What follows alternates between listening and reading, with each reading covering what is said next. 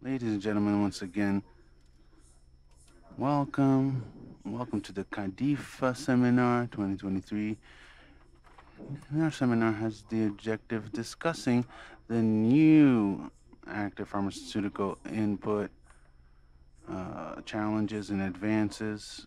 We will be presenting the results since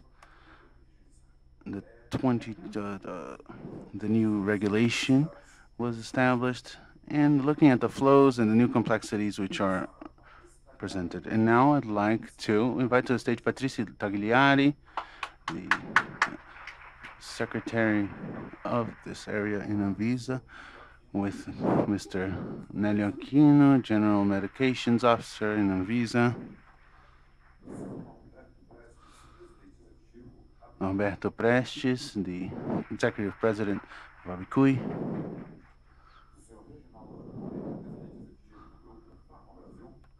Reginaldo Arcuri, Executive President of Pharma Brazil. And Ms. Marina Moreira, Specialist in Regulatory Topics at Abifina.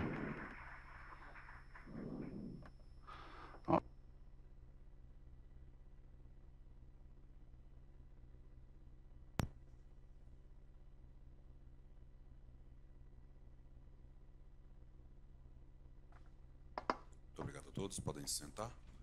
Ouviremos inicialmente o Sr. Nélio Aquino. We'll start with Mr. Nélio Aquino. Good morning, everyone. Can you hear me? Is it working?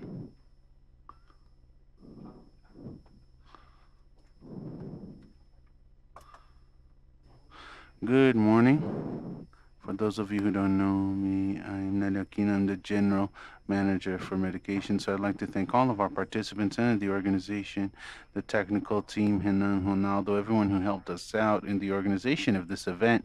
I think that this is a theme that is quite important, especially now that we have a new regulation in RDC that it's ongoing. Now, Renan always says that the training is over now we're in the game, so we need to discuss implementation. And we have a series of challenges. We have a backlog, a quantity of CADIFAs, which are quite high. We've been trying to adopt measures to overcome this this passive. Some are ongoing, some apparently with good results. I think that this will be a motive of discussion, for instance, in relation to regulatory trust. And all of this process brings us some challenges. We have issues that we need to evolve in, like impurity qualification, approvals eh, that are faster, considering that we have a very reduced staff. So we have a lot of challenges ahead of us.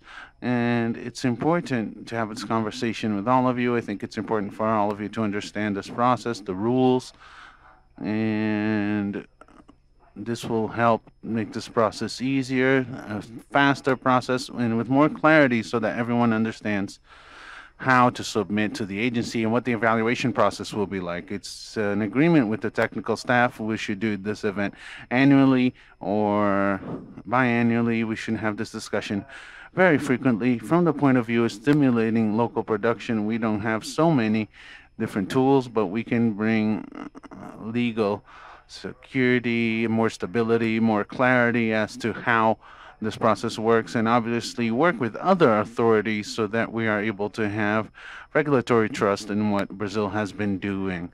Working in other markets, I think that this is a role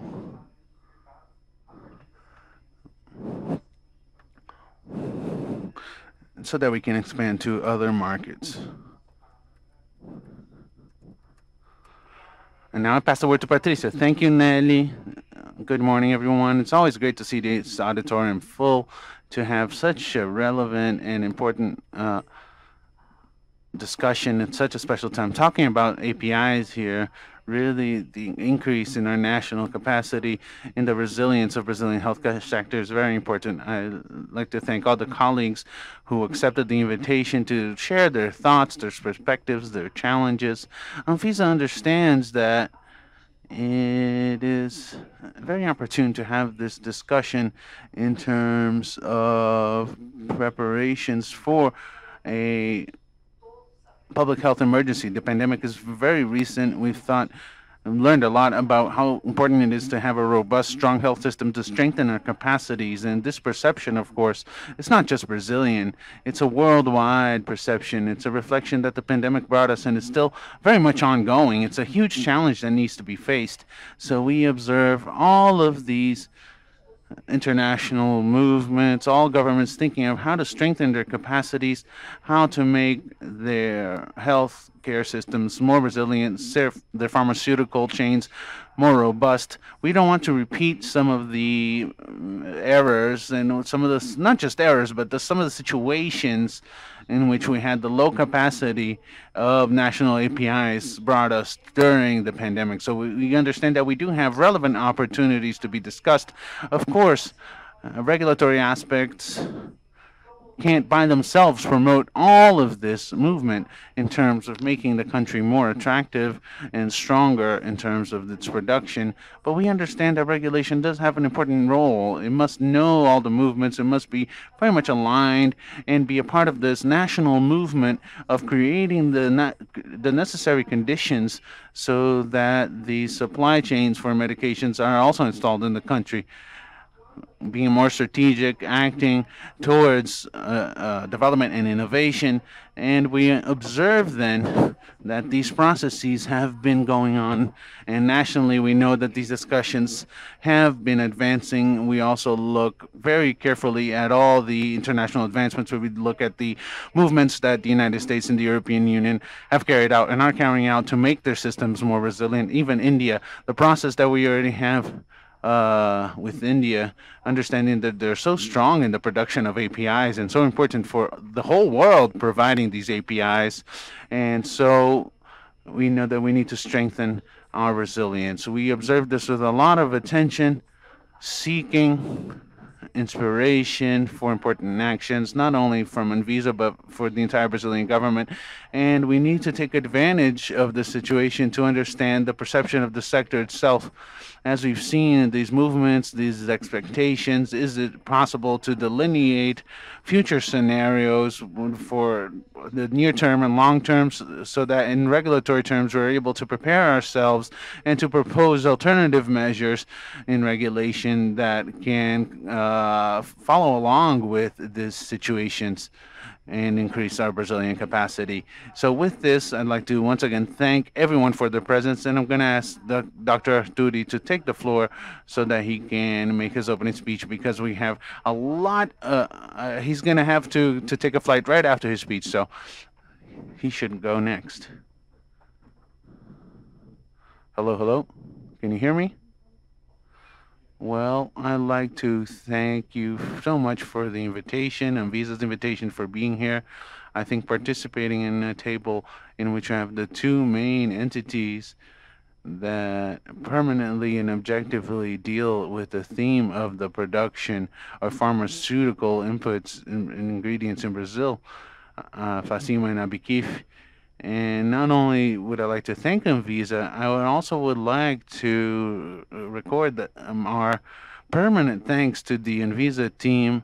I'd like to mention Patricia Nelio, but everyone else, because this is not a simple task to regulate any sector. In a sector such as this, medications, and plus everything else, the unbelievable universe that the Anvisa needs to regulate, it is really a day-to-day exercise of competence in, in, which Anvisa has shown that they're not only competent, but they have a lot of capacity, immense capacity and patience to make it so that not only the regulation is something that creates objective results, but especially this, that is based on dialogue. All of these sectors, not just medications, but all of the other sectors, sectors, uh, foodstuffs, agro industry, all of them are very science intensive and accelerated innovation. So having an agency that is able to permanently be in dialogue with all of the regulated sectors is something that is not only needed but is a huge privilege for Brazil for us to have an agency such as this. Anvisa is a little bit over 20 years old. It's a very new agency and has gained great leaps in capacity, especially in their ability to follow along with these innovations. These discussions in, in uh, APIs, especially the CADIFAs and DIFAs, uh, Uh, So just to wrap up, what could be a long list of homages and compliments to Anvisa, I think this issue of APIs during the pandemic was one of the demonstrations. I mean, the vaccination was another one uh, of showing that they were extremely important and significant, showing how Anvisa was able to give regulatory leaps without losing safety. So we all the time have requested that these lessons learned can be used. I know that there's a process, but so that they can be absorbed into the permanent regulation coming from Anvisa. And finally, I'd like to repeat something that I had already suggested. I think we should have this memory of the pandemic. There's a lot of things to tell, time uh, goes by, things start to be forgotten. The documents are all electronic, these things end up going missing. So, this is our suggestion. I don't know what the projection will be like. Do we have uh, this thing? Let's see if this works.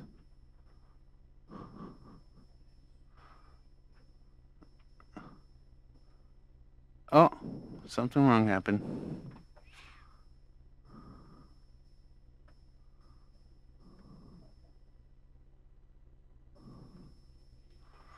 This one? This button? How do I use this? Okay, so I'm going to make a very brief presentation. Very much in this line. Obviously, I'm not going to make any analysis of the regulation instruments.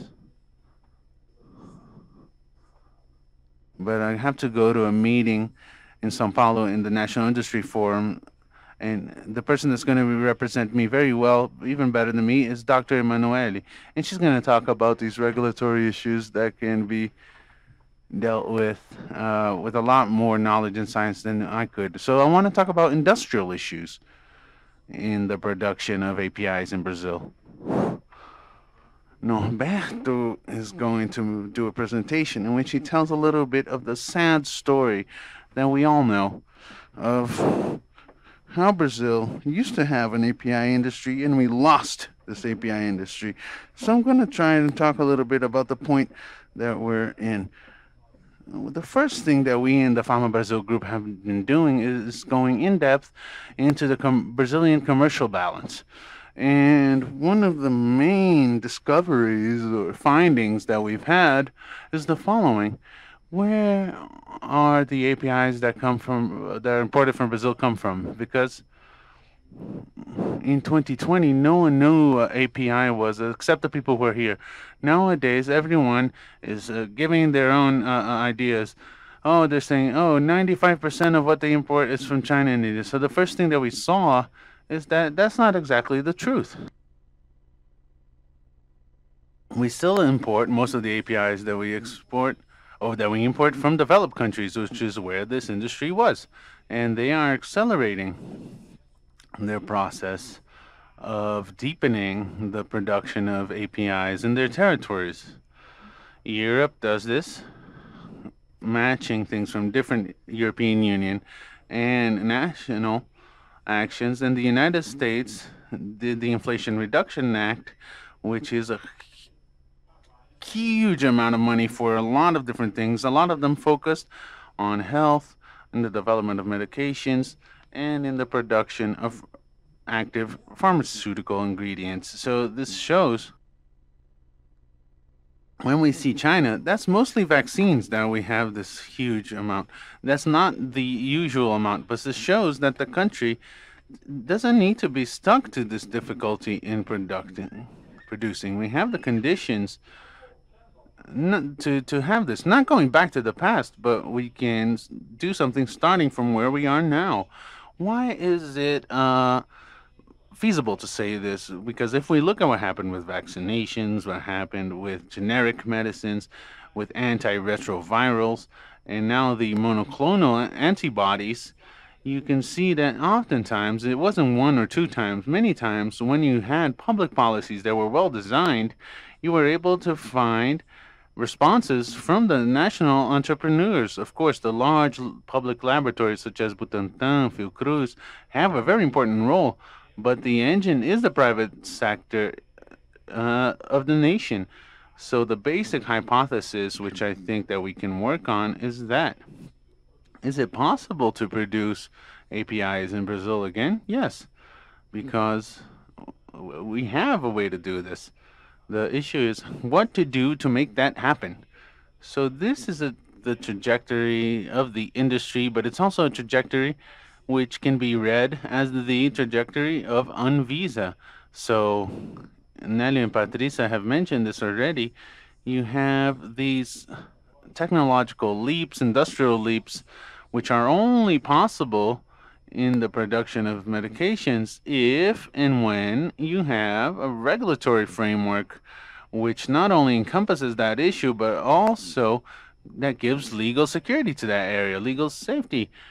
So it's a truism to say this, but for audiences which are not in the sector, people don't know how long it takes for you to develop a medication, even if it's a copy of a very simple medication. Why? Because of this. Something else people don't understand is that you have a whole step of production development of the industry, which is already in and of itself very complex, and all of this is regulated ad nauseum. So you need to have an agency that is able to do both things regulate, regulate well, regulate innovation with legal safety and with the speed that is compatible with the needs of development. And I repeat, this is what was done in Brazil.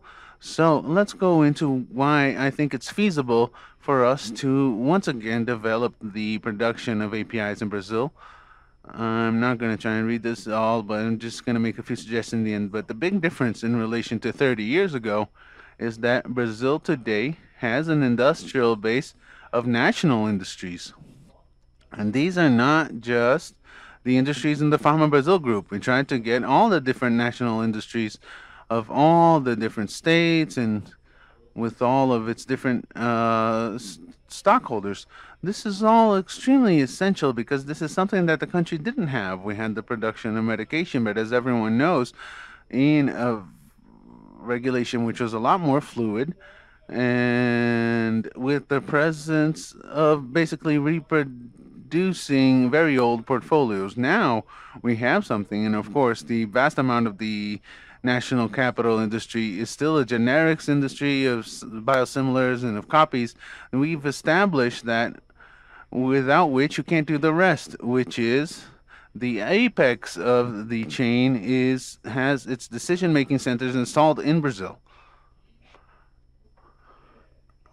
And something else which is extremely important, and this uh, is, slide is a lot more important. This is this is uh, data from Pintec. You can see who is investing money, their own money, into R&D, national industries, because of course, what's going on? International industries have the capacity for investment that's infinitely higher, but in their decision making centers, which is normal.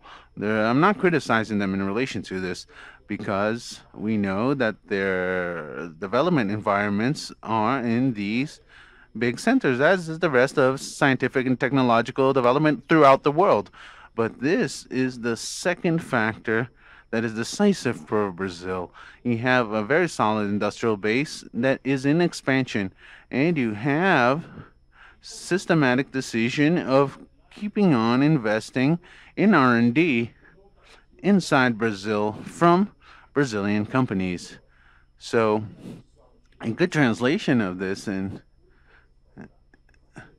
these are retail data. This is not for public purchases. When you look at retail, uh, out of 20, 10 are national. This is extremely important. Why? Because once again, if there are other tables that show that those who have patent protections, which are usually international, uh, which are international companies, they have a lot more participation in public purchases, but you can do a virtuous substitution of the market movements. So, what is going on? Once again, this is not a criticism. This is just a, a, statement of facts. You have a change in the portfolios in which the companies that have their development centers outside the country are more interested in bringing to the country their more advanced medications under patent protection. This means that they ended up not uh, not actually investing in their old uh, unprofitable portfolios. This could have been occupied by by companies from other countries. You have companies that produce generics from India, for instance, from Israel, so on and so forth. And this was, these were occupied by national companies. So this is the third thing, which is extremely important. The market was occupied by those uh, who are here. So when we look at the commercial balance, we see that this is the medications commercial balance.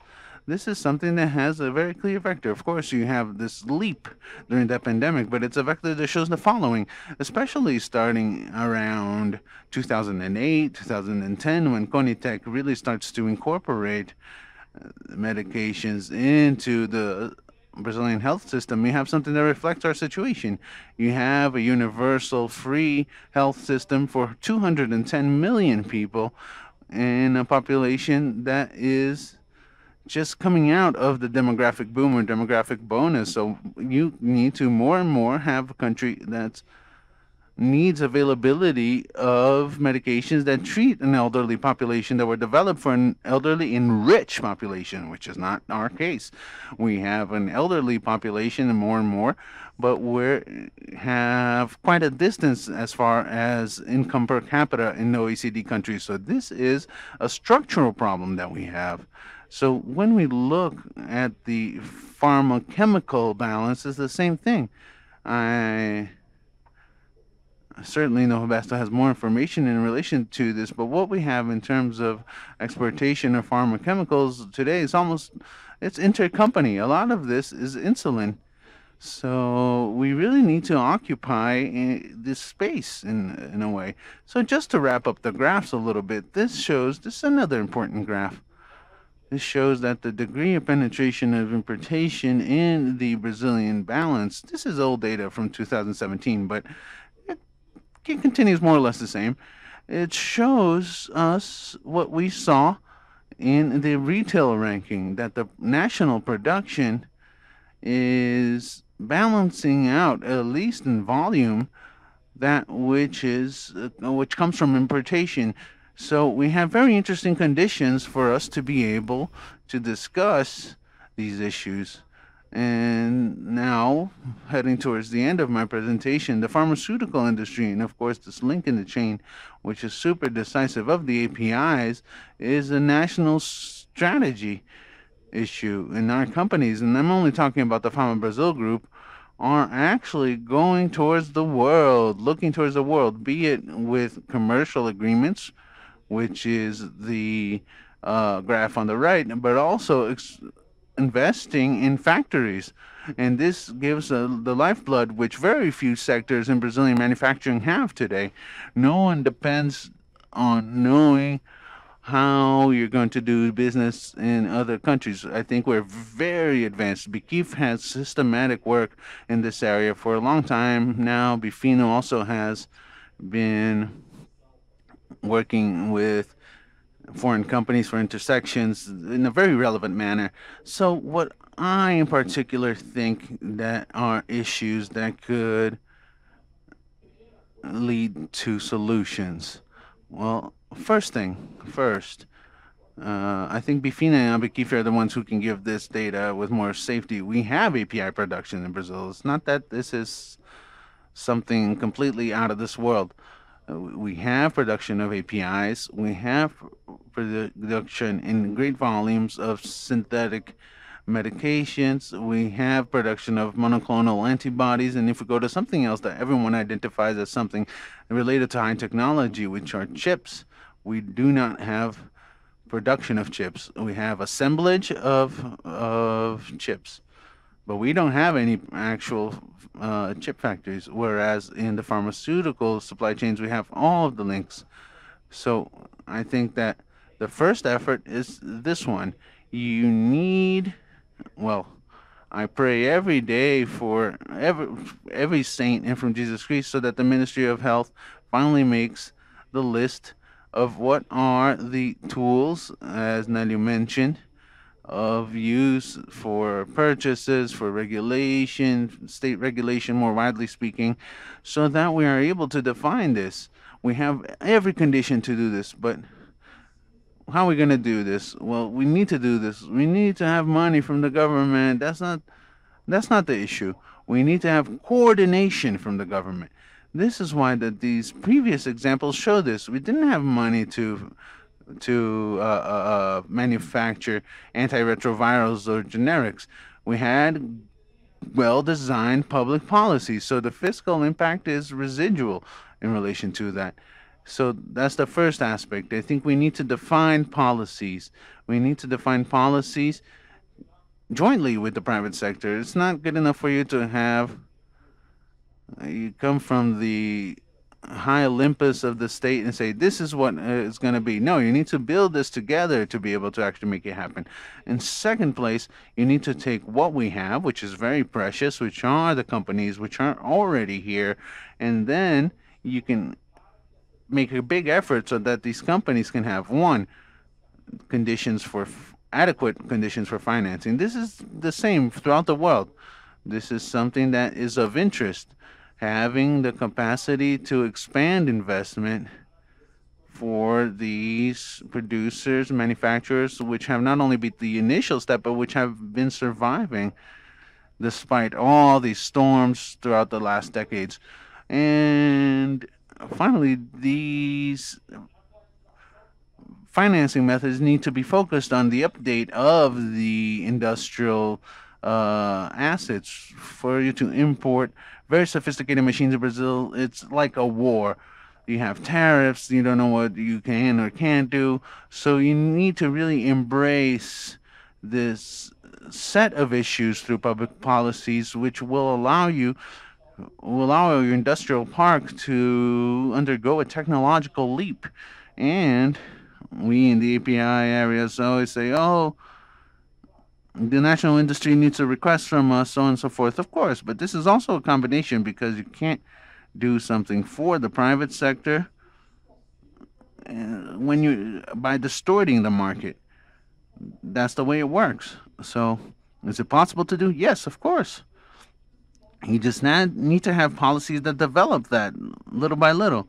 So when you combine various mechanisms of purchasing power, just to give you an example, popular drugstores, if you calibrate the popular drugstores and you start creating mechanisms in which you make it feasible for large pharmaceutical industries in the nation to have supplying agreements with the input industry, it's perfectly possible to do this. What I always hear when I ask this, can can you do this or can't you do this? Yeah, we can do this. It's even better for us. There's actually various cases like this. You develop things together. The people are here, personnel are here. You don't depend on very large supply chains, but you must have an advancement in this area. Otherwise, that will be what's normal. You need to need to have the most economic conditions for your production. So I think that there's a big theme to be discussed in that area. The second thing that I'd like to mention is that I, at least, as far as what I've been reading and listening to, I think it is reasonable. Is that you allow me to just uh, mention someone? We need can't just be focused on producing omeprazole, we need to go a little bit beyond that. Why? Because these molecules, which had been blockbusters, they're commodities nowadays. Uh, so there's too many people producing this kind of drug. But in Brazil, we have cases of this, both of verticalized production and production from input companies of market niches in which you first find a few niches immediately. And in second place, you need to have an active search of this kind of thing. High complexity APIs, on, oral oncology medications, you have a battery of APIs that are already here or are coming through in which you're combining not only market opportunities, technological leaps, in the capacity of development of the APIs as well as new methods of production. You have machines nowadays in which you can have very quick production setups. Eventually, you can even produce simultaneously two or three different molecules. So there's a wide array of things that we can do. Not only that, and we do have experiences in the country in this way of this is an area that I think we should really invest in, and I think it should be a policy from the Ministry of Health. There's a bunch of APIs that you can produce without depending on materials such as carbon, synthetic intermediary materials that you need to buy almost at the final price of the API, and which come from the Brazilian biodiversity. I always use the example of the carpine uh, pill, which th- that's what it is. There's another one which I always forget. What's the other one? No, it's uh. Yes, heparin. Heparin. Heparin. There's a problem there where you sell heparin to China and you buy heparin from China for fiscal reasons, and our traceability uh, uh, uh, chain and our amount of our, our, our cattle herds are a lot bigger. So anyway, we have technological issue that we already have here, and you need to focus on other things. Brazil, like the carping pill, as far as I've understood, is a very powerful input. You have eye treatments based on that, which are quite advanced, so on and so forth. And finally, this is also where we already have some production, which are those medications in which the product is the process and the process is the product, using a simplification. Things like monoclonal antibodies, gene therapy, CRISPR, CAR cell treatments, in which you have another discussion, which is it's not simply producing an isolated API. The idea is to articulate all of these different productions. So here we have the carpine pill. So just to wrap up my presentation and uh, thanking Anvisa once again, I think that Brazil has great chances. What do we need to actually do this? We need to have public policies we need the industry, and we're also waiting for Bill 2583 from Dr. Luizinho, which is in the Chamber of Deputies once again. He asked for an urgent vote yesterday so that we want them to. This is fine. This damn industry needs to be considered strategic. So I can say this in this environment. I don't I don't think I need to really talk about this in this environment. Everyone knows this, but we need to increase access to health in the population. What are the two fundamental mechanisms starting with the uh, with the idea that you have a decision of private investment. You need to make a good use, better than what's already been doing.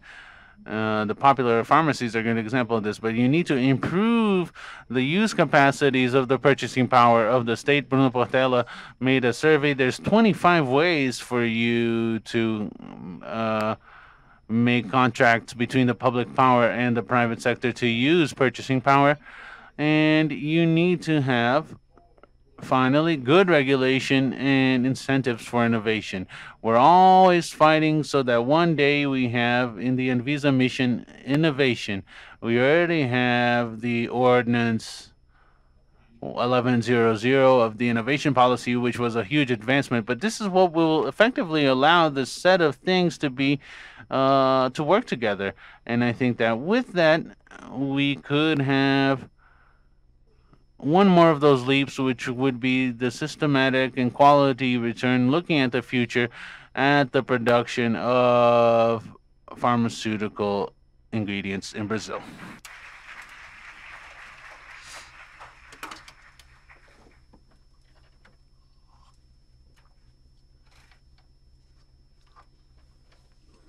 Thank you, Mr.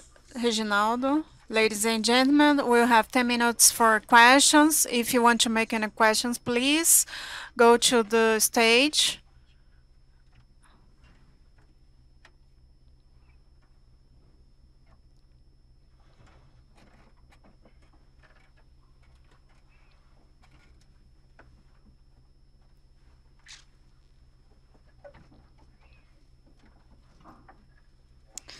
How are you, Reginaldo? Congratulations for your presentation. Marcos Miranda, General Head of Fiscalization. I have a suggestion for your presentation to clarify because some numbers, we think about that, some strategies, and uh, it's not the same uh, in reality uh, regarding certification. When you bring the import numbers of APIs, China, Germany, and so on, we can observe that the number is not the reality. So we come back to China and India in terms of volume.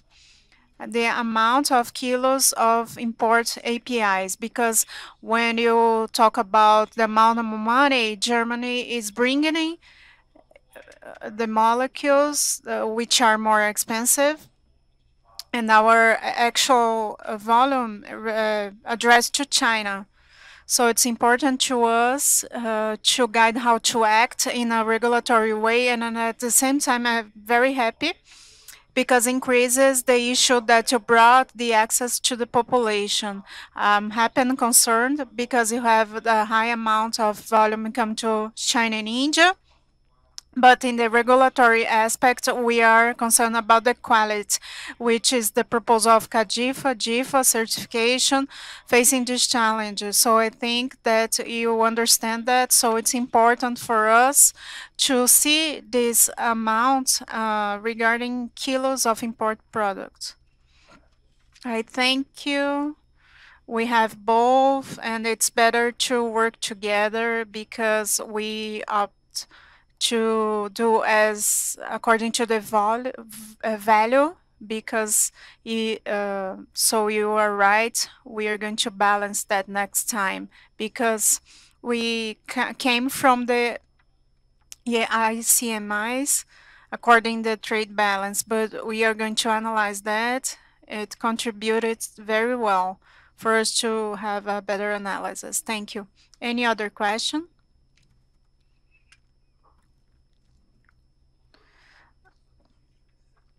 So this question is for all the associations, but if we have been discussing uh, the uh, passive, uh, how to discuss a, a, prediction. We had the RDC uh, 750 regarding reliance. Renan gave me the data, which are good.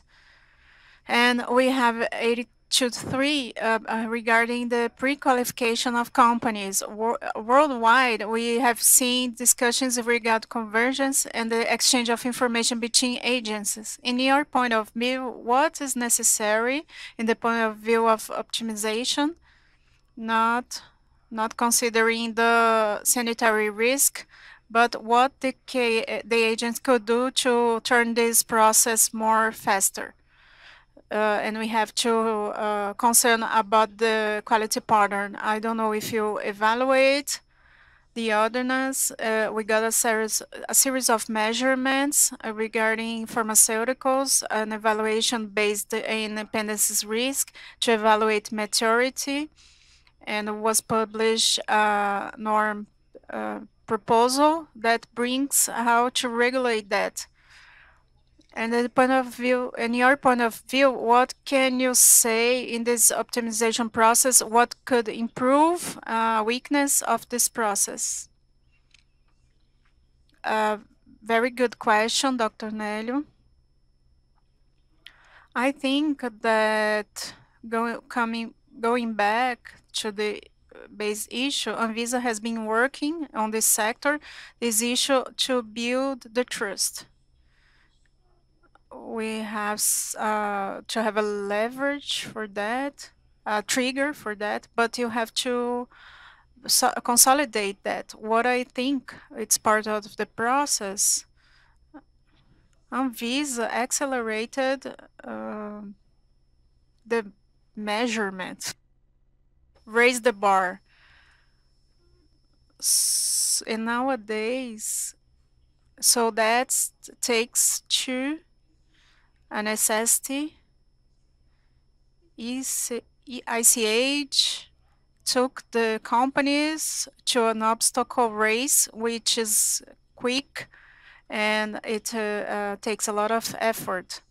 And what I think that accelerates this process mainly when we start to balance this regulatory quality of the company.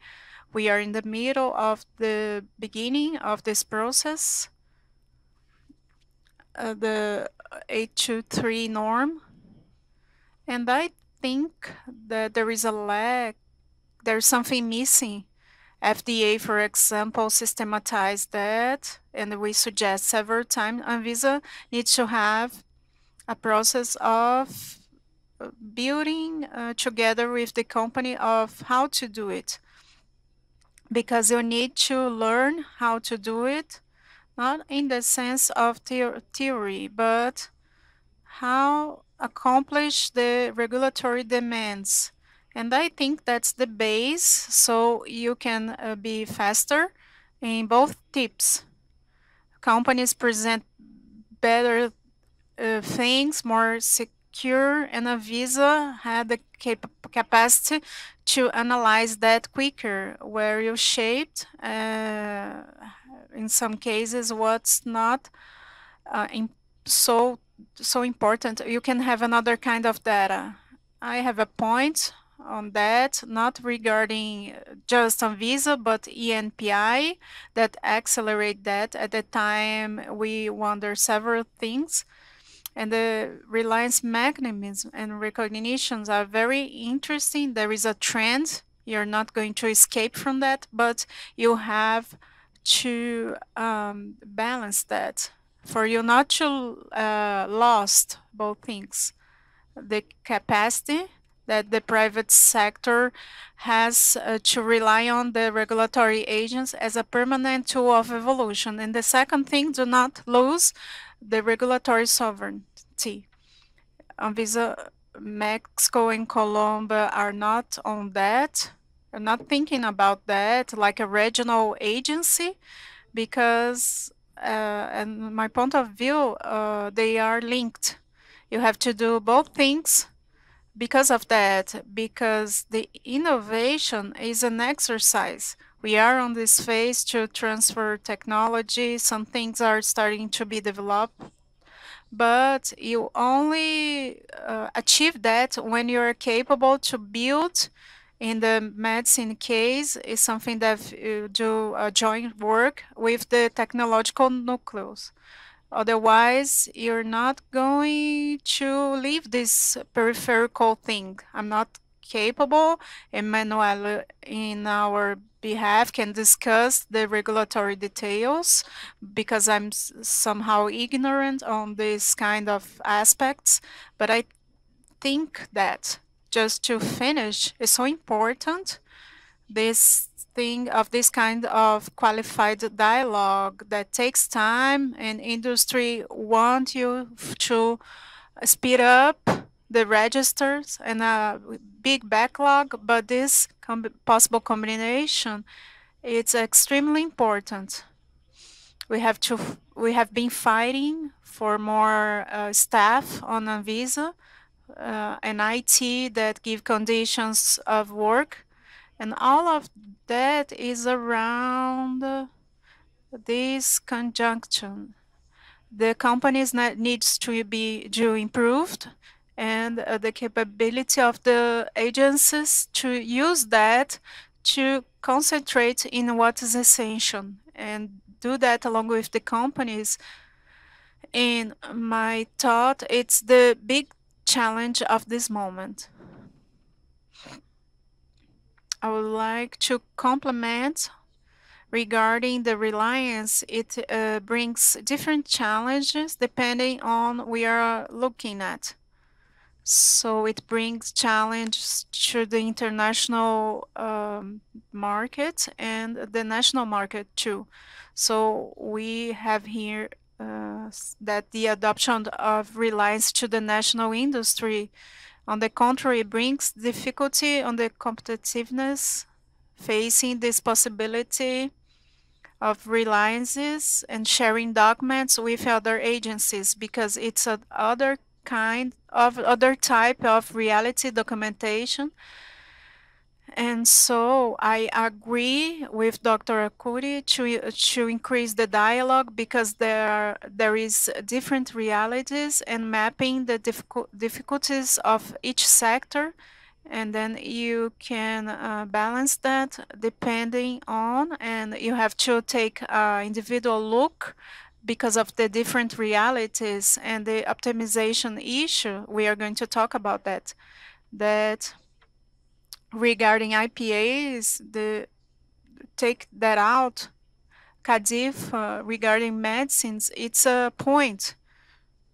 What's important uh, when you have an opportunity to say uh, something that be, has been debating, we got the difficulty in the agents to accomplish this implementation, and in the other we uh, have some companies that can uh, talk about that, the importance of this um,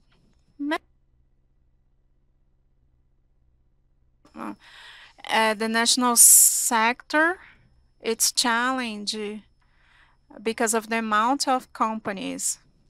The regulation to base this production, so small details makes a difference of a company that's going to compete, as Dr. Arcuri mentioned, it could have potential to compete ahead with big potencies. We can see uh, some of them that are on the top line on uh, exportation and uh, that improves when we have practices that uh, going with that. So just adding to your talk, something what Mariana mentioned, I miss uh, that we not uh, see what we want for the country. We have uh, uh, a group of manufacturing industry and there is a protection issue because sometimes we see that we are closing the country. No, it's a strategy thing, survival issue. Because if we open reliance and do not think how the competi- uh, the outside competition is huge you just have to take a look at the numbers. The biggest company in brazil is not even closer to the international one. So how you can measure this power regarding the other potencies we are outside of the world map when we talk about uh, pharmaceutical innovation uh, Arcuri mentioned that we have more potential to develop the industry here than shi ships. So we can do outstage here. So take a reliance measure. We, we have, have got a pressure from outside. What's this measure? What's the consequence for the country? And that's going to affect anyone here in the audience. So the business is important everyone is uh, concerned about business, but the pandemic uh, scared us from this, from that. If you didn't learn anything to uh, have a, a, regulatory measurement, nothing's going to happen. So that's it. Rafa has other things to talk about. Just to make a small consideration regarding the talks, Dr. Arcuri mentioned that the maturity of the industries. During the building process of the norm, we took a look at the background to approval of medicines and we can see that's uh, increasing line uh, 2015 16 we had 40% of the submission approved and now the average is 87% so it's not the agency evolution it's the evolution of the sector itself. So when the, it discuss optimization based on risks criteria in 2015 you cannot discuss maturity of process of manufacturers and half of that was uh, not approved. So we are in another context and seems to me in this scenario that we can evolve a little bit more in this reliance and the norm is local at this moment. It's going to be a pilot and could be a landmark for us to have something quicker in the future. Uh, regarding reliance, it's important to separate what's uh, recognition and regulatory trust. When I talk about regulatory trust, we are not saying that we are going to accept what was approved abroad. We have the sovereignty. We reevaluate, we evaluate what's doing abroad and then we evaluate if it's according to our norms and then we make a decision so our estimative is the economy of analysis so when a national company is on the national line we can have other 100 CADIFAs that could be used but it makes quicker. So when I talk about reliance, we have both sides of the coin. If you want to speed up the process, we have to discuss optimization mechanisms, and that's what we have been doing recently. We have two norms, guidelines, and we are closing uh, the Reliance CP. We have the 750, which is a pilot, which is a model for some countries. We discuss to apply Reliance, we have to have a pilot, and the results we are going to put on the report of CP 108. We have positive results, we have improved to do, we have a big amount to be submitted, and obviously we're going to have to evaluate if they're going to be approved or not. We had we got one approval without any demands. That uh, that means that the technician take took less time.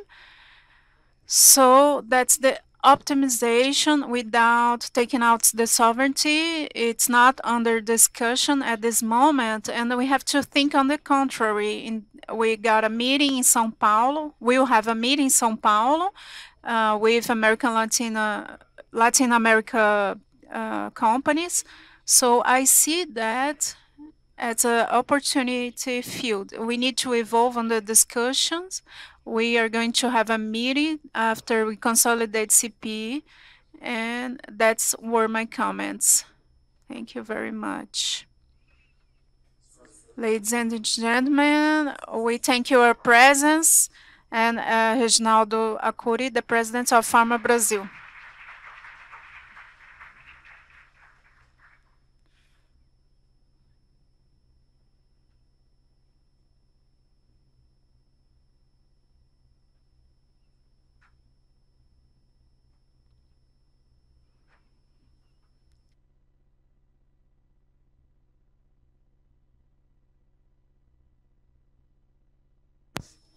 Now, uh, representing Pharma Brazil, Emanuele Geltz. Thank you for your presence. Ladies and gentlemen, going on, we open the roundtable scenario of IFAs in Brazil and in the world after Reginaldo Arcuri. We are going to keep going and after all the presentation, we are going in space to uh, questions that should be done uh, on the stage. I'll give the floor to Mr. Norberto Prestes. In fact, Marina, we are going to make a double presentation. Marina is going to share the presentation with me we have a full audience. We don't have any new face, so the speech that I, I used to do, uh, the majority do not hear that. We always want to bring some new numbers. Thank you, Anvisa, for the invitation, Elio Renan, to have this, to have this discussion, opportunity to open the house for this subject. EPI is very important. We are reviewing and presenting what happened in the last three years. And I think with this speech now is to show what's the importance of the theme. And I think that probably uh, in regulatory terms, we have a mission. I believe that we are close uh, in all the pleats regarding APIs.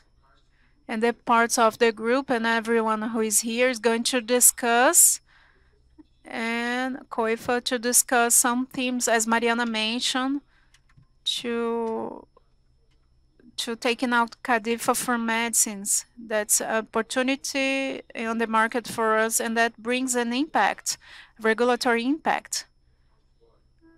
So audience, please, professional of the regulatory area, we are going to have some discussions, but uh, the purpose of those discussions is to see if you reduce the impact as we are going to show in, in numbers.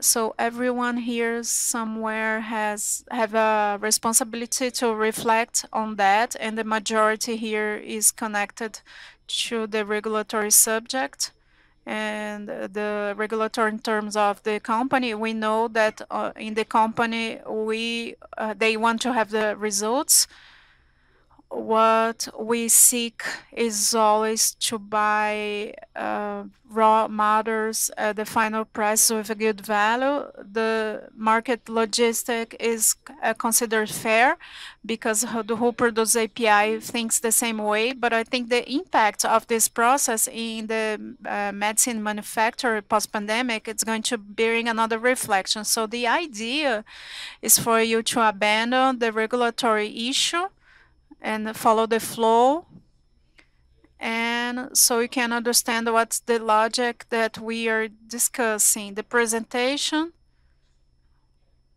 Okay. So Arcuri brought that very well. You just saw what happened dur during the pandemic. The API subject regarding the vaccine was in evidence and it was a public opportunity to bring this discussion to society and to the government, the entities. And in, on this process, we realized some movements that the other countries had regarding this theme and how we are slow regarding this subject. So I invite you to reflect uh, regarding our culture and leave us on this comfortable position even after what happened. And I feel when I see myself I in this scenario, it's like a hysteric guy talking about situation that's solved. So everything uh, came back to the normality, but I still watching this process. We cannot uh, talk about that. So uh, if you take a look in the north countries like China and India, they went on a radical process during uh, the their history, war, misery, several situations that put them in, and they decide to have pri priorities. Brazil in its history, we are were in a very comfortable situation. It's like a perfect country with without uh, adversities, uh, climate, not any concern, real concern about the future. We just think about the image immediately about the next day and we didn't got any plans. In this pharmaceutical sector, we need to think in a long term, 10, uh, 20 years. So in this process, we go through several difficulties and everyone here have the we just react to the situation we don't plan we react to the pandemics and went we through that and the entrepreneurs just solved uh, increasing the amount of stock. And then uh, we just adapt. The supply chain in the pharmaceutical was broke. On the tip the ones that uh, purchase i saw how desperate they are.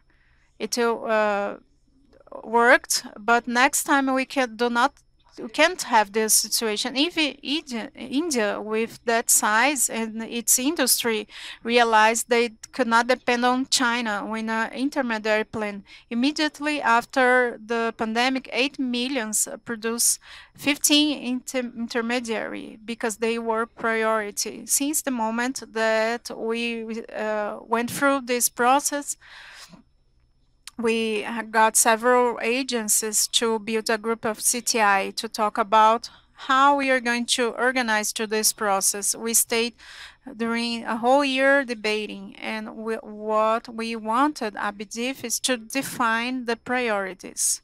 Because yesterday, talking to a representative from uh, the Ministry of Industry, there is no public policy without priorities.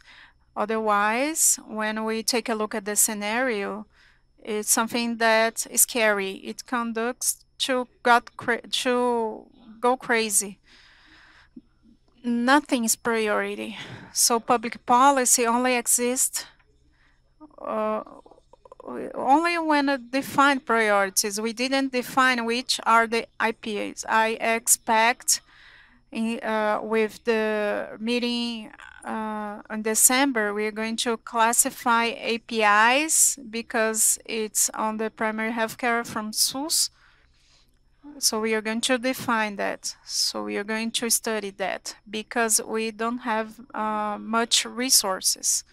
When Arcuri mentioned about that we don't need uh, money from the government, I think the contrary the United States depends on the money from the government. Innovation comes from the university that define the priority, that put the risk, the funding, put billions to talk about the the sovereignty. So moves the ch uh, supply chain, the universities, the resource centers, and the company to reach a result. But on the tip, how we're going to develop the innovation is the government that put, put billions any development program in, in, North America is like that. So it's important they stay to uh, leverage this system. In Brazil, SUS and the Ministry of Health, we need to uh, concern about. We are working on issues, uh, bringing this reflection to you. Mariana, if you're going to talk about Fran France example. It's part of the investment development friend, uh, plan for France. It's a government plan so that in 2030 there will be a different France of compared to what we have today. So it is a very strong uh, investment of the government, billions uh, of euros for the development and research.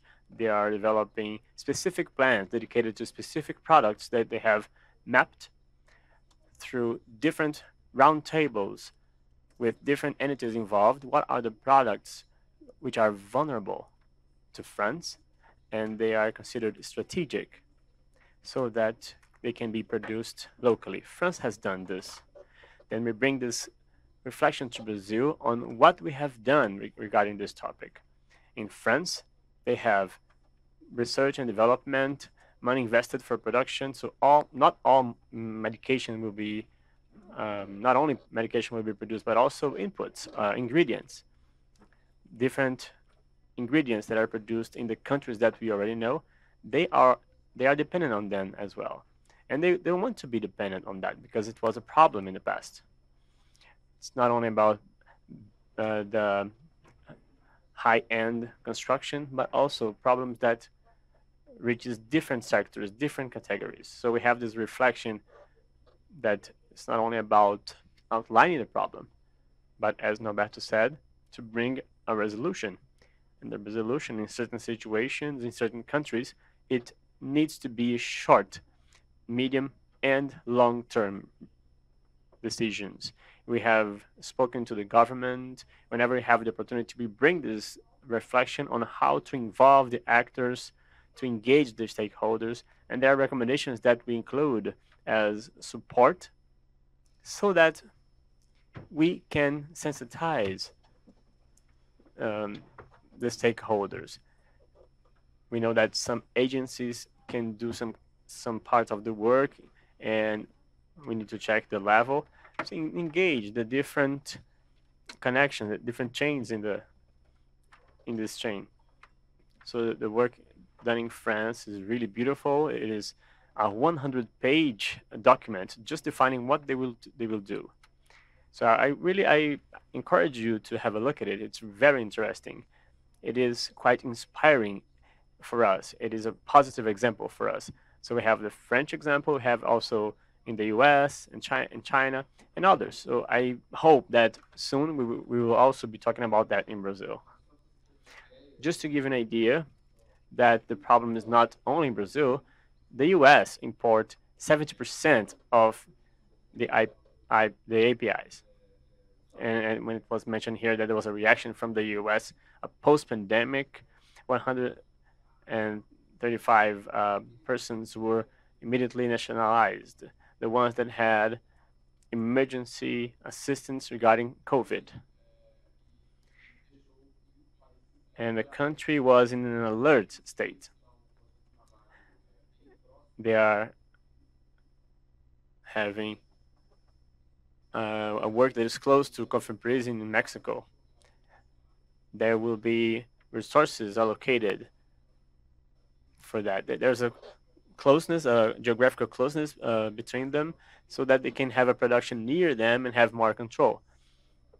Then the U.S. is under this process. So just to give you an idea, yesterday we had an important uh, meeting at CNI with the directors, and when we started talking, and he started just bringing all the barriers that limit us to have the minimum of uh, capability to think of regulations in terms of having a developed sector of ingredients in Brazil. In the 90s, as it was mentioned, 50% was consumed here. Uh, of course, the medication was a smaller uh, scale at that time, but it was around 50%. And most part of these ingredients were exported. Harchi was here. There were other multinational companies. In the same period, China did the movement to attract companies, as it was mentioned. And important. It was important to Brazil to have a more a bigger um, uh, chain, and you could ask any money for China at that time. They would pay everything, since a, a spoon in the in the cafeteria to the high tech equipment that, that would be produced. They would say, "I will offer everything to you, a free, uh, free or semi-slave um, workforce." But we have the the the raw material here. So, but it was worth it for him, for them, because they learned the whole technology. It's like a reverse engineering. They learn, you bring the companies and learn how to do, yes, yes, reversed engineering. So Japan did that and China did that as well. And they understood it's the most strategic sector in the world. The whole population is getting older. We are having 8 billion people in the world. So to have control of this, you have control of the world. And then they did it very well. And then we fell in this um, in this pit. We made this mistake. And here's the reflection for us. So when you see even the state is depending on that. So what is the difference between the US and Europe? They react. France reacted immediately. Uh, India also reacted. The US would say, turn on the engines uh, of that the factory, and I have the oil company to do the refined chemicals for that. So you have immediately a process going on. They can react, and we do not. So back to the story, having 50% in the 90s, China did that at that time, and we didn't think on keeping these companies here, and then immediately all these companies left Brazil immediately. And to cooperate with uh, cooperate with this process, we have the Collor plan. They opened the country with uh, economic freedom and all that. They didn't think strategically. When you talk about uh, economic freedom, you need to think of what you need to protect because the population needs to survive if something wrong happens. They didn't think of that. So it is the weakest uh, piece in this chain. There's no added value. And we see it is an important part of this chain. Then I would like to open positive possibilities here. We had a meeting, and I was surprised with that narrative that we are we have lost the game already. So how can we Norberto start? How can Brazil do that if China, if I, India, if it, I remember that I was in China once in Shanghai in two, uh, 2018. I was with some specialists and it was in a moment there was some kind of um, closing uh, of uh, API um, manufacturers. It was a market strategy. So they, did they really close the factories? Maybe we know about that, but I think it's not that. I mean, they have over 4,000 companies producing for them internally. The figures we see here are the companies that produce to the world, which is a huge number actually. And then, well, back to the point. If I compare with the outrageous number uh, numbers of China, all the resources, I will sit and be standing still. I will be just paralyzed and thinking that there's nothing to be done. They are dominating the market, close the door, and that's it.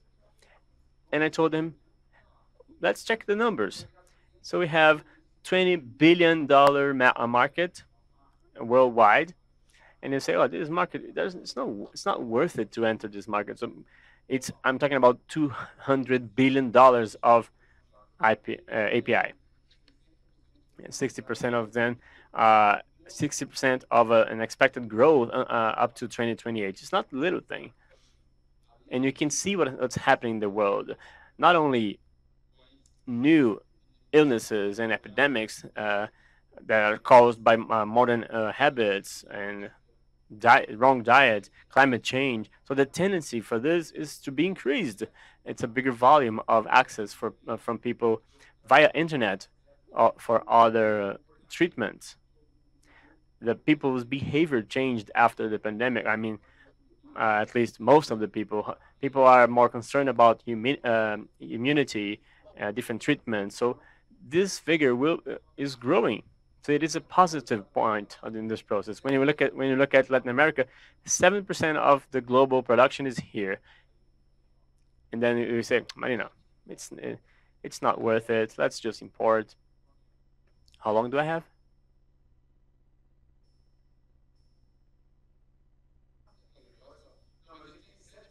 Well,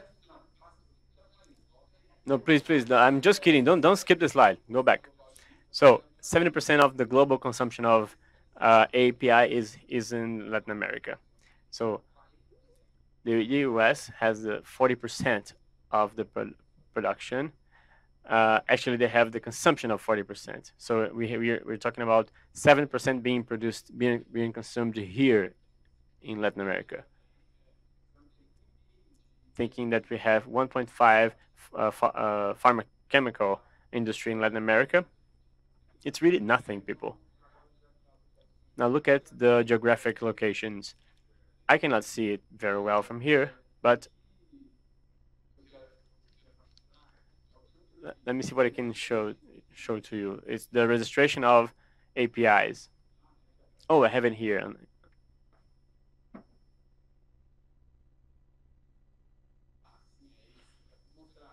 Yeah, this this picture shows that uh, just for example, we're, we're buying from Europe. Uh, Europe is a strong market and China as well. The registration of building of new API plant with the amount of registrations of API in the Europe, in the European um, market, and also including China. So these are the figures. In terms of uh, increase in the production, Europe went uh, had an increase of 3.6 in the period between 2000 and 2020. Asia increased in 13 times. So, how much Asia, Asia organized to position themselves in this market? And we are not even in the map. Let's see the next slide. Here, we can see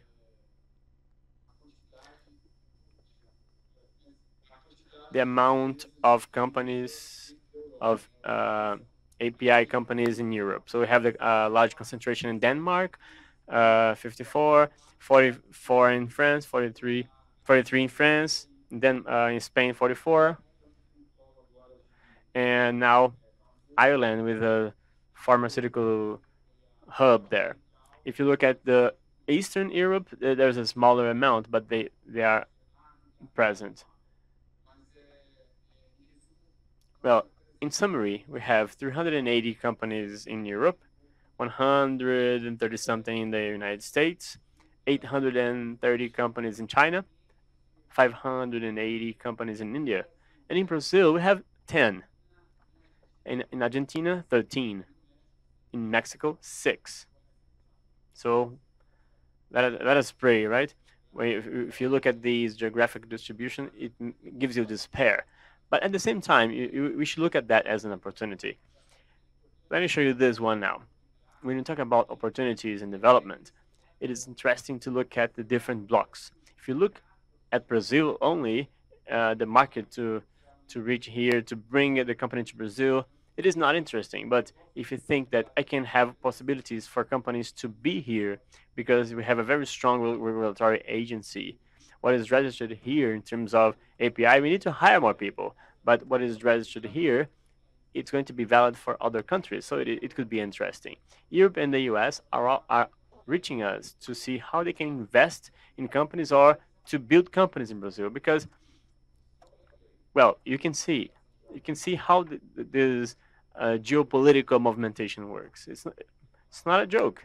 We're not, we're not playing here. If you look at Russia and Ukraine, there's a, they are in a, in a fervent situation. So when you think having an agency, a strong agency as the one we have here, so that could be a good idea. When you think of blocks in Latin America, these figures show different types of molecules, the wide space, how much we have to develop in, in Latin America in terms of API. In the universe of 2,742 molecules, only uh, 129 in Latin America. So we have this universe and we are questioning this, this number. We think it's even smaller than 5% we are evaluating the, the data to be to publish next year. But looking at these figures, we see we have a lot of opportunity in Latin America. And there was an invite an invitation uh, for the event in São Paulo in the beginning of December, Latin American event uh, concerning APIs, and we're going to debate that, debate the position of Brazil in this block, to think of this supply chain here. Now, thinking of distribution figures, we have the concentration in the state of São Paulo of companies that produce APIs. So 47% of them are in, in the state of São Paulo. We're talking about the universe of 47 companies that today produce APIs in Brazil. They have they are registered at Anvisa, but uh, others do not have registration, and some of them produce only one type. So in practice, effectively, we have 10 companies that have a bigger portfolio that produce internally and, and have the capability to export. We have a negative balance of $2 billion uh, approximately. When you think of the internal market, we do not produce $1 billion of API. It's even it's much smaller. It's much a smaller number. So it's important when Marco, uh, I'm sorry, Marco, I forgot your name for a while. So your observation is important. You, you, can, you may wonder how can you make this big mistake in letting uh, China grow that much? Yeah, it's an it's an interesting opportunity, quote unquote saying, but these are uh, ingredients originated from China. We have we have shown this already. In terms of export, this this uh, graph here on the right hand side, we have 400 million dollars in uh, export. And just remember that in, in these of these numbers we're talking about uh, Noxaparina. We're talking about bovine fetal uh, serum, hormone, a little bit of it, and the insulin, which but it is not the raw material, but it kept fading out throughout the time and we are monitoring that. So these are substances that, in fact, are not directly connected to pharmaceutical industry.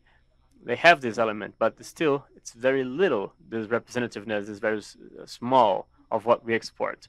So this is what this is why we're talking about uh, disconnecting because uh, that would be interesting for the companies to invest in the production. So I, I think uh, my dear colleague can continue talking about emerging uh, emerging technologies. We are getting far from this. Arthur made a good comment. I, I, had, I hadn't thought of that. We are a country that has struggles in the access of medication uh, to the population. We are not a developed country. And how can we do this adaptation?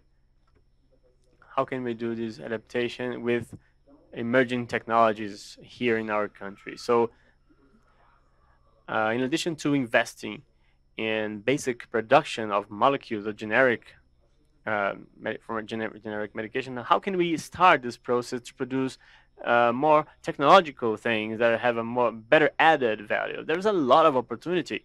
Let's not just be focused on paracetamol, you know, and very common uh, vitamin C. I'm just kidding, but we should not focus on only that. There's a niche that can be explored, and to decrease this impact that the emerging technologies can have in the Brazilian population, considering that we have 30, 50, 100 million people that use the unified health system.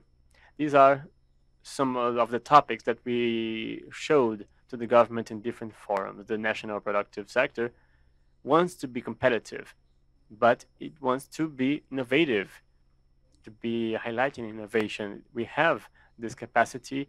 The industry is quite experienced, and as Norberto mentioned, it keeps uh, growing there is a learning, a constant learning curve, but the our, our market is prepared to to move forward in innovation. So these companies could bring competitiveness to these companies to compete. Uh, to compete with in India and China with commodities, it's not possible. But how can we bring competitiveness to the companies that from the 90s on, uh, on they suffered a lot? So we don't want to repeat the, the errors of the past.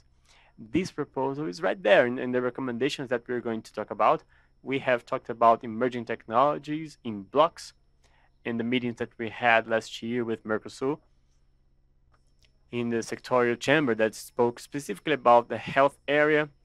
We had uh, we were invited uh, through the Abifina and Fiocruz uh, work plan, and Abiquifi also was part part of this work plan. We spoke to Mercosul on how we could have discussions for pharmaceutical industries as a block in Latin America could enter in, the competition. And we saw extremely different uh, realities in terms of re regulation and, and production capacity. And we are thinking on how we can unite in our diversity to bring innovation according to each country's portfolio and capability to have growth not only to Brazil but in the regional level.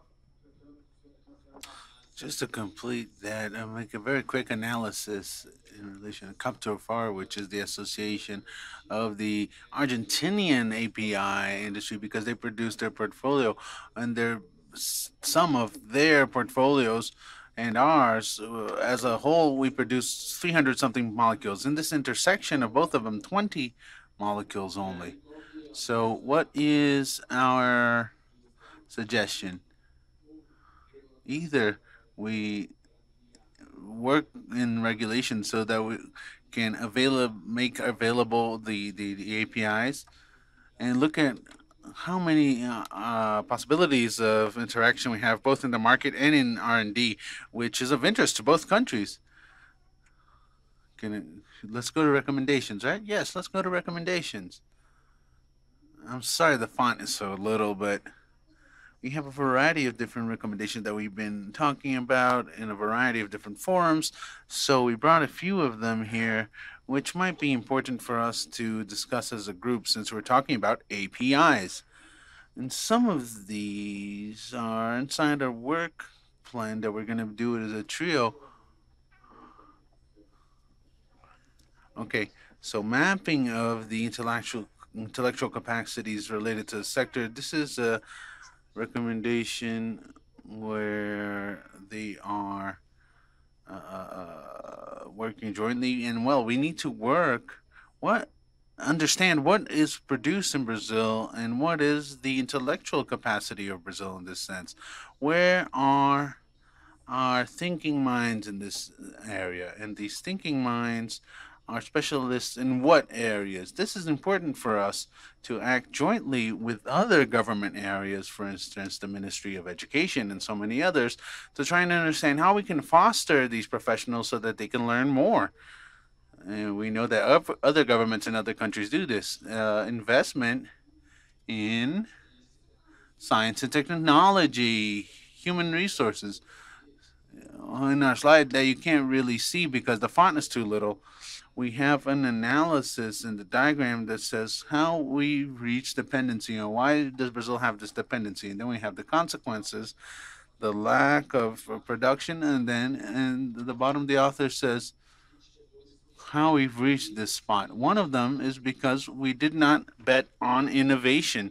This is why we'll be hearing Abiquifi and Abifi talking about radical innovation, startups, so on and so forth, because this is a way to make this more dense. We're going to talk to the Ministry of Science to say, where are our capacities? Because if you don't have a lot of resources, you put these resources where they create a, a lot of impact. That's not just distribute breadcrumbs. Let's put it in where we need impact. So innovation is one of the points that brought us to this mega dependency.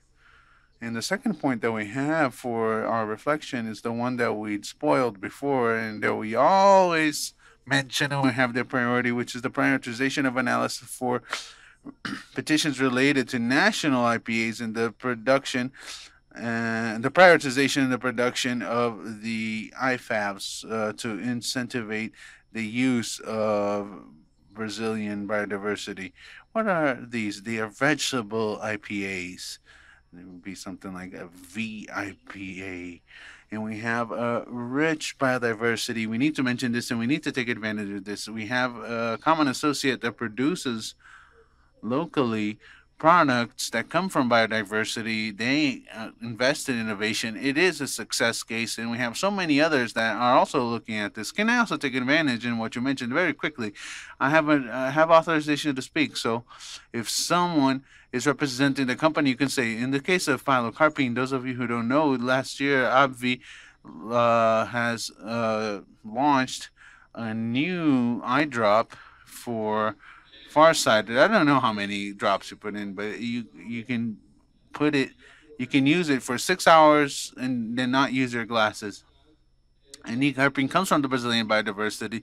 It's 98 percent of what is produced in Brazil is is exported. And I can can I keep on speaking? Yes, you can keep on speaking. Okay, so I'm not going to be uh, not going to to be arrested or receive a lawsuit. I know that you might have seen this in the media that we have clinical trials at the third clinical levels. The Epiflora uh, and the research center are doing a vitiligo treatment with substances from Brazilian biodiversity. And so, what's important to mention is that the results are very positive thus far in this process. And 2% of the world population has vitiligo. That's 2%. This technology is being negotiated with a huge American multinational, but this could be the first national blockbuster medication. I hope that it is because this will inspire other industries. And uh, the perspective of profit if that happens just thinking about those 2% is of over 6 billion dollars in the first year. So just to say that there's good things going on as well Sure, sure. Yes, there are. Another point is the development of public policies for technological development, innovation, and uh, API production. And this sentence represents a lot. It's like Dr. Arturi mentioned. It's very important to foster policies, yes, so that we can discuss innovation, but we also need to deal with the regulatory environment. But before that, there's a lot to happen because the business uh, community needs legal safety. They're not going to invest their resources into things that are born in difficulty or that are extremely challenging or that won't be made concrete So there's an environment of public policies that's important to be fostered. And we've been doing this from the beginning of the pandemic in a variety of different fora. We are in a very uh, good moment to talk about uh, APIs. We have investments from the government in this area, the PAC uh, I know this isn't the forum to talk about this, but the PAC program, the Accelerated Growth Program, uh, the other people are doing this, other countries are doing this, but we also have investments in Brazil. We have different paths, different steps being made in different speeds, but it has been happening. But it's important for us to point out here that whenever there is a bill, Abifina in Abiki, FarmaBrasil, are it's important for us to remember memory, for us to foster and stimulate the sector. And I'm going to talk about 4209 as well. A list of APIs with an alignment of strategic interest of the country and of the pharmaceutical sector for uh, to serve the single health system, to help the, the healthcare system. You saw this in France. They had a long journey with a variety of different entities so that we create a list of products and then consequently they are extending the theme to APIs as well, according to what I mentioned earlier, and we need to observe this very much. Another good news is that this list is provoking Latin American countries to also uh, making a list like this so that we can cross-reference these lists and we can identify the best ones so that we can get resources not only in each uh, country but also for from the World Health Organization for instance, uh, or the American Health Organization, and so that this or that country is uh, investing in this technology, maybe we can reach 10 key APIs, and then we can work with a lot more strength as a regional movement. In some moment, we'll also be talking about regulation, when we're talking about these lists, this list. So it's important for us to always have that in mind. Regionalization of the production of pharmaceutical inputs with other countries in Latin America. That's what we've been talking about. And also keeping the agency Anvisa. Our goal is to have Anvisa as the reference for Latin America to avoid what Dr. Arturo mentioned. What Dr. Arcuri mentioned the uh, agreement that Colombia is doing. That's not good at all.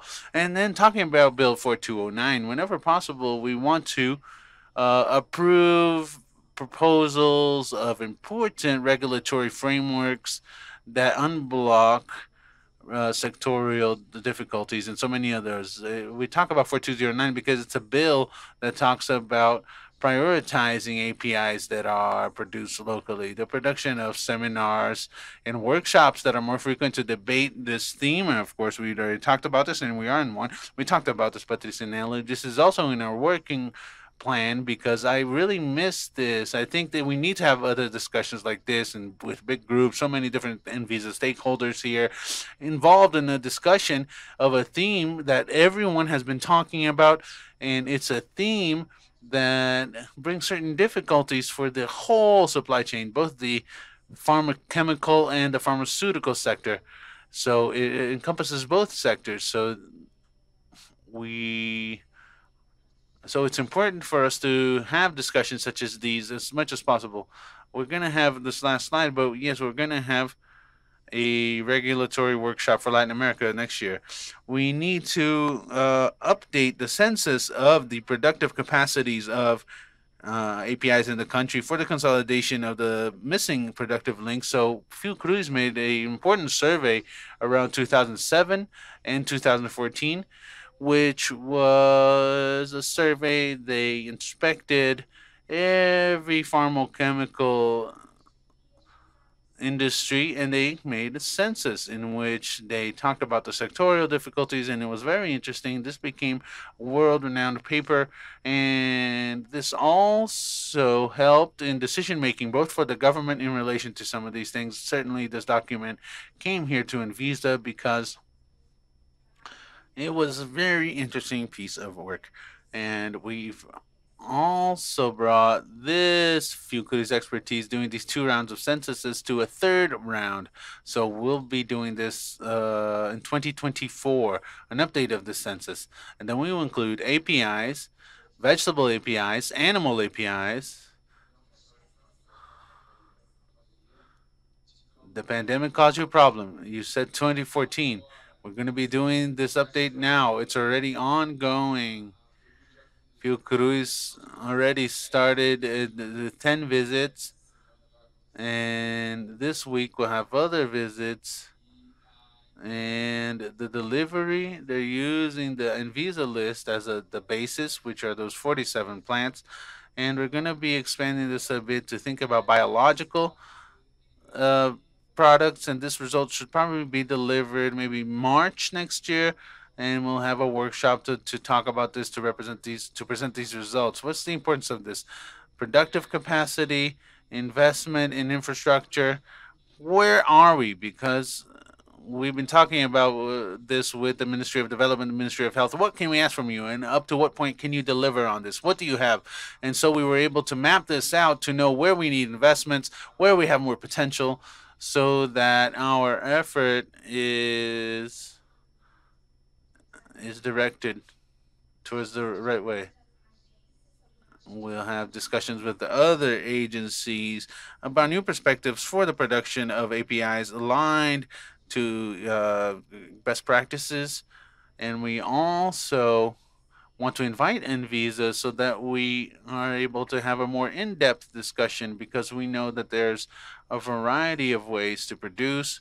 And we've been seeing ESG practices being very strong. So I believe that in a strong, having a strong, innovative, competitive pharmaceutical industry, they also uh, will also necessarily be uh, connected to these sort of innovative practices, such as ESG. If you look at the reports of so many other API producing companies with their difficulties in the production, maybe we can have a national industry that has practices that are aligned with ESG. So it'll be great to. I'd just like to add to this because sometimes uh, she says this and it's so beautiful and say ESG. Wow, that's amazing. But but the truth is, things are very hard right now. So ESG issues, the world is they want the world wants this.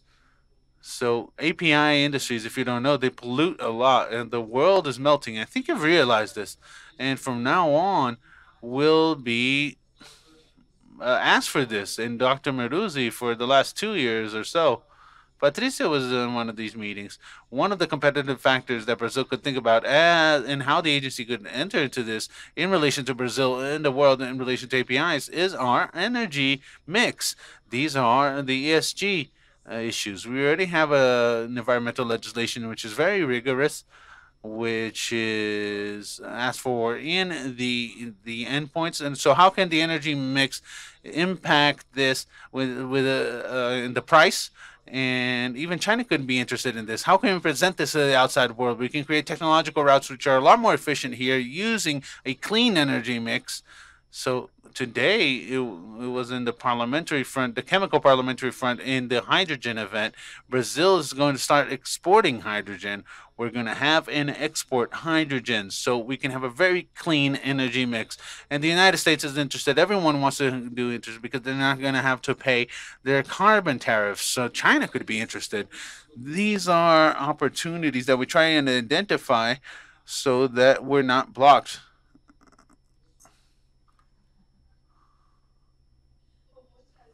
the good thing to do these kinds of things with friends is that we have two different points of view, but the, the, the topics uh, is the same the difficulties in producing APIs. And then finally, the proposals for technological challenges in Brazil. We may mention in this in some presentations at the beginning. FarmaBrasil also talked about this challenges of monoclonal antibodies.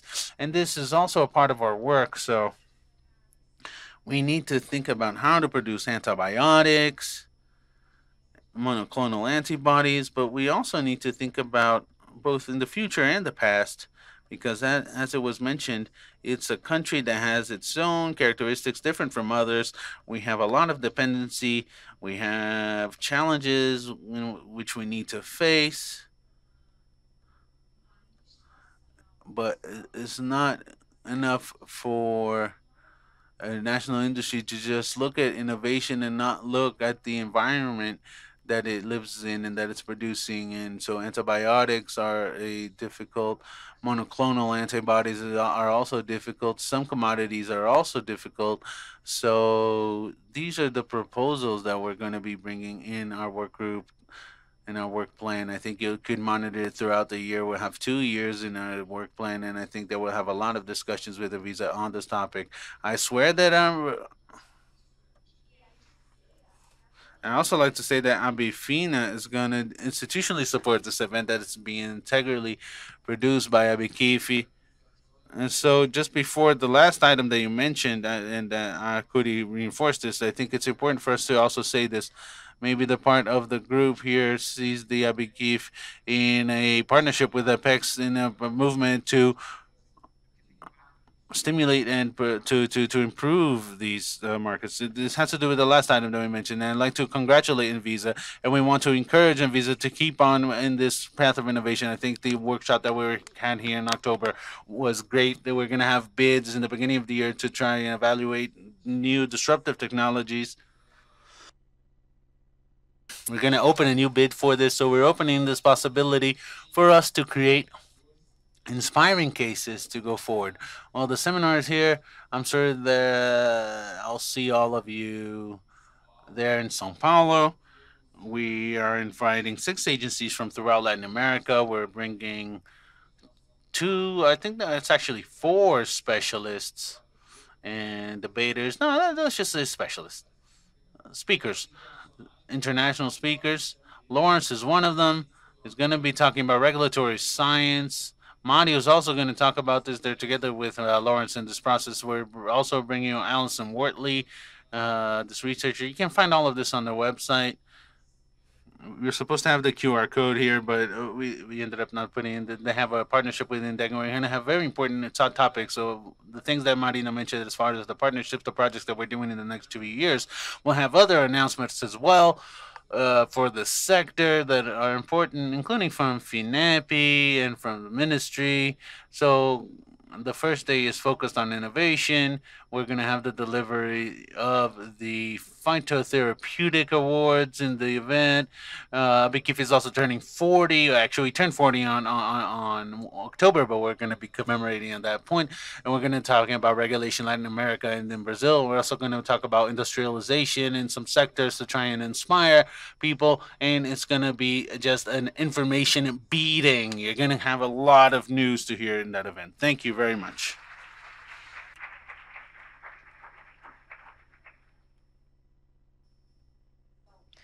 So guys, thank you very much. I thank you the presentation. Personally, I think that's a very opportunity, a good opportunity to hear uh, people are engaged, several actions going on. So have this opportunity with civil servants from Anvisa, hearing your vision with those projects, the difficulties, the desires and the expectations help us to see what uh, is the effort that's necessary understand this process. We understand that we have important pathway to be development to improve and efficiency. I'm going to make some comments. We can open to a uh, maximum of two questions, and Anvisa has been doing those things, have been seeking approach, regulatory approach that promote improvement we managements uh, look at our lines or times and that's uh, disturb us. We don't want to have lines and to delay access to uh, access the population to products. We want to speed up those processes. So when we talk about reliance, we feel pressure and the pressure is about efficiency. Is not to favor any kind of products.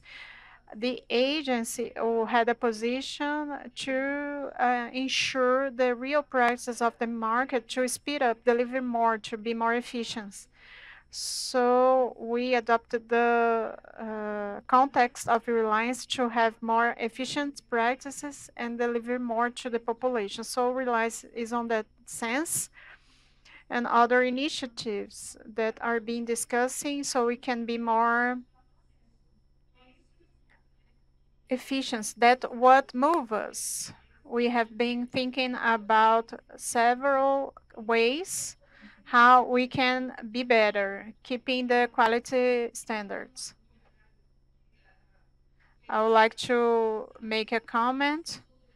We are very exciting about the information that's going to be launched. All the governmental entities are on the agenda, so we can have the politics on their right place, so the process could be more deci decisive. At the end of the pandemic, several countries went forward, and we want to do that in a more concrete way.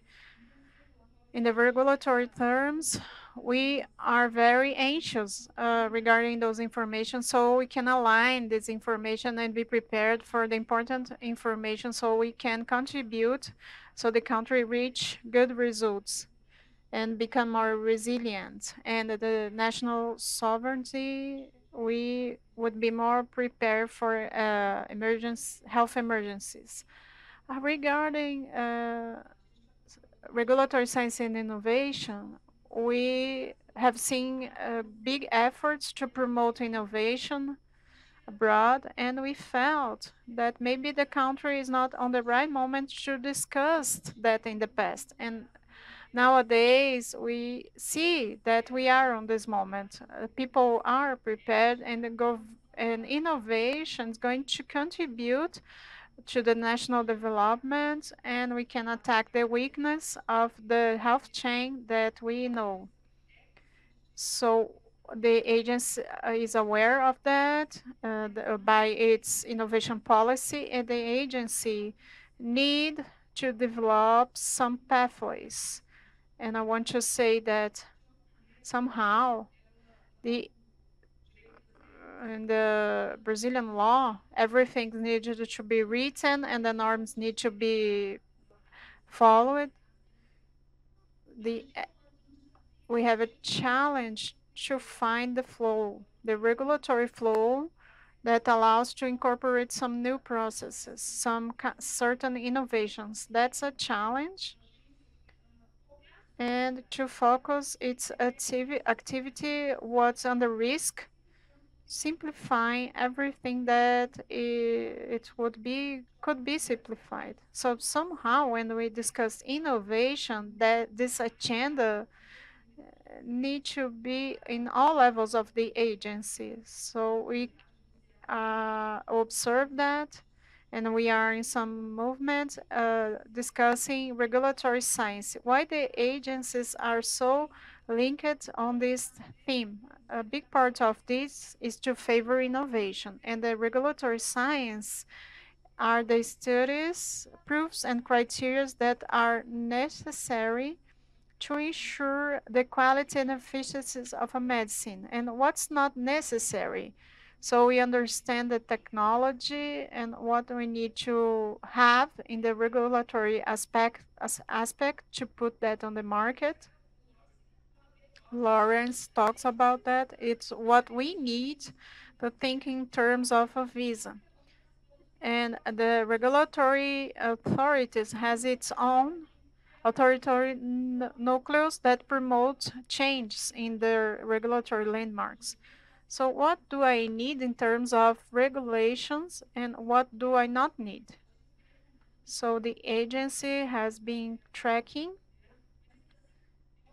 it's a process that the agents still have to go forward and facing our daily challenges. When we have this big line, how we can dedicate to uh, regulatory approaches that are more innovative. We all need to face that in a joint way. The last comment is this challenge of the uh, incorporate ASG aspects It's something that Brazilian government is going on this direction and identify the intersection point, what will the agents need to do to favor this agenda. We're starting the discussion, so all the contribution is going to be useful to increase the perspective of actuation so we can go forward. I'm going to uh, pass over to Hélio if you don't have any question, but I would like to uh, transmit the greeting of Professor Jerusa. He, she's sorry about not being here, congratulating all the team for the discussion, and we hope to have the opportunity to do this discussion in a more often way and go forward on that. So I'm going to end my talk. Just one little comment. It's very productive. So it's important to show a change of the scenario. Some years ago, if Anvisa discussed specific strategies to fund, funding the national industry, Anvisa is not a funding, uh, we are regulatory and access and security entity. So we lived the pandemic so intensely that we saw the opportunity to add on to the national policies to favor the national sovereignty to have a resilience on that, thinking about a public health focus. So this reality anchored to the public policy that are being developed, the agency encounter that promote the pharmaceutical industry in Brazil. So in this moment, we hear the proposal to unlink GIFA from the register. Maybe in the past, Anvisa would say, we don't have condition to start that. We need products on the market. We're not thinking about science. But I cannot anticipate how you're going to react to this issue. But the issue is about advances and the capacity of, of response. So doubting, so how are you going to face that and give this response, consider our demands, our legal obligations, how we can deal with these activities? Thank you very much, Nélio.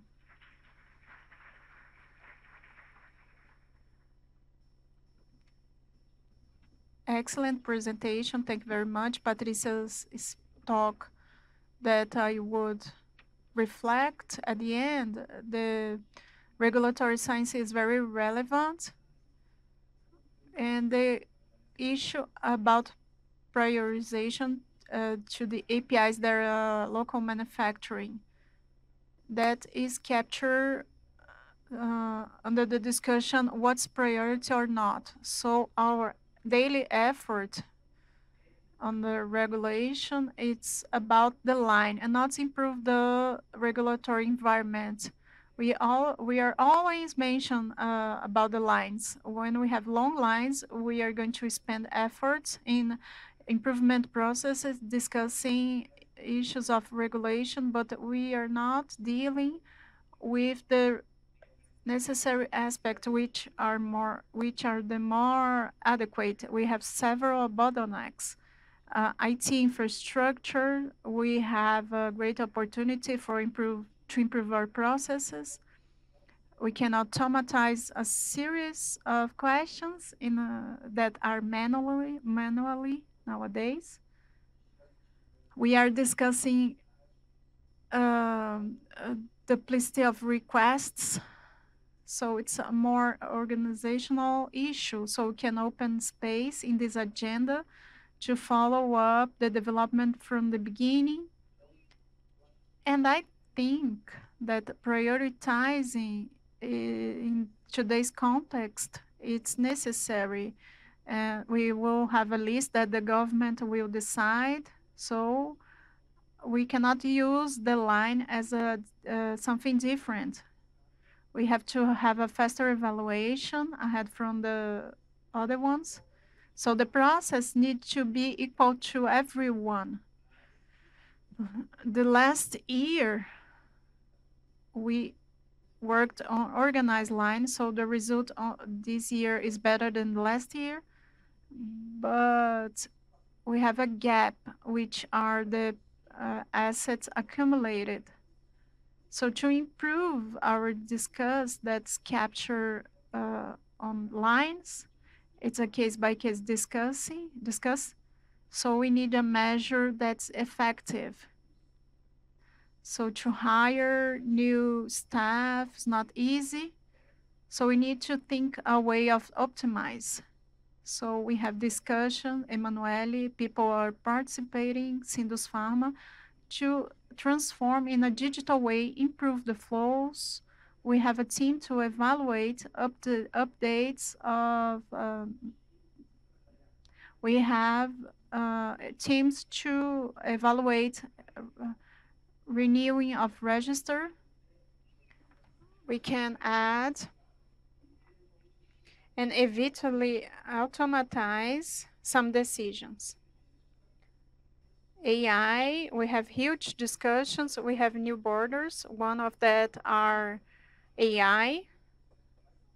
A lot of process is going to be automatized and we're going to use AI in a like in a pre-market to authorization issue, pharmacosurveillance. If you want to include an information using real world data, and all the agents are discussing that. But we have to participate on this uh, process and we need to migrate like it was on the paper to digital and now it's to update this digital world so we need to be to be well organized we have the clones issue and we still receive requests that are double. So we need to have a more simple way to use that internally. So when we discuss lines and prioritization, we lost the focus. How we can resolve that? So we can work in fact with regulatory science and we, we have a good discussion, but we need to solve the line issue. So 99% of the meeting is uh, to discuss about the lines issue. So we need to solve that. Renan allowed us to extend a little bit, a little bit so I'm going to pass over to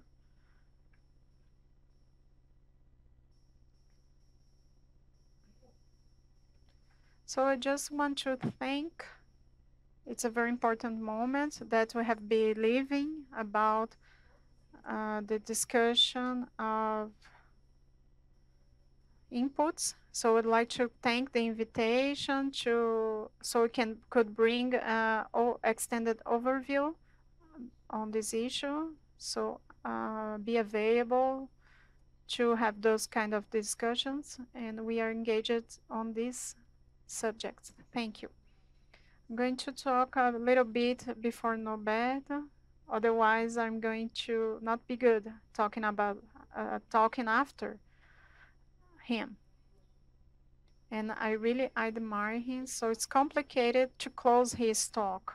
So it's good that he's not here so I can use my words. Just to close up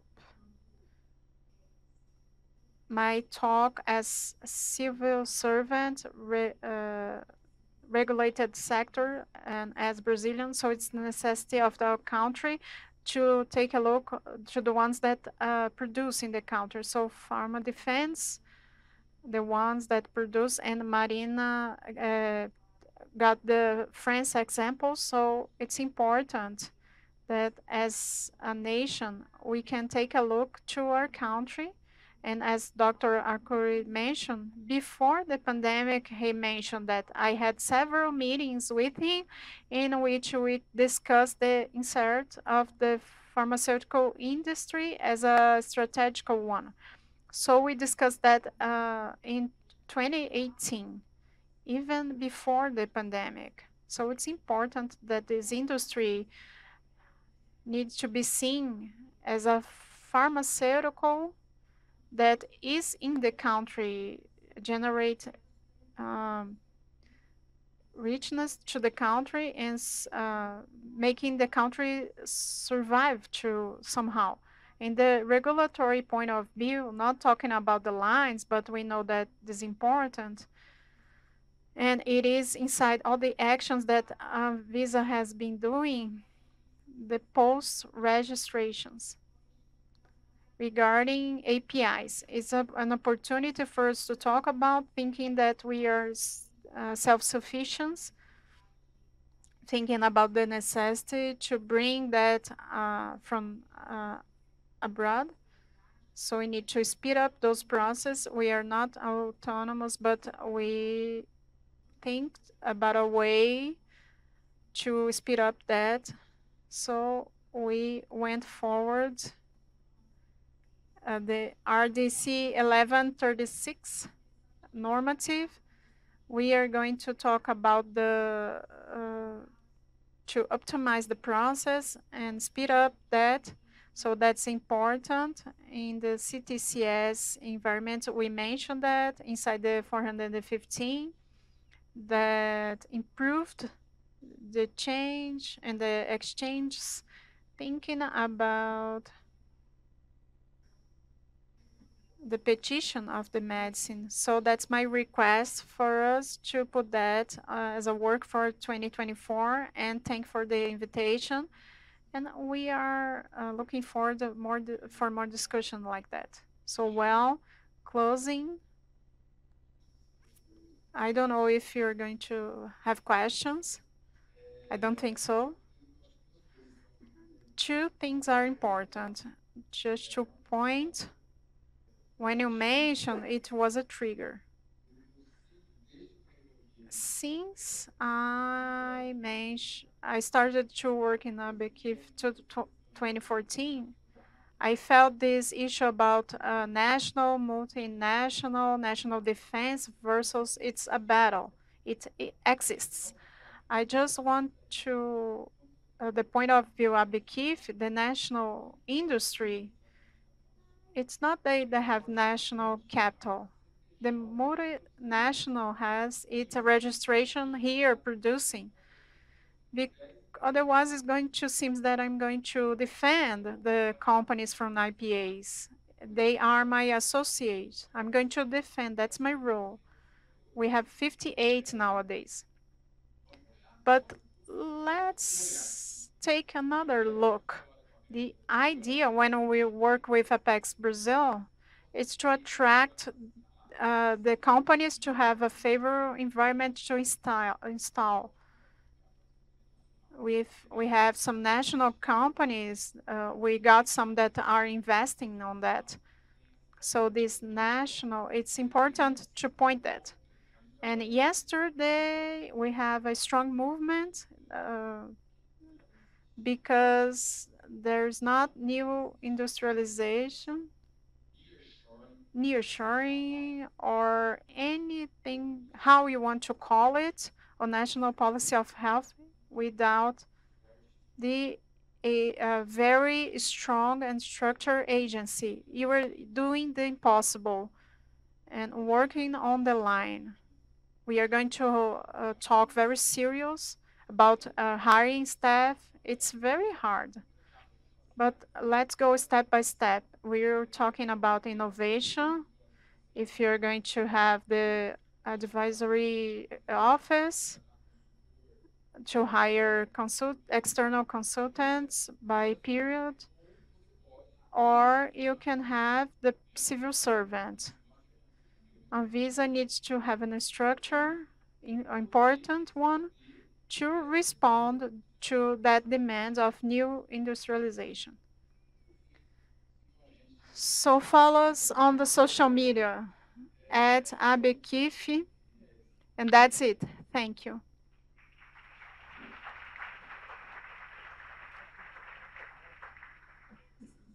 We'd like to thank your presence and the presentation of the, all the partic participant in behalf of the moderators. Thank you. So we closed the first panel and the roundtable.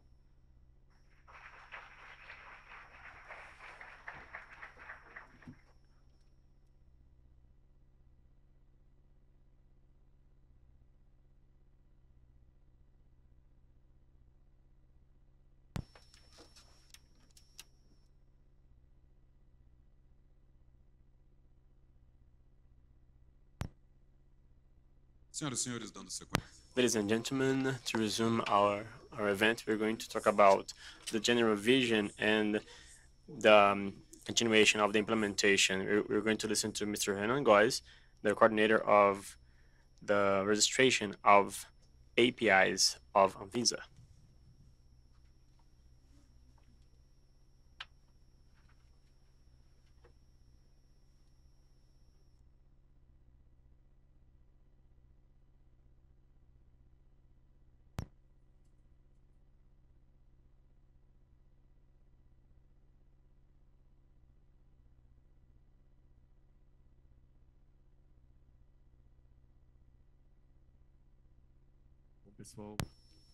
Good morning, dear folks. My name is Hannah. I'm the coordinator of Quanic. I'm going to try to be quick. Uh, we would have two moments of the presentation, but we don't have a lot of time, so I will try to present them both. I would like to say that I don't want this moment to be unilateral. I want to have your participation. We have um, a specific place for your questions. We are recording the event, so don't be shy. Okay, just if you want, if you don't want to be there in front of everyone to ask a question, you can send me a piece of paper and I, I can read your question. But as the the former coordinator, uh, Patessa would say, it is like a tennis playing. We're going to share this ball, and we really appreciate the dialogue the success of this new uh, framework is from dialogue. It starts with the dialogue, so we want to keep this. Well, it may seem a little basic. Uh, I'm going to bring, bring some concepts here. I just want to level up everyone. And after the conversations that we have in on the roundtable, the roundtable conversation was more macro, and we developed it in different categories. We we need to um, narrow the scope a little bit. COIFA has a more limited scope. We have in our com competency the quality analysis of the what we call uh, DIFA, the active pharmaceutical ingredient dossier. We are, we are also responsible for the issuing and the revi revision of what we call CADIFA, the active pharmaceutical ingredient dossier adequacy letter. We're also responsible for canceling, suspending, and revoking of the suspension of CADIFA. So everything that has to do with CADIFA is in charge of COIFA. This is the um, flow chart for you to understand why do we only work with these ingredients. We are within GQ med, uh, GG, uh, GGMed, and below us we have GQ Med. So it's the registration of medications of uh, GG Med. So products that are considered uh, innovative, generic, and similar. All of them are uh, use um, the APIs. And also we'll talk about the aspect of quality of this dossier. In the GG Med structure, we have GECEF. They do the, the safety analysis, specifically the qualification of impurities, this dossier is important for us to have a limit, a threshold, and continue our analysis. We have COWINS also. It's out of our directory. It is within the directory of GGFIS, the sector that is responsible for inspections. In the new framework involves the creation of CADIFA, DIFA, and also the classification of the APIs. So there are two necessary documents for re registration of a medication. And just to let you know that there are different areas working jointly so that at the end we can have the registration of a medication. So what is CADIFA? It is the active pharmaceutical ingredient dossier adequacy letter. It is an, uh, an administrative instrument that confirms the adequacy of the dossier for active pharmaceutical ingredient. It is the main resolution of COIFA, and we work with it in our day-to-day -day work. ADIFA would be equivalent to CEP. Um, I mean, uh, yes, uh, would be uh, equivalent to CEP, and DIFA would be the CPQ, so the model uh, were, were, were inspired inspired by them. And this is a, this is a little bit of the um, scope, the synthetics, and the asynthetic uh, ingredients. And it's not applied to the atypic uh, I, uh, API and the modified API, the phytotherapeutic uh, or herbal product products and dynamized um, medication. We know some of them are included as a new similar generic medication. However, we will not issue the CADIFA for these elements that are primarily used in other categories. So we excluded these APIs, usually used in other classes of medication. When they are in association of the synthetics, the medication has to be included as a generic similar medication.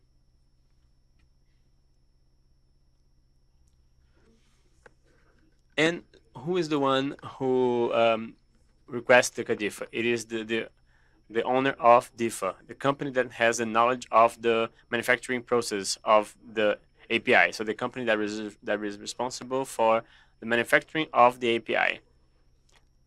It doesn't have to be the place of manufacturing. No, it can be the administrative headquarters, but it is the company responsible for the manufacturing of the API. They need to have the knowledge of the uh, productive uh, process. They need to have access to the documentation of the restricted area, as we had this division. And there is another uh, another uh, division here. Is also the uh, the one that owns the DIFA. I don't know if you all saw it, but CADIFA has a content, what we call content. This is the content of CADIFA. I have this slide from other presentation. It is in English. So we have the number of the process. We are more familiar with it. We have the number of the APIs, uh, DCB, and CAS, the name of the manufacturer. So we have the 3S for one session as um, forward for uh, um, ANIFA. We're going to have a retest, and also there's a, a box we call access classification where the owner of DIFA authorizes the use of CADIFA in a registration for medication and other information. We cannot foresee everything, so this is basically the content of CADIFA. Why is it important? It is, we were talking about innovation, and I'd like to point out that this uh, chart was, uh, this letter was an innovation. We had a model that had a very repetitive uh, analysis, uh, very um, was not efficient. And now we have a centralized analysis in COIFA and the harmonized the requirements. And I consider this uh, legal framework as an innovation for the agency. This is one point of this innovation. Our model uh, formerly was for re registering the APIs, but didn't communicate with the registration norms of the medication. So it looked like two worlds that would orbit orbit in different galaxies in different systems. This norm, coupled very much with uh, these two words, the world of DIFA and the world of the medication registration. How did we do this connection?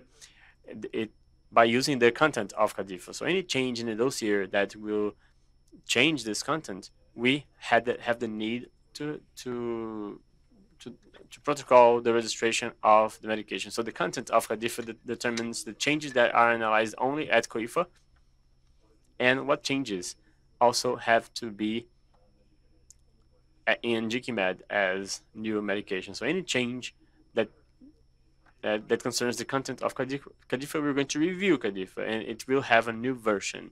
So we have the process and the version 001, for example. And then we review 002. Everyone that uses CADIFA has to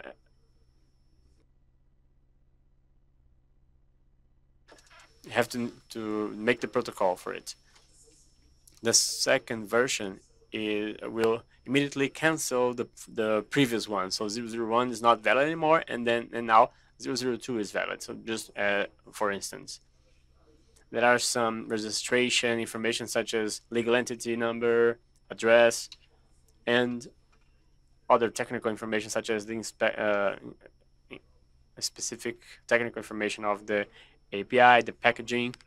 So information that will determine the registration of the medication. So what is the what we call DIFA, the the um, active uh, pharmaceutical ingredient dossier? We, we refer to the quality of this uh, API and administrative documents. So that we have the administrative uh, documents called mo Module 1 and the technical documents Module 3.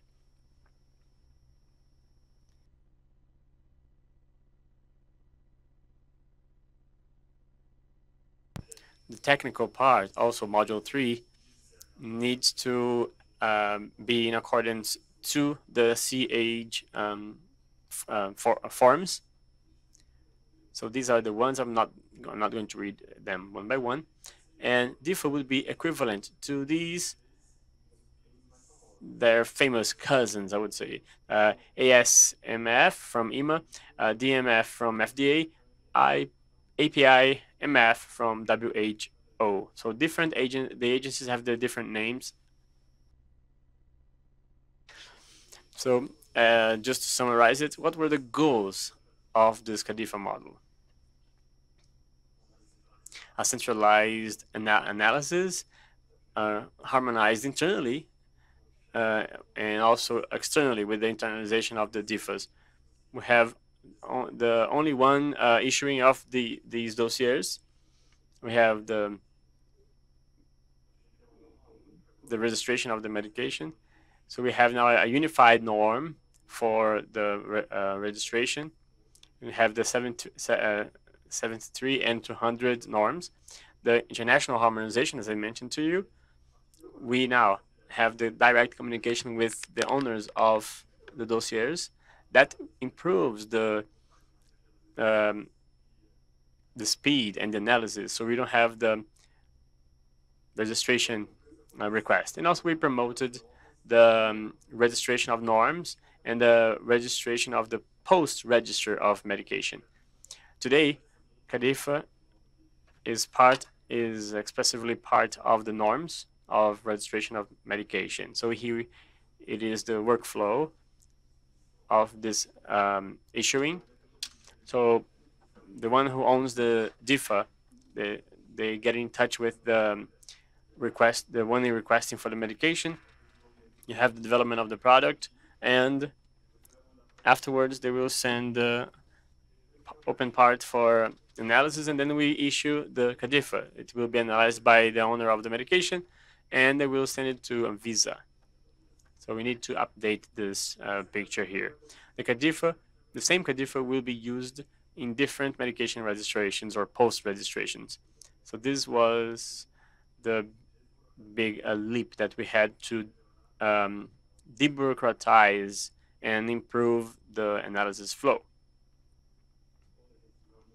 When we have a change, just to review that, we have the, the owner of the uh, DIFA, and sends the, DIFA to uh, Visa, and we check if there was any change. If if yes, we have a new registration. If not, it's finished. We don't need, we don't have any other regulatory need. It means that any change that um, has in CADIFA there it will not be informed? No. All changes, even the non-regulatory ones, have to be informed by the owner of the registration uh, of the medication to analyze the impact. This is um, seen in the quality agreement of the companies. All right, I will talk about this topic now. We will talk, we, I will bring some figures of the past three years that we have uh, although we had a small volume of this registration because it, it was optional. So we didn't talk about um, temporality anymore. But since August 20, 2023, the submissions from this date on, the models are mandatory for the DIFAs and medication uh, registration. So the requesting of CADIFA should be uh, was done in two ways, associated ways. So it can be connected to the registration or the post-registration of medication, and CADIFA uh, team would give their manifestation and also the CADIFA would give their interest association or after a decall public invite. Given the limitation of workers that we have here at Anvisa, our priority is to evaluate the associated CADIFAs that would be more quickly used in the registration of medication and made available to the population. If there's any a public invitation by the call, then necessarily there, there will be uh, the need for associated CADIFA and uh, one more analysis. But until now, we didn't have this case. But it is um, a device that is in our norm that foresees the uh, requesting of the associated CADIFA. The norm says also that the non-associated CADIFAs analyzed by the in public invite of the call need to have the data published in the portal. And these are the information that the pieces of information that we have the owner of CADIFA, the number of CADIFA, and the situation, if it's approved, if it's under analysis or not. Since we did not uh, have the chance to evaluate any associated CADIFA, we still don't have the, this information for public consultation. It is a question that we receive uh, frequently and of when we're going to make available a consolidated text for the CADIFAs we don't have this uh, information yet. I hope that in the future we will do this, but it deserves a discussion with the regulating sector because they own the information. Most companies want to know the CADIFAs that the other companies are using, but they don't want to make available their own. So it is a bit complicated for uh, for us to see what moment we are going to start the discussion, and we are awaiting a bigger number of CADIFAs to make it effective. So a question from the association. Since the temporality period was finished, as we mentioned, LASCOIFA has a an, a, an idea when it will be uh, the evaluation of the requests for the associated CADIFA? No, not yet. And do you have any any idea of the the possibility of the evaluation of the CADIFA with uh, one IF or two? No, we have a small uh, group of professionals to analyze the registration of medication, so we don't have any any um, date for the associated CADIFAs, and we don't have any date for an increase of registers that uh, have to do with the analysis of CADIFAs. So we only have resolutions 1A and 1F. So I'm going to show you. We don't talk. We don't talk about the queue of CADIFA because we don't use this order. Let me explain how we construct our quote unquote queue. We actually call them lists. So it it is done throughout the time and they are analyzed according to the information of GQMed as they distribute the registers. So we have the history of these uh, submissions. There was a, there was a, a growth of uh, submissions, and here there, there was a decrease in uh, change of a strategy that we had we could see that we have a, a big amount of accumulated um, requests, but it was not about the possibility of analysis. And we thought the the companies are sending it without having a partner yet. How can we assess this? So we changed the st status of the entry of this CADIFA. So they start with the analysis of the external uh, testing. It means Anvisa cannot analyze this petition because it does not need it needs an external action of Anvisa. In that case, registration and post-registration of medication. The petition are in the situation, and when we identify the registration or post-registration of med medication, it is changed to distributed to the, the, the responsible one. So that's why we had this um, decrease in the accumulation because it, it could be a future accumulation and actually it is so we had this adequation in our management of analysis and the curve is, is rising. Uh, it seems there was a small, slight uh, change in the, in the in this declining, and it made me feel more calm. It seems the company companies anticipated the the this issue of the mandatory CADIFA, so we can see an instability, but we still have an, an accumulation of CADIFAs.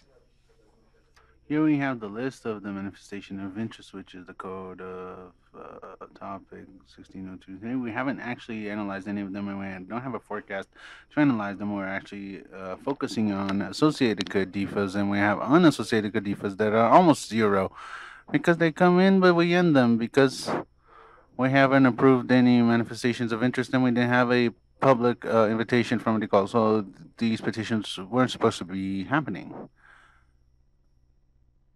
to be taking place. So, how do we know that we need to analyze a CADIFA? So we have these CADIFA requests, then we had a drop here because we changed in strategy. And here we have in orange the graph of the notifications because it is the notifications of the CADIFA process that are carried out in the registry and post registry of the medication. They say we need to analyze this CADIFA for this registry or post registry process.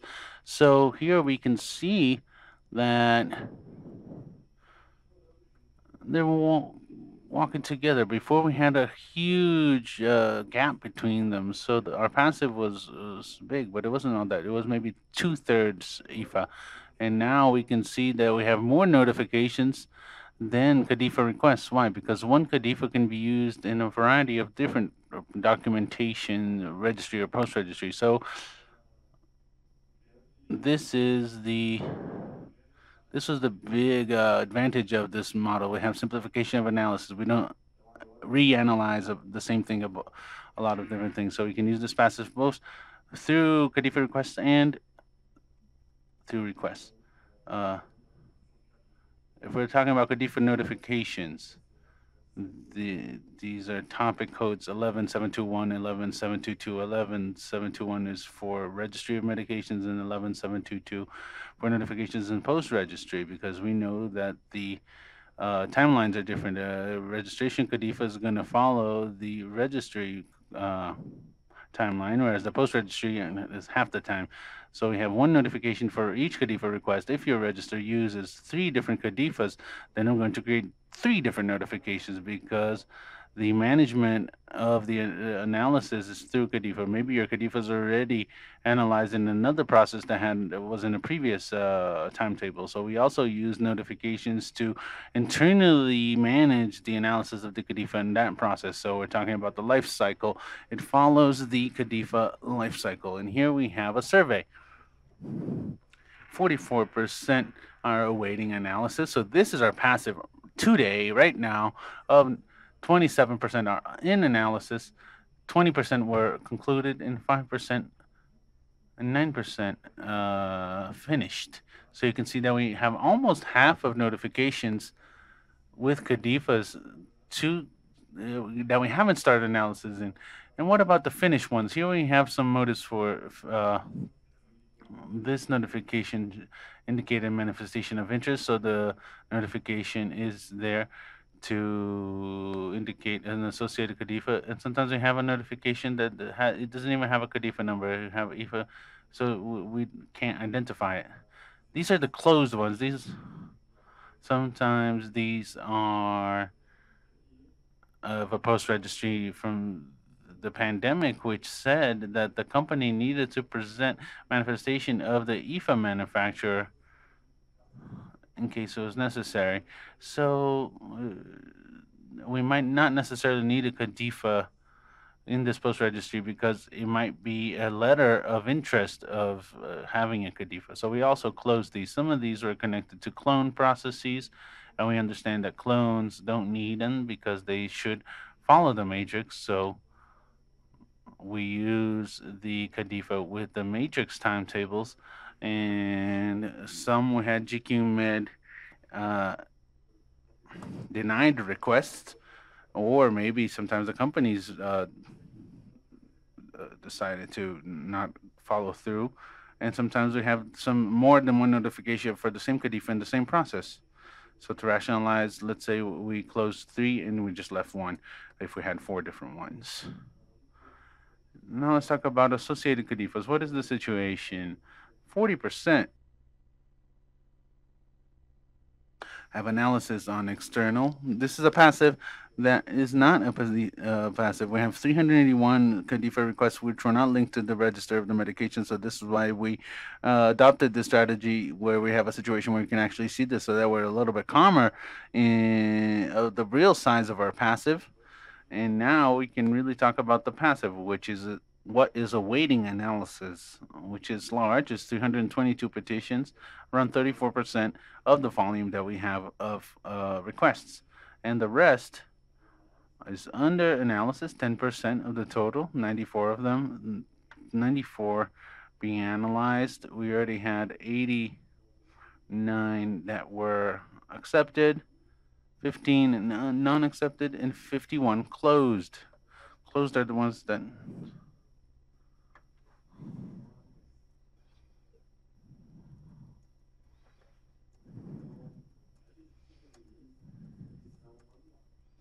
in the beginning we had manual submissions and then later we went to electronic. Everything Anvisa went. So the manual uh, needs to follow the 24 guide manual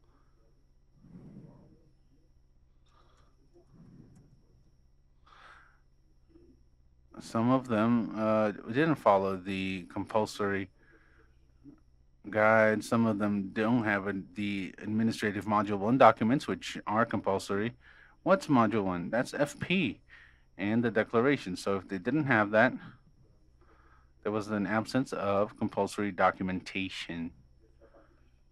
There's an absence of the restricted part. Some companies were only showing the opening part of the documentation, even though the documentation is being sent to Anvisa. So the norm is very clear about what needs to be sent in relation to the information. And if we don't have the restricted part, then we understand that some of the information is missing. So we've also had uh, summary uh, den- denials in this case. And there were some submissions that we understood that were tests from the companies. They sent uh, light bills, they sent tax, and they said, "Oh, we have so much to do, and we need to evaluate this." if they paid their light bills or something. I don't know. So I was gonna I was gonna take advantage of what I was saying to say something else, but I forgot. No, I just remembered. There's the new regulation for company qualifications. So I, I don't think it's great to send test petition and, and we're gonna we're gonna deny it. And then if you're a company and if you're doing tests because there are no tariffs and you're creating unnecessary work for us, uh, I think you shouldn't do that because then you have a denial in your back uh, for your registration. It's going to be in your history for all time. Another additional issues, the documents sometimes aren't uh, organized. We worked a lot on the checklist and separated by actions. I know it's I know it's hard to divide PDFs, but sometimes they didn't respect the sessions and they sent it too much of a mess, and this makes our analysis a lot harder. So this is something that we observed in some submissions that we I think it's important. Try and follow the checklist, please. And this is in the checklist item. The documentation needs to come in uh, organized at the least, and this makes our lives a lot easier here. Now, let's talk about the numbers in relation to CADIFA holders. Where do they come from? First, I'm going to talk about the people who already have CADIFAs. It's good because I have to read. I can't see it from here. So 56% of holders are from India, 19% from Brazil, and we know that a lot of uh, companies from the outside are here, so we consider them as being Brazilian holders. But we know that the companies are from the outside, and we can say, no, this one is Indian, this one's Chinese.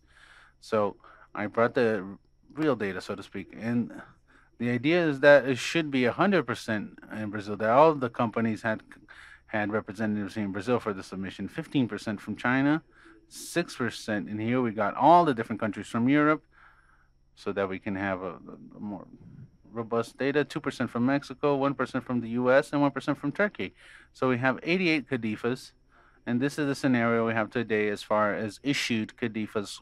Where are the holders from? So we did this for all the different requests. Of course, we took out externals, we took out closed uh, requests, and requests that were given up. So we have 56 different holders of 88 CADIFAs. And for the global scenario, we still have India with the same percentage. So what do I see?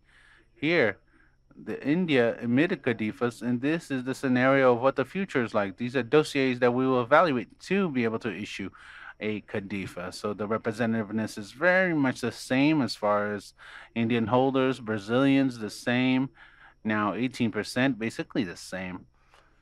China with 14, Europe with 9, and others with 4%. So basically, the issued CADIFAs already represent, they already have a certain representativeness as to what the next two years or so will be like in, as far as solving this passive that we have. I also have information for place of manufacture. This might be more concrete as to where the company comes from. So in the CADIFAs, 56%, 50% of the locations are in India, 21% are in Europe, 17% in China,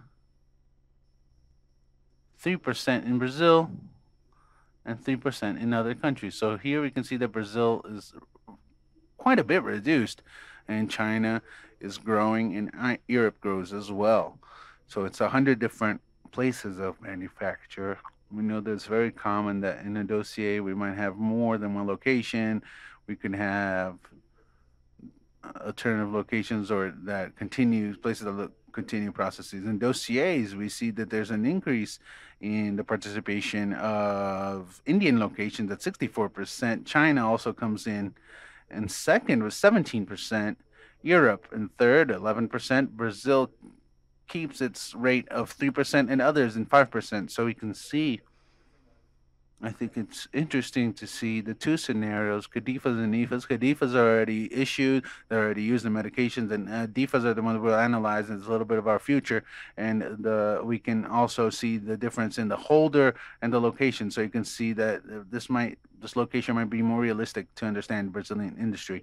And so this is basically we should look. The scenario is is pretty much the same. We see that Indian companies are basically represent over half of the CADIFAs and DIFAs that are eh, uh, that are uh, submitted, including the holders and also location of manufacture. That's something that's very much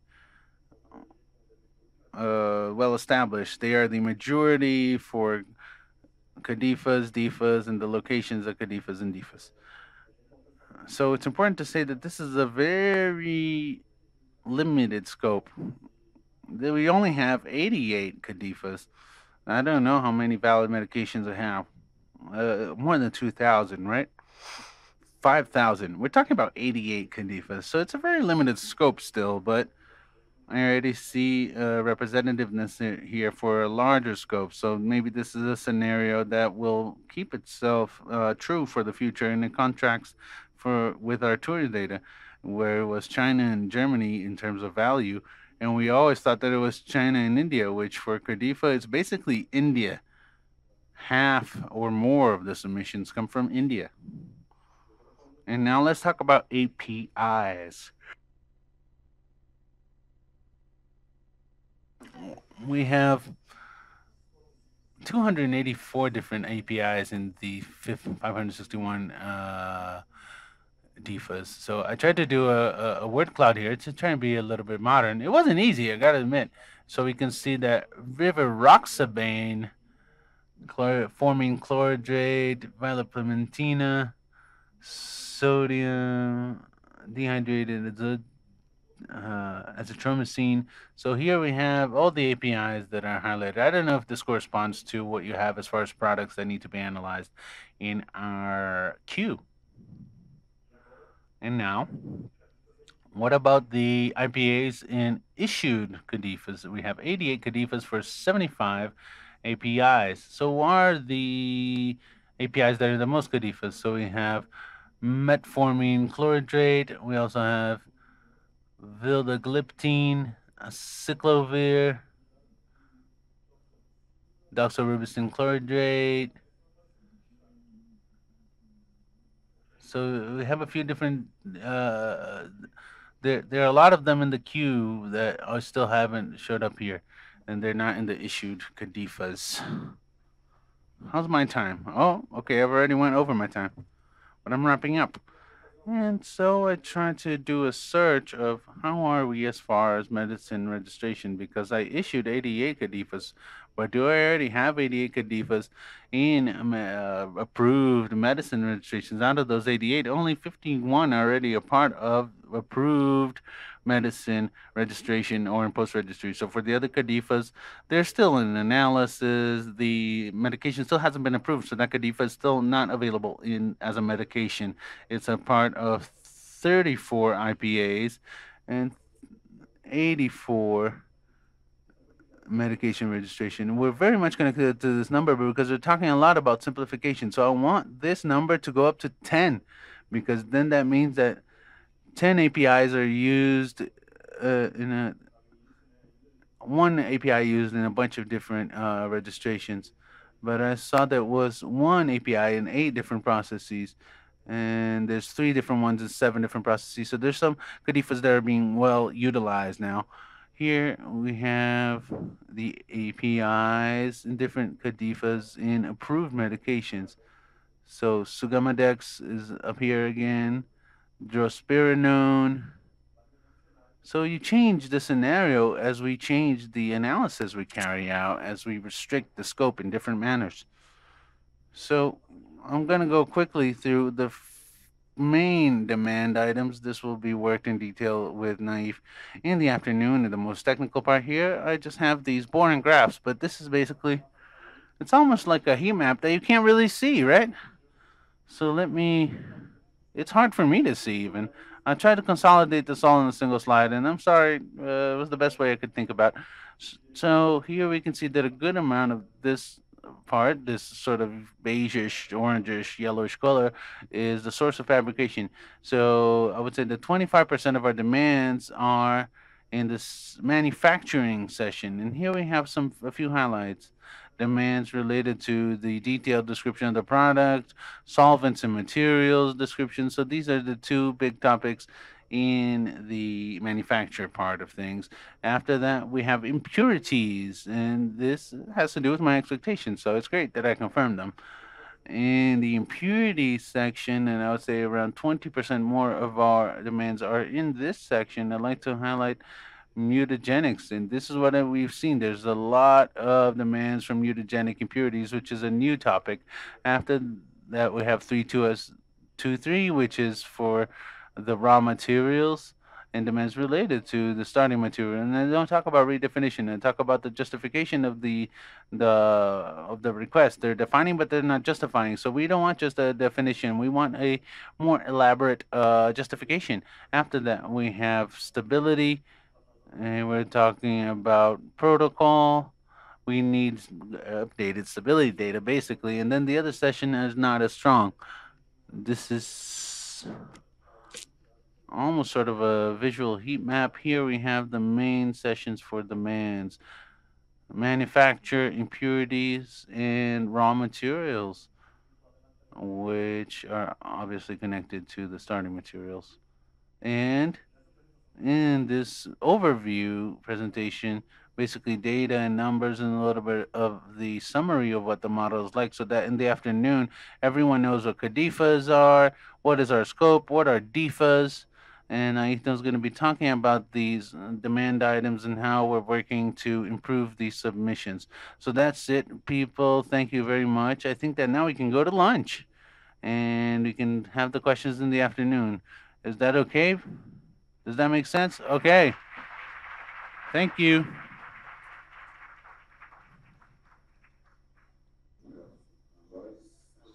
Thank you, Renan Goes. So now we'll have our break for lunch, ladies and gentlemen, and we'll come back at 1 p.m. sharp.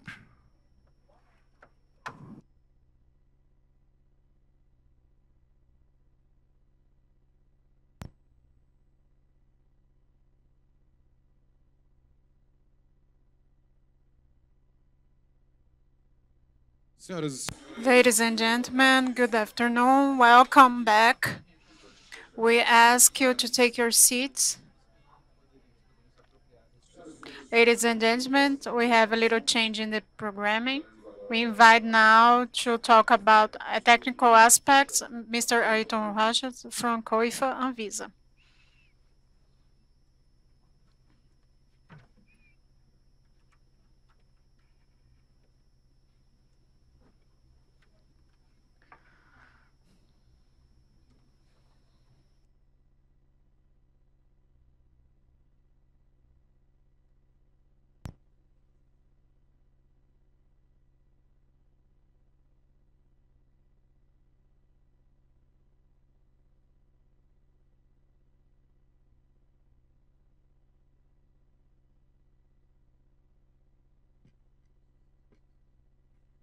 Tranquilo aqui. Oi, oi, som.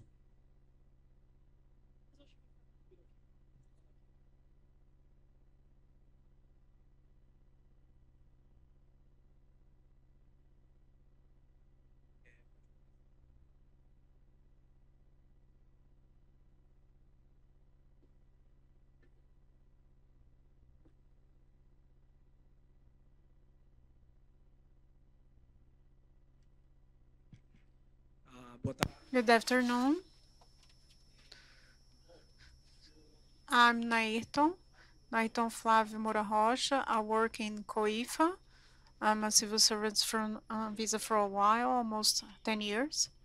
And what I'm going to talk about it's to continue what Renan mentioned in his last slides regarding the main uh, the uh, items and talk about the technical aspects about the submission of DIFA and CADIFA in a Q&A way.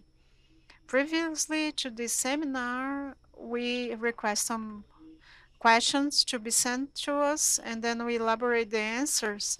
And that's a good way to talk about the technical aspects regarding DIFA and CADIFA.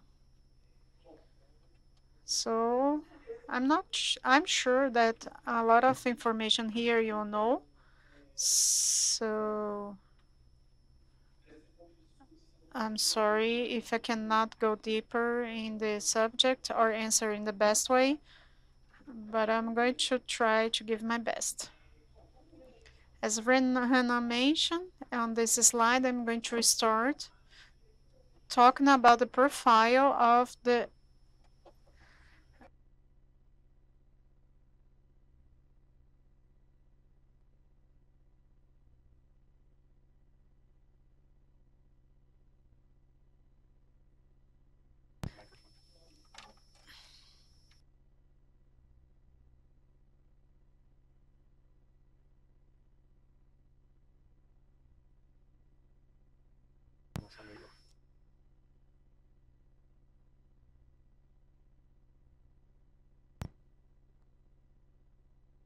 Então.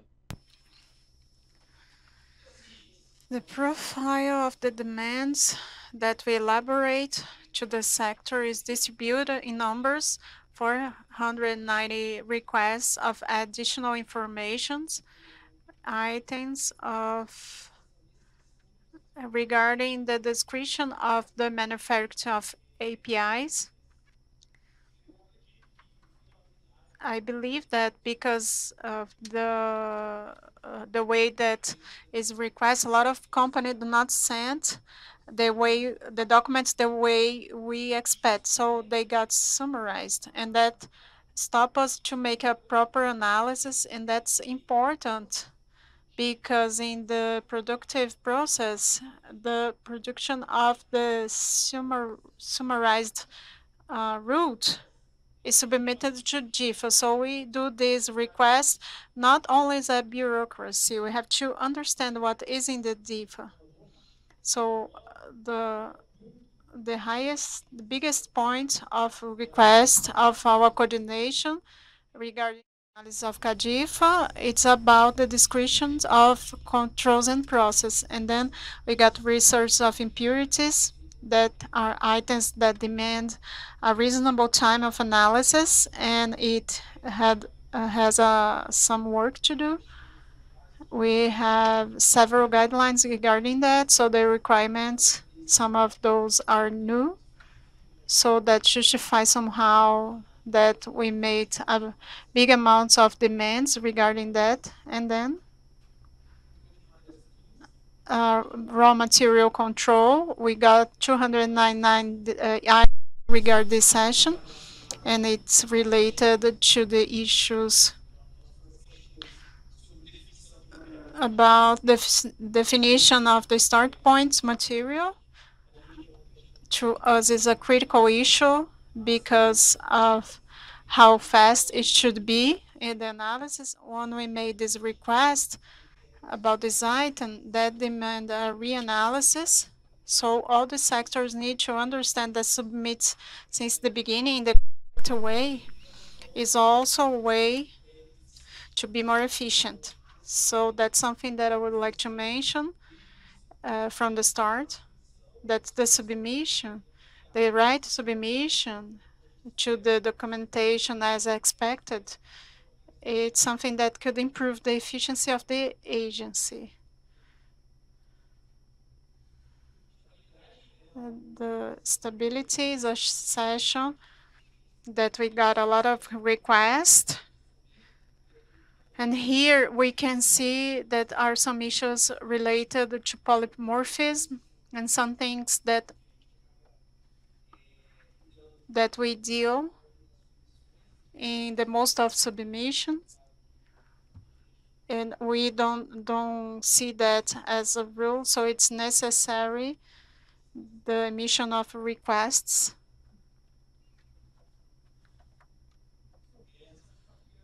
the manufa manufacturing session.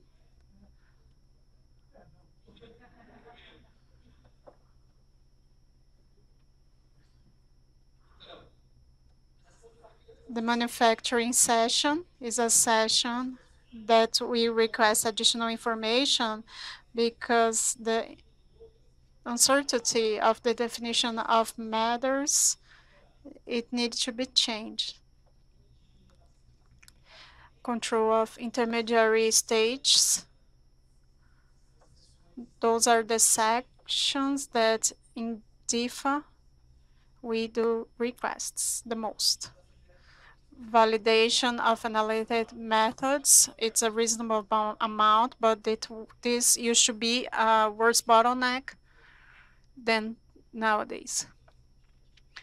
Justification of the inspection so we have here the main ones, five main ones sessions that are described, and we have a percentage that so one fifth of our requests are related to impurity and one fourth the description of the process of synthesis. Can you see the screen uh, in blue here? No, nothing. So I'm going to describe it in the session S22, which the manufacturing one, we has as the main point of request the detailed description of the process. I'm sorry for the size of the letter. The it's a point where we have a lot of uh, demand and the recovery of material. So those sessions we have emitted a lot of requests. They are the main one subsessions of the session S22. So of course, we have an issue related to that, and it's necessary to understand the way that we require this information.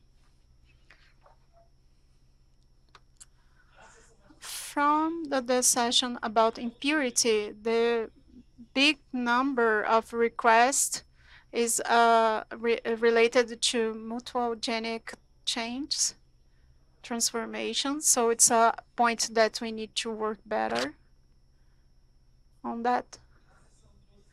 the session 2-3, the uh, raw matter control, ju just justifying our points that we need to make requests. So we need to understand what we need because what the guidelines requires, the stability as a rule are not bottlenecks.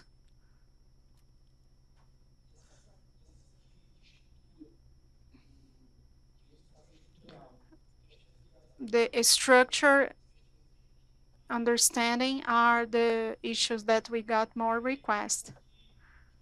Before that, before going to the next item, I would like to ask if is there any issue or any question to be clarified.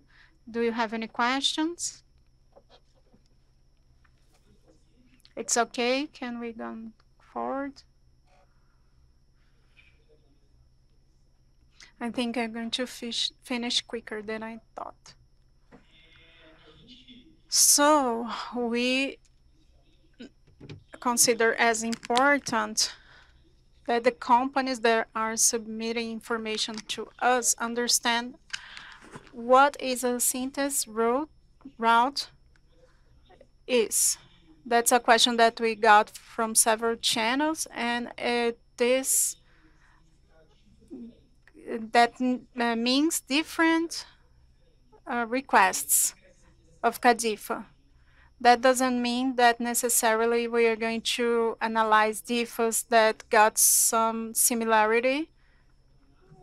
We can avoid that if the company signed that. It's in the handbook, CADIFA, but it's to understand what we uh, what we understand. It's something that's different. Synthesis routes substantially different. Eh? The ones that got processed with intermediary, intermediaries. To simplify some cases, some cases very easy to see that when we got different intermediate.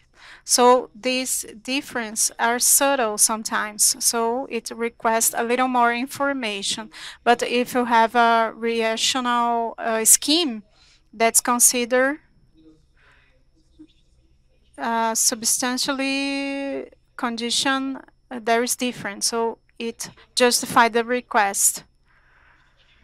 Just this, is just to uh, show a case to show you we have materials from start point uh, that are different. Even if you have a different intermediary, so it needs to be in a separate request of CADIFA. We also understand that as routes that could generate impurity prof profiles to the same A API.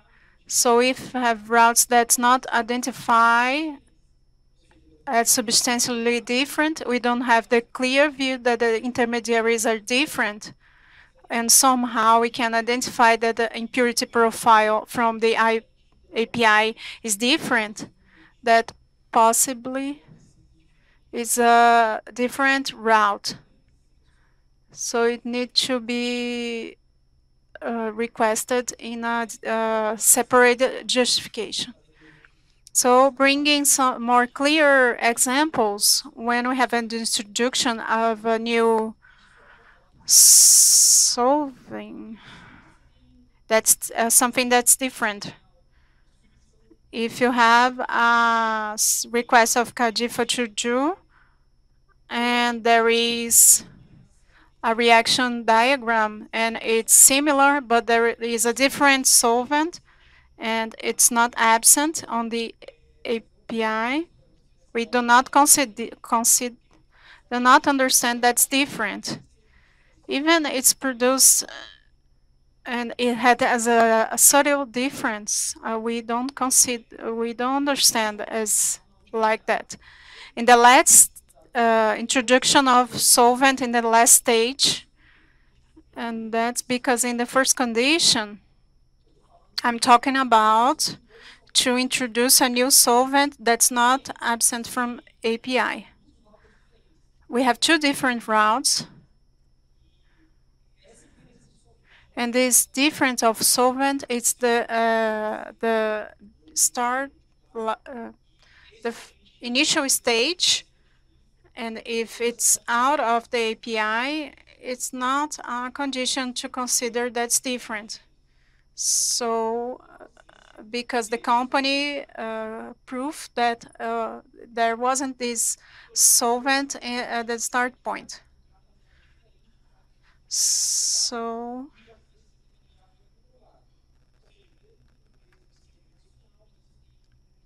Uh, all the companies that use the solvent as a catalyst, that's different from other, that's a different synthesis. So uh, they have to go different requests. A stereo level of uh, APIs prepared in a non-stereo way. We had different levels, so it's different requests.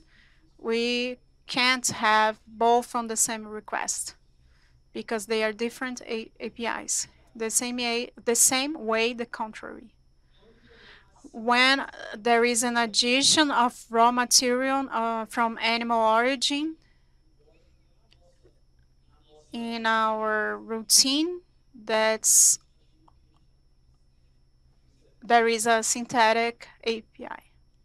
It's very hard to happen. And what's not substantially a different route? So to summarize what happens, what I want to say is to show what do we understand as uh, route of synthesis substantially different is when we have a clear vision from what's different. Other small things, as I mentioned, the difference in a solvent in an initial stage or absent, or a difference in the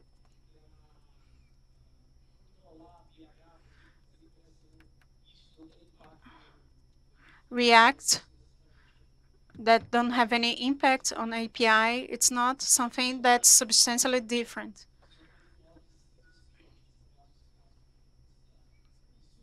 That's a, not a different process. You can have a request of CADIFA using different places of manufacturing with the same route. That's on in the CADIFA. Okay, can we go on? Any questions? I'm sorry, the interpretation can't hear. It needs to be on the mic so we can listen.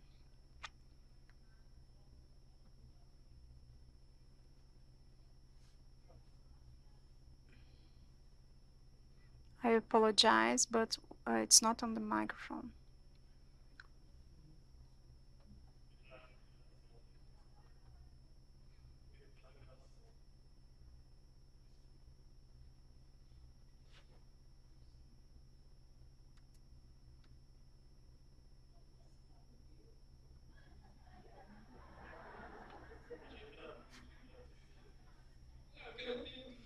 I don't have everything by heart in my mind.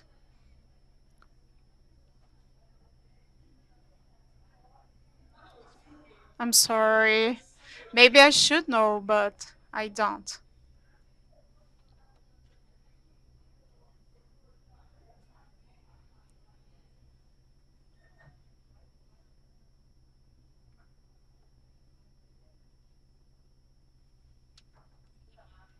So it's because the 1D from the 7.3 uh, that has the condition 232, which allows that the change of the manufacturer of API, including the quality control unit. So in the condition one, the specification, including the controlling process and analytic methods and synthesis routes are identical to the approved ones. But I cannot imagine two manufacturers with everything identical. So what's the difference uh, between substantially and identical? Let me answer you. These questions about uh, substantially different process comes from issues related to the submission of the request of different CADIFAs. That's the context that we want to put that because there are requests of, of CADIFA that brings more than one uh, manufacturer.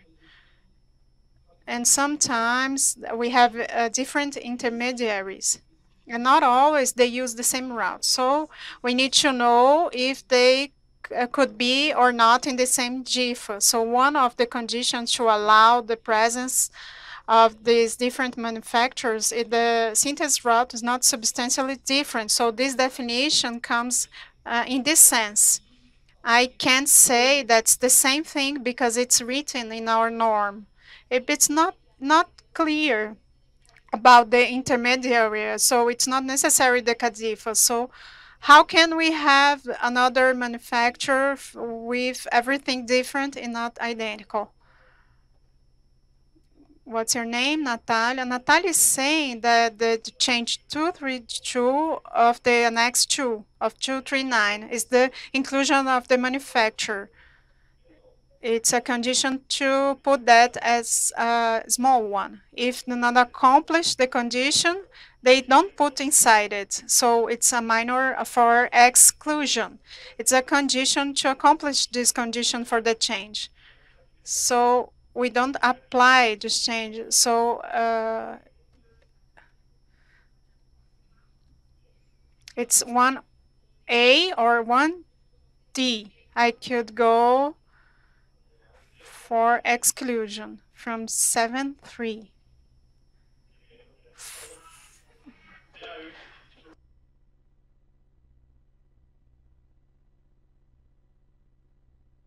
É, é porque I'm going to bring that on the challenge presentation. There is a change of model. Before 359, we talked about the place of manufacturing. Now we have the owner of DIF. They could have three places. So that's applied to uh, include the plants. So if you have a new DIFA, it's 1A. If you are including a new place, then you come here, and then could be 1D. So our different concepts.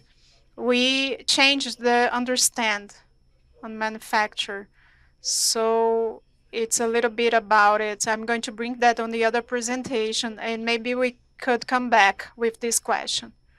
So I understand that you can include in the same portfolio but it's a new one and then it's 1A.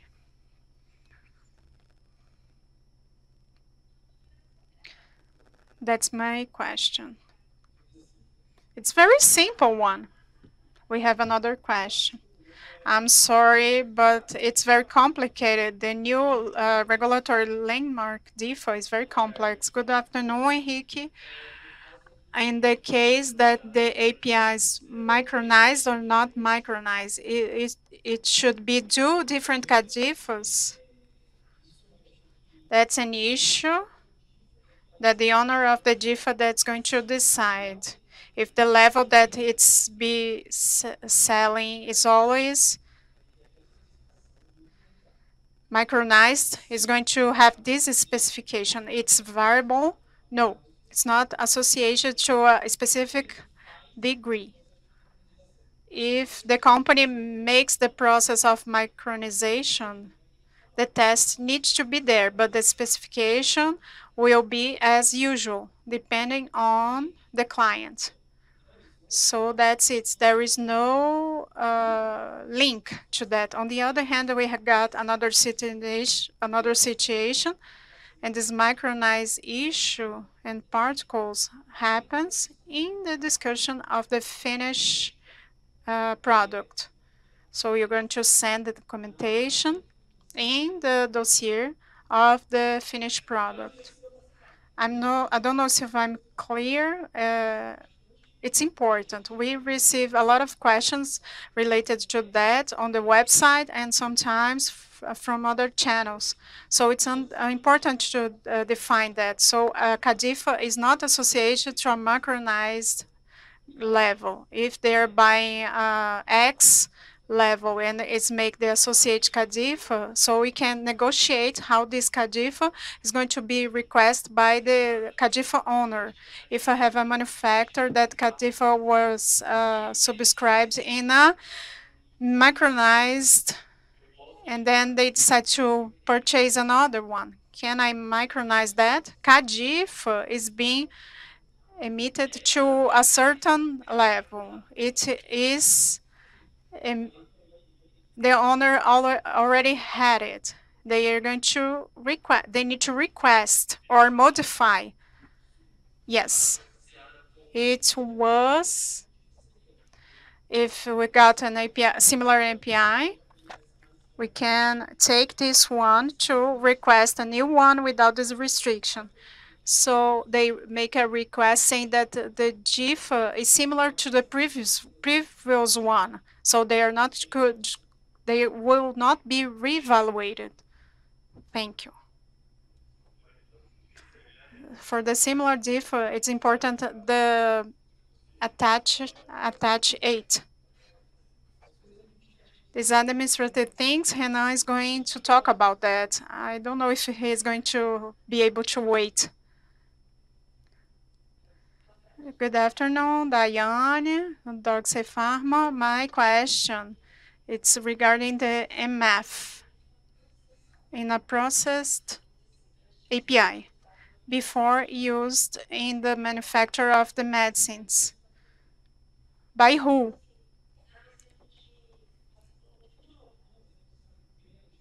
By the pharmaceutical industry or the manufactured? You have the synthesized API so depends on the size of the particle to be used in the medicine manufacturing. The point is, the CADIFA handbook talks about the synthesized APIs, the features, when it goes through any kind of processing that is relevant, the dose and the performance. Regarding the polymorphism, is there a requirement that's more specific on this situation. It's very important. It's it, this uh, answer is going to be ahead. Let me say something. This kind of information, if it's on the dossier that is going to analyze, the standard that expert is going to see if the, that impacts on the solid phases of the API. If it describes on diff, probably you're going to receive a demand uh, notification in saying what's the impact of that in two points, the features of solid phases and if the impact on the sta stability of the API. It's not usual that to happen, So we do this kind of request. I don't know if you answer, if I answer. This case is not a micronization. It's the API has a size of particle which is different in a bigger scale. And it's like a placebo effect regarding the synthesized API what is add in the process. I understand, as from the information that I have, we have the handbook guiding how you should do that. And thinking about the way how it's the API is processed, it needs to present the performance from the doses. So I, my question is regarding the data of poly, polymorphism. It's a placebo profile, the API itself.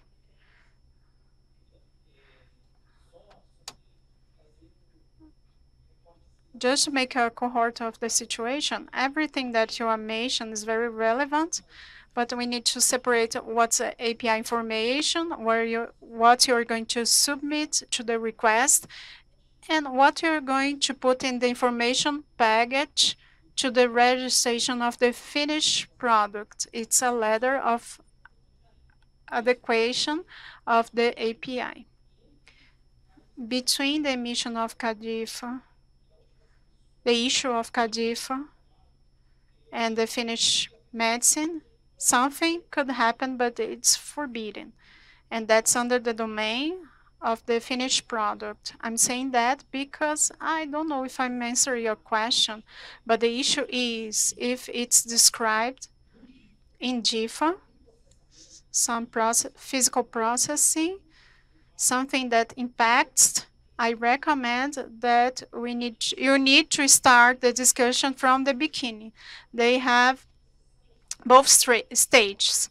So I understand if we're going to understand the process API, we need to send this documentation, the whole process, right? But this part, the uh, feeling of that is not on the same points. It's like something finished.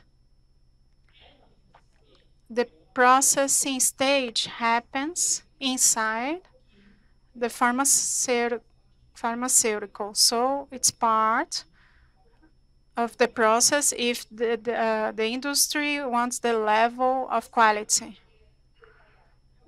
Uh, it, it, it, that's it. Thank you.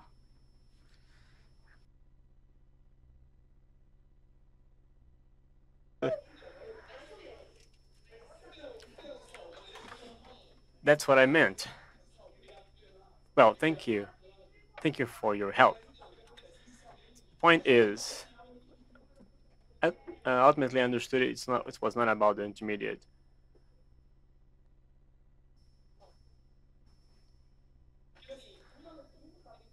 Since it is within DIFA and not CADIFA,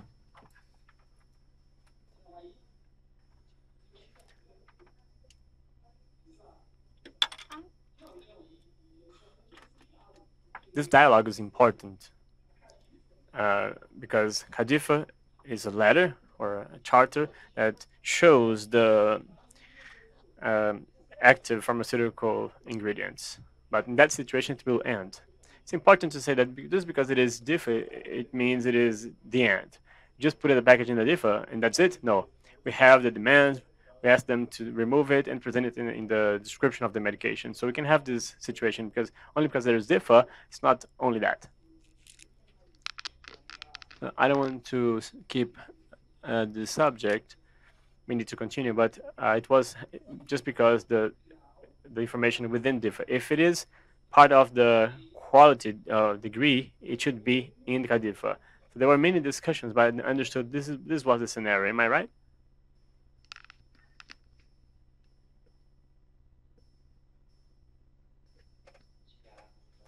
I'm Tiago from Globe Química, national manufacturer. Thank you for the opportunity, the availability. It was quite enriching.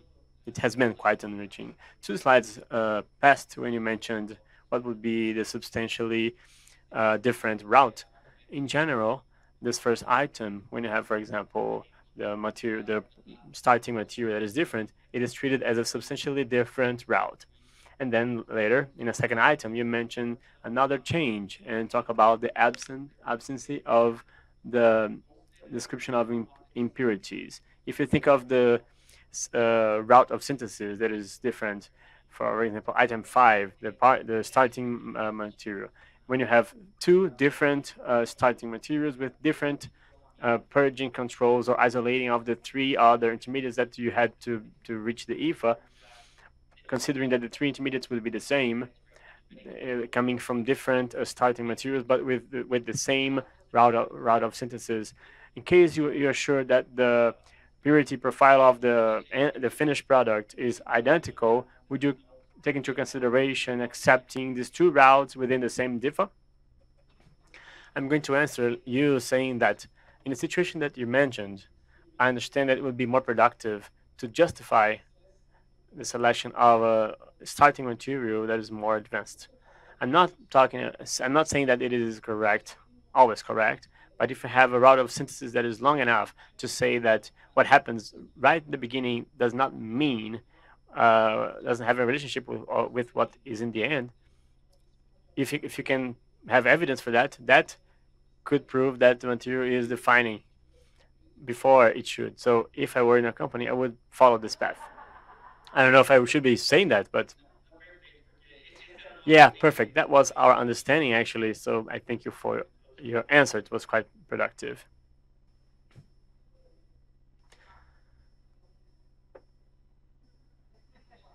Well, well.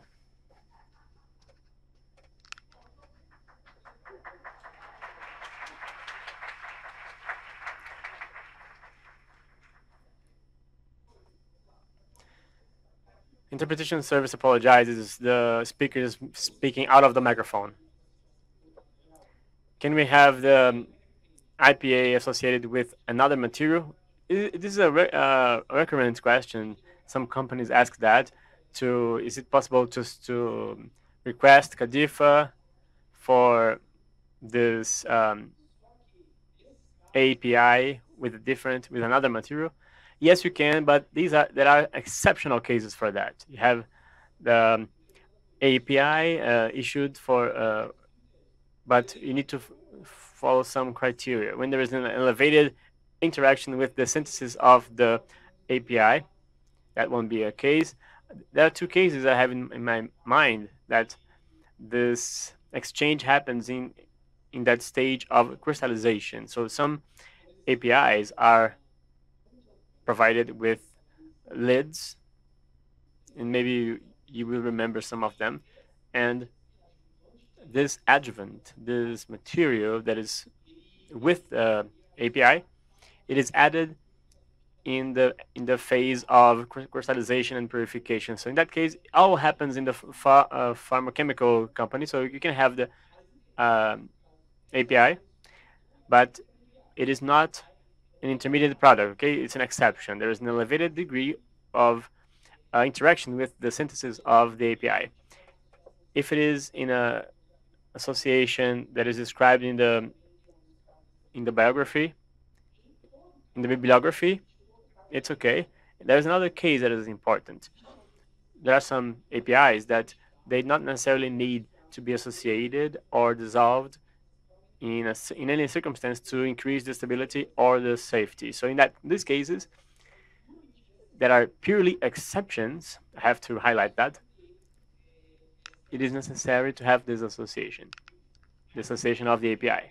But in no circumstance or in no moment, I, I want to emphasize that because my boss is here in front of me, because we're not talking about intermediate products. I'm talking about ex uh, exceptional cases with elevated degree uh, it, it, happens within the farm pharmaceutical company. So you you would constitute one DIFA and then request for a DIFA when there is a unit um, manufacturing unit of the API. In that case, you only you only link it to the CADIFA of the uh, incipient API. Also, I'd like to go back here a little bit. In, in the case that is uh, completely completely necessary for stability and, and, and safety of the API. And i can say it is true. It's important to make it clear that the association that is being proposed and that is occurring in the pharmaceutical unit, it is in the scope of the authorization. It really is completely necessary for the stability and safety of the API. So you cannot use it as, a, as an excuse to have an intermediated product. I don't know if it's clear to you, but it is important because we have received different questions about that. It is the point of view for the request of CADIFA. In other areas, in which if there's a question about that, you have to, to get in touch with the area uh, with the goal of having inspections. So we're talking about specifically about the request for CADIFA. Do you have any question?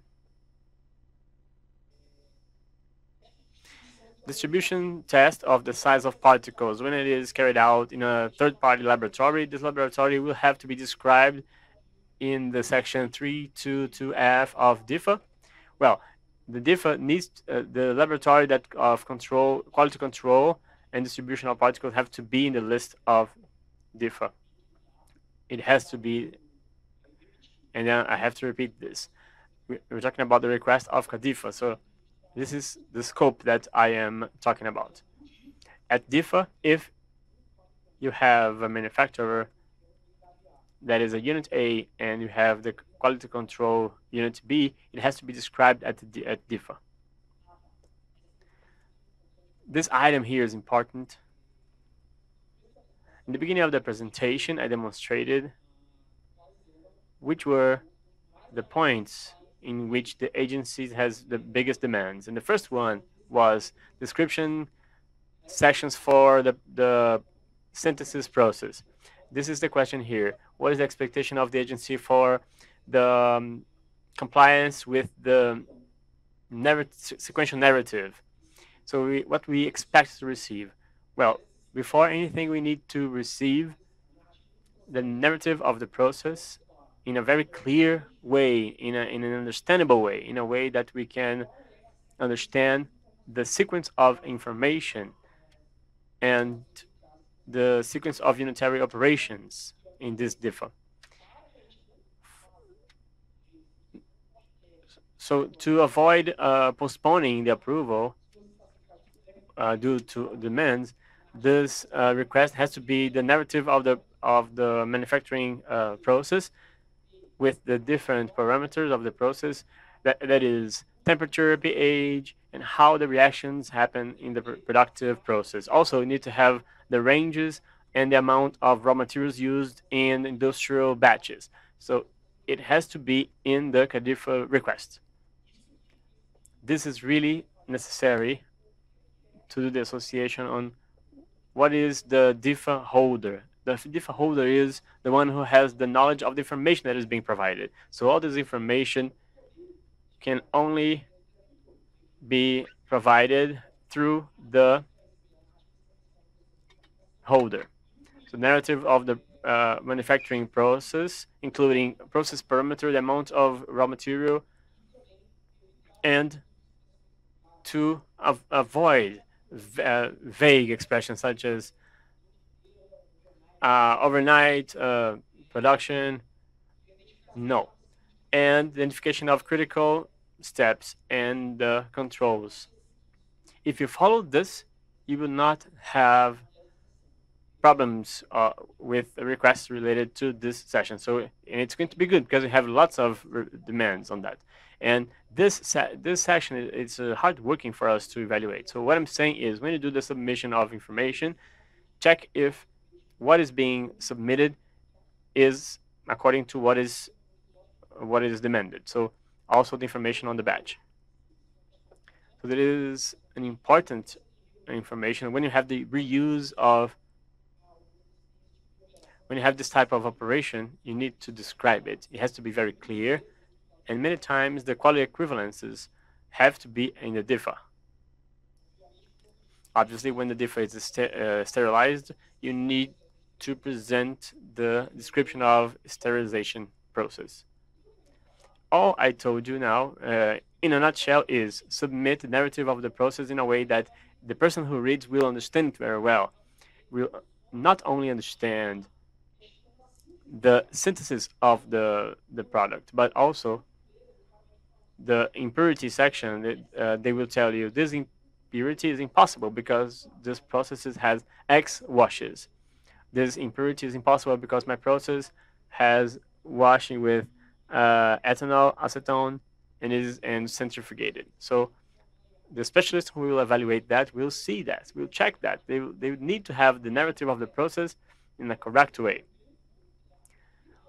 What, I, what I'm telling you here is we do the analysis in a way that we need to search for information to validate what you're saying. So the impurity section, it is not only bureaucratical or administrative, there is an analysis. For us to analyze uh, certain arguments, we need to understand the process. So uh, summarizing, this is it. How can we reduce the demands? It is even funny. One of the ways, one of the things that we hear the most is to reduce the demands, but the sector that is sending information need to help us. If you send it the way it should be, it's going to work well and it, it will avoid demands. In the case of providing the flow chart of the manufacturing process, it is important as well because for a long time submissions were done only from of the open part. If it's, it's a pharmaceutical common, uh, company, you only have access to the information regarding the open part. They understood that the flow chart of the process was just three, four um, boxes with information, but it is not that. As a matter of fact, it is a way to make the narrative of the process more understandable. The flow chart of the process is nothing but the flow in which on the left hand side you have the input of material and that, that has to be clear. In the center you have the unit operation that is happening. In this unit operation you have I'm saying because I I know you cannot read here. So I'm listing this. Everything that is written there is what I'm saying here. The flow chart has to be clear. The information regarding the synthesis process have to be clear. The introduction order should be clear. For example, it's not possible for us to receive the process flow chart information that is too simplified. We need to have the the use order of those ingredients in the process, it has to be clear. The unit, unit uh, operation has to be clear. The conditions of the process have to be clear. The outlet of the process has to be clear as well.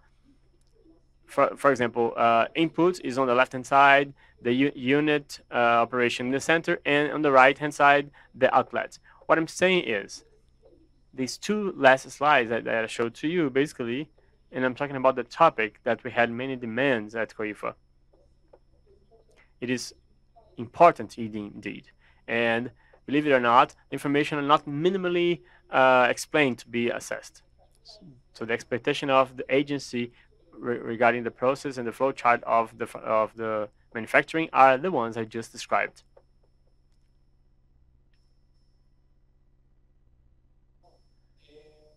Well then, another topic that it's very common. It's uh, regarding the um, recovery of material and solvents. The synthesis process of the API uses solvents. What are the information for different that have to be uh, described regarding these these recovered materials? So first of all, what is the range of use of these uh, solvents and where they come from and where they are reintroduced? We need to know this. Sometimes the company uses 100% of recovered solvent. That's okay, as long as the correct information are provided.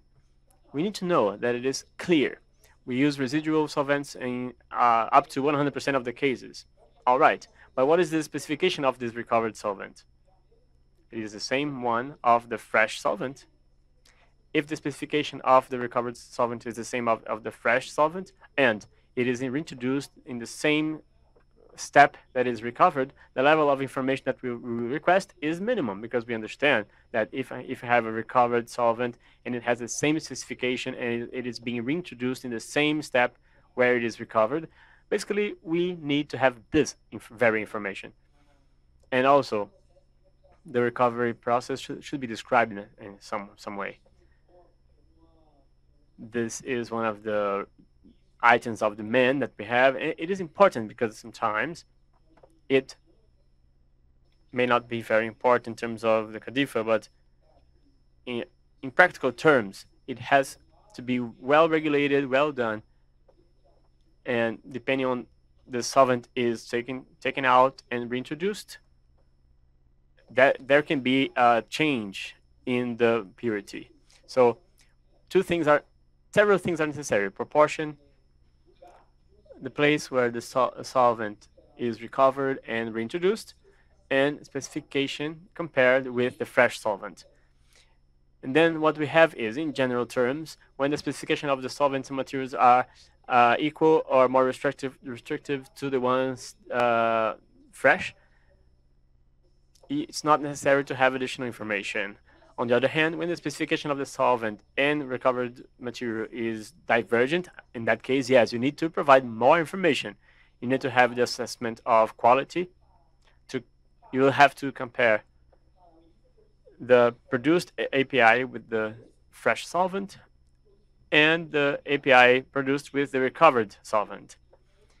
And there's another point here that can be a demand from us sometimes the companies recover materials, sometimes the companies do that, and the specification of the material, the recovered material, is very different from the fresh solvent. It's really completely different. It's 80, 90% of purity.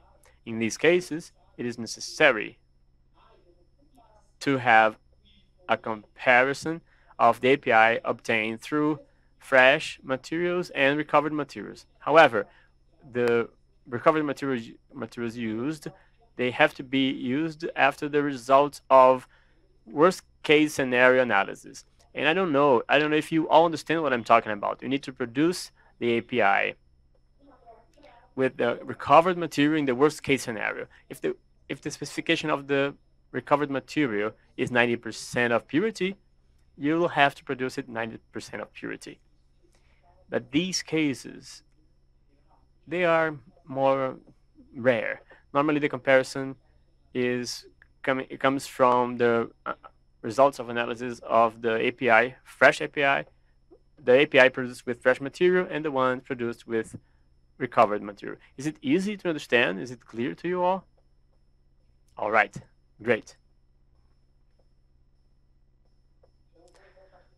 Well, I'll go back to the slide here just to make it clear to you when the specification of solvents and recovered materials are divergent, we need to justify the specification of the recovered materials, the uh, batch analysis, and the batch analysis of the recovered material uh, regarding the equivalence of recovered material and the quality of recovered material and the quality of fresh materials. Well, since you understood this clearly, this question becomes easier. Currently, there is a reprocessing uh, in a in a very uh, frequent way of the synthesis of uh, steps of API. What are the steps? Uh, the question says that it is, it is a frequent uh, it is frequent to have the reprocessing of materials, and they're asking about the steps. If it's a routine, it is a process. So it has to be described in the process. If it's frequent, if you always do the, the reprocessing, we have to understand that, understand that it is part of the process. The company can use some kind of control in the process to repeat a step or not. Uh, if it's, it's part of the routine, it is process. If it's not routine, in the case where uh, the reprocess is not part of the routine, the company has to accept that the reprocessing is the repetition of a certain step. For example, the repetition of the crystallization process. In that case, it is important to understand if it, what is happening is really reprocessed. The reprocess does not change anything. You just reintroduce the intermediate or the API in a in, a, in the previous uh, stage, and then it has to be very clear. To us, at CADIFA. If the company doesn't mention any kind of reprocess, we understand that they not they do not do it. Just to make it clear to you. You have to be sure that the procedure is really a reprocess. I will not repeat uh, what I just said. So the introduction of an API, API or an intermediate in a previous step. So I think everybody understands it clearly. The point of the question is if it is a routine, you should describe it in the process. Guys, am I speaking fast?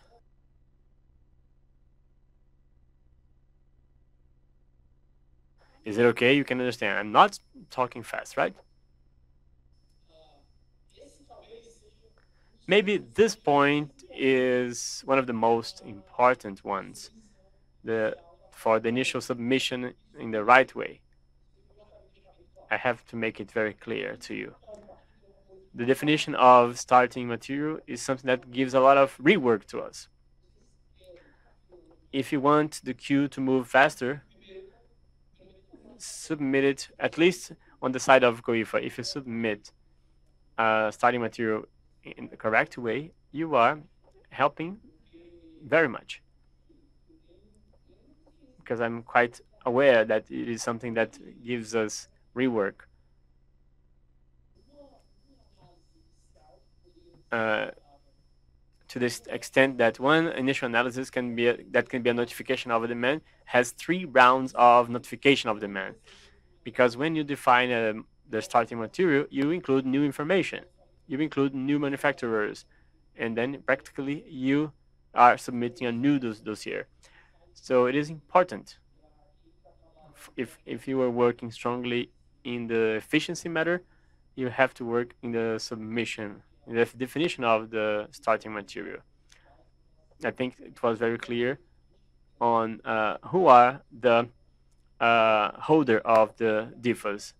These people are not here, but it is important that this communication is done and this inf information should reach them. Because not always this process can be efficient. Well, what do we expect concerning the fulfillment of the ICH Q11 principles for the starting materials. This is what I just told you.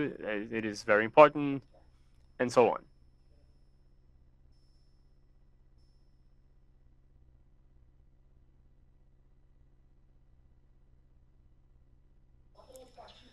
The starting material, the main points about it to be observed. First point, it is not acceptable the having the starting material of one point of the route of synthesis there, there, in which there is no chemical transformation. It is basic. There must be chemical transformation after the introduction introduction of the uh, starting material. On, you cannot only have the description of technical steps. The starting material has to necessarily be a substance or material that is chemically well defined, well characterized. Um, not long ago, after the legal framework, we had submissions uh, of DIFAs in which the starting material were mixes, mixtures, it is not acceptable. The starting material that, that is defined has to be characterized as an isolated substance what am I talking about when I say mixtures? We have a starting material that is liquid and, and soluble, where we have a purity of 60% and purity profile in which some impurities are up to 10%. We've already seen that. That's not possible. We can't treat that. We don't. We can't admit that. Even if we have transformation steps, these are rare cases, but they do happen. So the starting material needs to be uh, have defined properties and isolated materials can't be considered adequate materials if they impact purity of the IPA. This should be included in section S22. Definition of starting materials should be connected to the pro, uh, impurity profile of the IPA. So if you have in the specification of the IPA impurities that derivate from steps that are not described in the dossier, it is possible that we have a demand for the redefinition of the starting materials because we have steps that impact on the purity profile of your active ingredient that aren't there on the CADIFA under uh, or under, rather under the DIFA request. So if we're analyzing the suggestion of starting materials, you need to verify where the purity profile of your IPA comes from the steps of where these impurities can come from need to be described in the profile, uh, the DIFAs. So that's our expectation.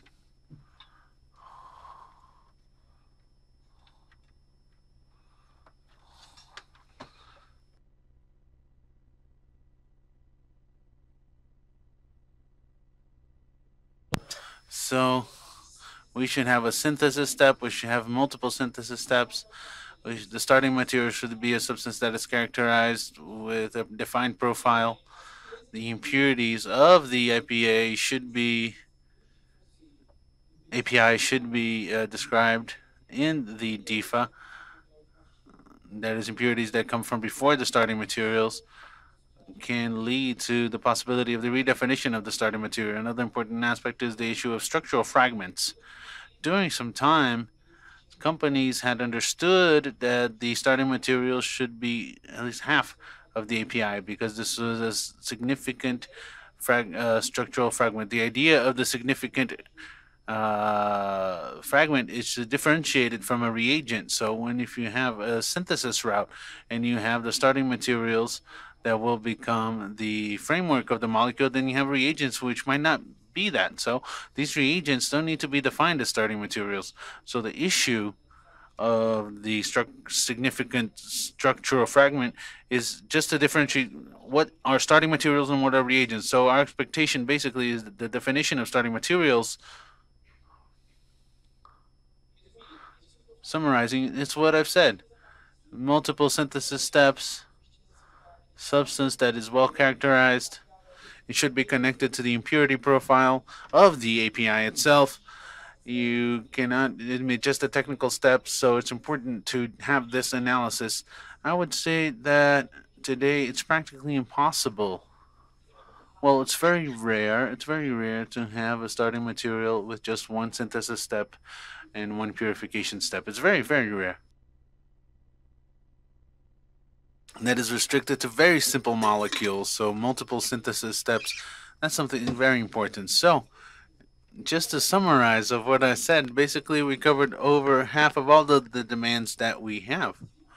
If we have the correct definition of the starting material, and if you have a correct description of the synthesis process, a lot of things connected to the CADIFA are okay, and you have a reduction in the number of total demands. In relation to the starting material, something else that's important to keep in mind is the specification because oftentimes we understand that since it's a starting material, then you can have a very wide reaching, wide encompassing uh,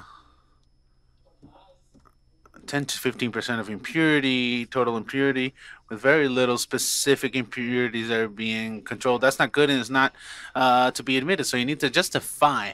You need to justify the specifications of your starting material. And to justify your starting materials, the specifications of your starting materials, that is, it's important that companies provide batch analyses of APIs that were produced with that starting material at that specification that was proposed. That is an evidence that that starting material is being well defined and that those specifications lead to the uh, uh, production of the pharmaceutical material that is in the uh, desired quality. So these need to be justified. I said that there were acceptance criteria for impurities that are controlled in the starting materials within the criteria that are contained in the ICH are considered justified. This doesn't mean that we need to have ICH defined limits in the starting materials. What's being said here is that if you have a starting material in which a given unidentified uh, impurity is being controlled to 0.10%, you don't need to explain that much. That's what we mean. This is just a way to have a comparison basis. When the specification of the starting material are too wide, then you have to explain the specification, and then you will have to, as a rule, produce uh, an indication with the starting material at those specifications. And, of course,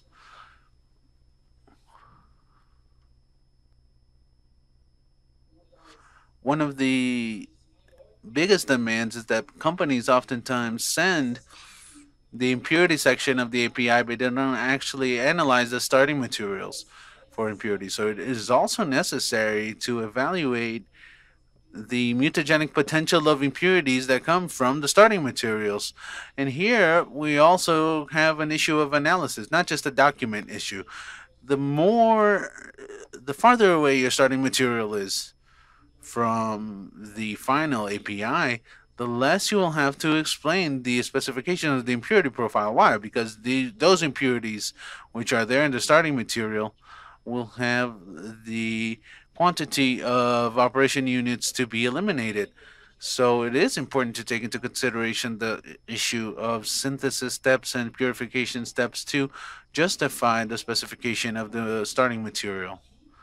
And the impurities of the starting materials should also be evaluated in the triage of the mutagenic material. I'm not going to go further into detail because otherwise we'll only leave tomorrow morning.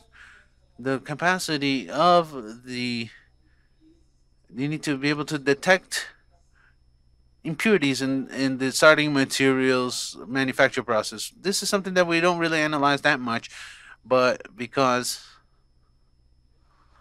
the analytical methods for starting materials, we don't, as a rule, we don't do such a criterious analysis at the end of the day. So the justification of the specifications of the starting materials should really come from batch analyses and written uh, justifications and the analysis of the mutagenic potential of the impurities. And something else, uh, oh, I forgot what, what the next thing was, but sometimes we demand that APIs, which are asymmetrical molecules, uh, that is chirals have their quality controlled in the specifications of the APIs. However, it is possible that when the process doesn't change a given molecule, it is possible that the hysterical issue of the molecule is ba controlled based on the starting material. But this is something that must be described that that specific process does not change the stereochemical chemistry of the molecule. In some cases, it's important to have some kind of control in the end because we can't just be based on what's written. So it is important to control the starting materials as far as the issue of stereoisometrics, stereoisomerics, and we have certain description that their synthesis processes don't change anything in terms of the spatial isomery that is controlled in the starting materials. I'm sure that you know what I'm talking about but this needs to be very clear in your submissions. Well, just a question. Have you understood what's being said in relation to starting materials and what's being said in relation to the description of the synthesis process? This is really important, okay? Because as I've said, these are the biggest points of demand for us. So I consider that today you're understanding the expectation of the agency in relation to what we want to receive. Since everyone's quiet, it's necessary to characterize the polymorphic form for the APIs, which are only used has been completely dissolved in the preparation of medications. No. However, the company needs to make that very clear. So let's say you have a certain API that is only used, that is, it's associated to a medication that's a solution and it's only used uh, solubilized. You don't need to characterize the polymorphic form because that's not a quality attribute. However, it's important to make the following very clear. Everyone here has seen a CADIFA. Have you seen the document CADIFA?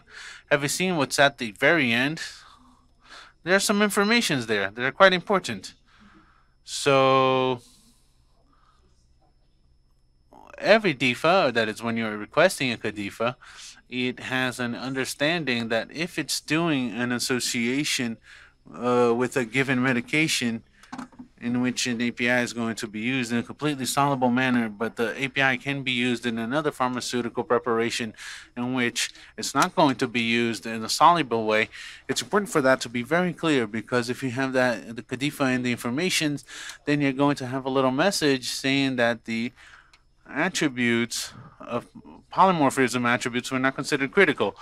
So what happens when you get to GQMed and you present the CADIFA, then the GQMed specialist will say, look, this CADIFA here, it's saying that the solid attributes were not considered critical. However, in this process, this is not a, a solution. It's a pill. So this is going to be a problem. So this needs to be very clear. I don't know if everyone understood what I said, but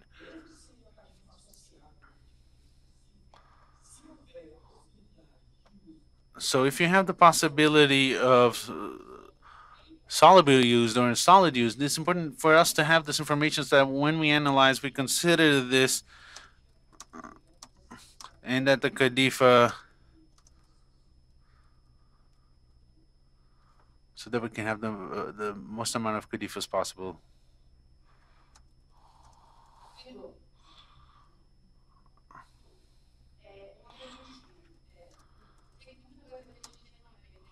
I know, well, we're not a pharmacochemical. I know that a lot of the things is in the restricted parts, and we don't even have access to that. Are,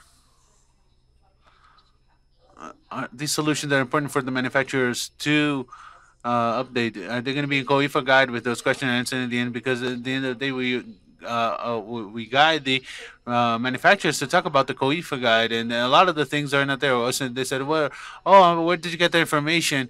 Uh, we get a lot of answers like that. I think I'm not the only one, right? Yeah. Then they say, no, well, where, where's it written down? And then you say that Anvisa's slow to analyze it. And I'm telling you about the reality. My colleagues agree. Okay. So I don't know. Do you have any idea? Don't be mad at me.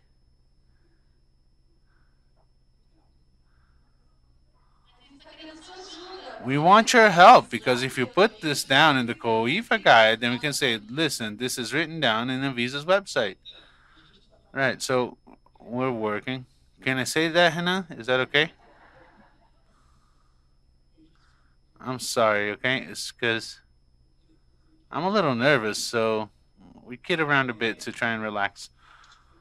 No, seriously we're working on a Q&A that's a little more extensive, actually a lot more uh, material on the Q&A, but it's a little bit complicated because there are certain things, there are details, there are interactions with other sectors in the agency, so it's not something that's very easily done even speaking here, we have to be careful to not touch on the competence of another sector. So uh, we're working on a wider Q&A. We just want to ask you for some calm, but it's nearer rather than farther away for us to publish this.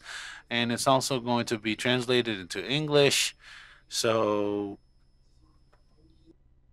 I think it will be a good technical guide. And that's it. We, we'll have that. We'll, we'll make that available. And yes, we understand that the information – are from the DIFA detainer. So that's why we say that the DIFA holder, they're the ones who have all the information for the IPA, uh, the API, sorry. Uh, that's who we interact with. But I think it's very important. And I declare my insignificance of knowledge of how this interaction works between pharmacochemicals and pharmaceutical industries. I think that's very important for us to have the uh, channels of communication. I don't know how to work, but we're also here to for, for that we have requests that are under analysis for CADIFAs, but you're sending the information on the half and you say that it's half and that you're you're waiting for Anvisa to make the demands.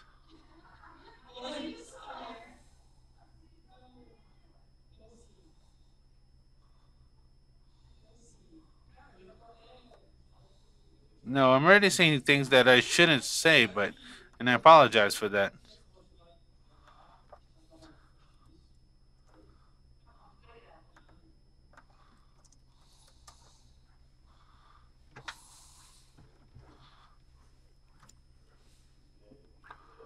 So we're working so that next year we'll have that new version of the questions answered. I think a good amount of the material comes from from this draft.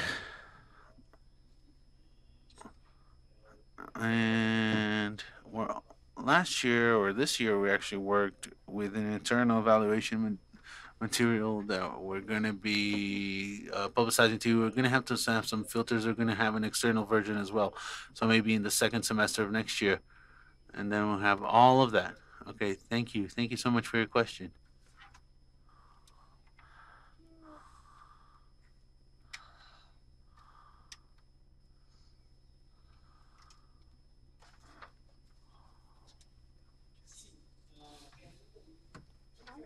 Different. A very frequent question. When do we need to have polymorphism characterization in the API uh, description? Uh, Visa is a part of ICH. We have something in ICH saying exactly where something is a quality critical attribute. If it is a, critical attribute for quality, then polymorphism needs to be in the pharmaceuticals uh, description. it should be if it's characterized as being controlled. So we hope that you have understanding in this decision tree.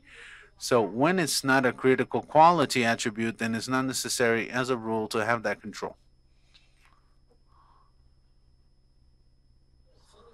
Well, if it is necessary to have a characterization of the polymorphic form, what data should be provided? Well, the main technique for analysis of polymorphism is X-ray diffraction. So that's nothing new. We need that information. We need the polymorphic form that is being discussed be well characterized we need the patent information in the scientific literature. They need to be described. It's also an important issue that sometimes the company just say it's form two or three and don't actually say which one it is. You need to say it. You need to say what patent it is, where it's coming from, and also the comparison, which is something that historically has been sort of loose. They say it's form X. They send three batches that are characterized, and that's that. I mean, that's not exactly it. You need to say according to our results, our results suggest that it's this or that form, and we need to have that comparison. So, obviously, if the specialist is able to do this relation, then they're not going to do. We're not going to do any sort of de- demand. But if you want this to be very clear, then you have to cite the patent and do the comparison there because maybe the specialist that's evaluating they might find an issue they might ask for uh, for something that they could have already uh, uh, uh, uh, put down so when polymorphic form is a quality critical attribute then it must be put in and to characterize the polymorphic form then you must have bibliographical references, experiments, and that all of this needs to be very clear in the API dossier or DIFA. The we need to evaluate the robustness of the productive process, which needs to be verified in the three uh, batch sequence. You can characterize this with just three batches, but before you need to use techniques such as X-ray diffraction of in the powder of these batches and provide this information to us together with the information of what polymorphic form is being provided. And the stability of the polymorphic form needs to be verified when it is a quality critical attribute. That is the specification for stability. If it's a quality critical attribute we need to have those specifications well this is what i just said that the stability of the polymorphic form can be evaluated during the stability study? Well, I think I've already answered this, which is in relation to the particulate distribution when you have more than one. The API that is produced can be commercialized in different distributions. So, what should be presented in the DIFA? Already said uh, a lot about this when the DIFA is commercialized. It's different. This information must be clear in sections 3213. So, it should be there that it depends on the consumer or it depends on the client or in case the API is submitted to any physical process for the reduction of part particle sizes, and it's already been mentioned here that we should have the description of this process in section S22 and the discussion on the impact on polymorphism and stability. That's basically what we already commented on in the beginning of this presentation. It's important to mention as well that in the cases of an acceptance criteria for the distribution of particles uh, be variable in the specification, the API, we should have uh, this uh, very well described or as variable. It depends on the client. CADIFA is not linked to a specific particle size distribution unless the DIFA holder wanted to. If it, they wanted to, yes. If no, no. So that's it. I think we should already have answered many FAQs in this sense. And yes, the answer is very clear. Things just need to be clear in the DIFA for us to do this because these informations are already connected to the performance of the API in the medication. So issues related to polymorphism and other issues are there in the package of information sent during the registration of this drug. So if you have a standard degree and then the criteria for the particle size and should be specified and so there will be a link to the CADIFA if the company wants, if the holders want. What's my time like?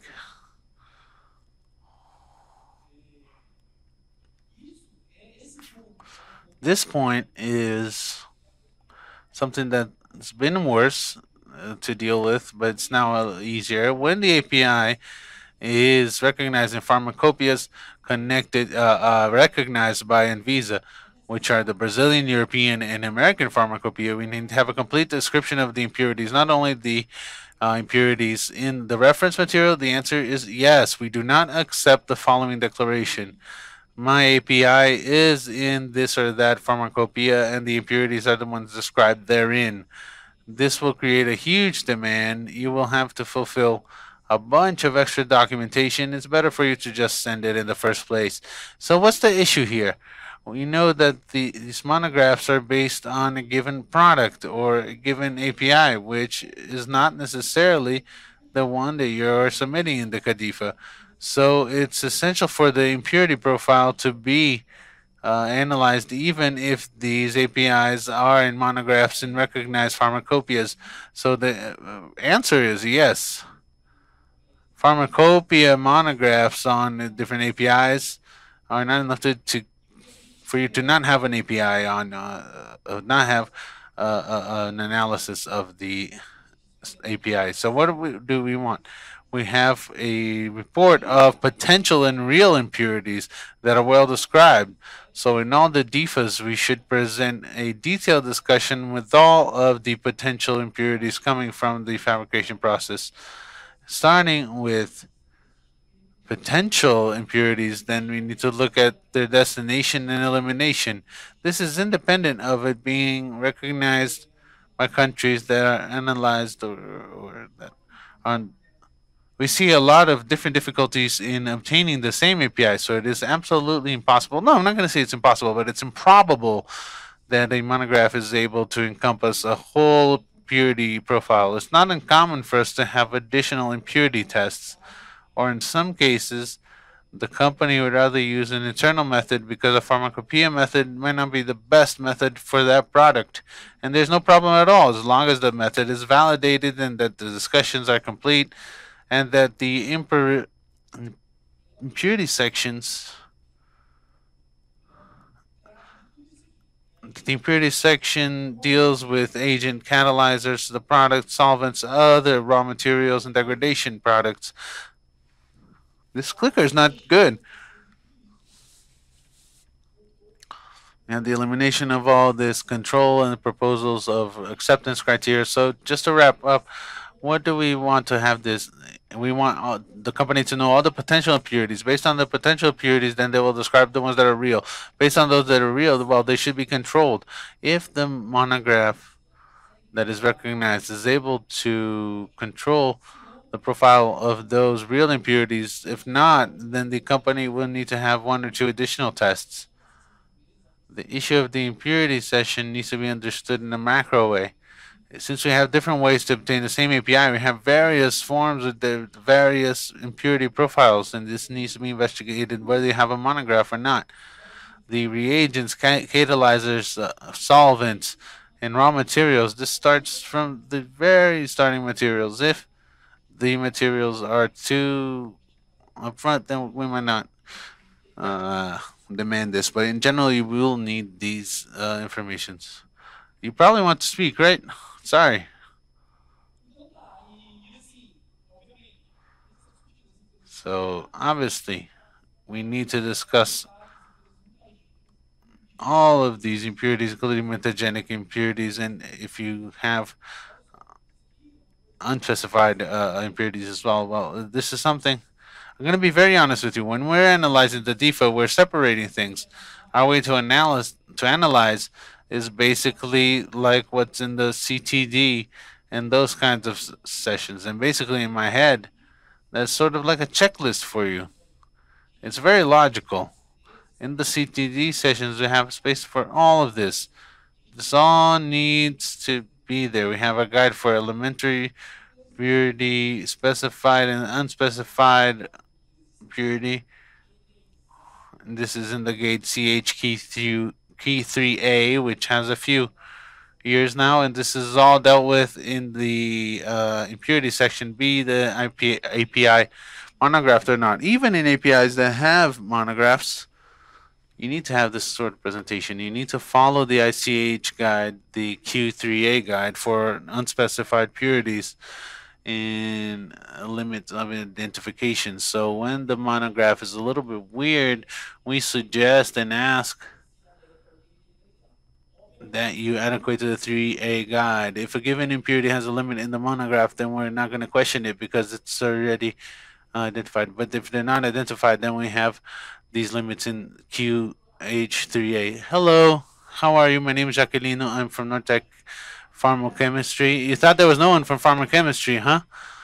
Well, I wanted to go back a little bit to the topic on uh, grain size so also has to do with the question from my colleague.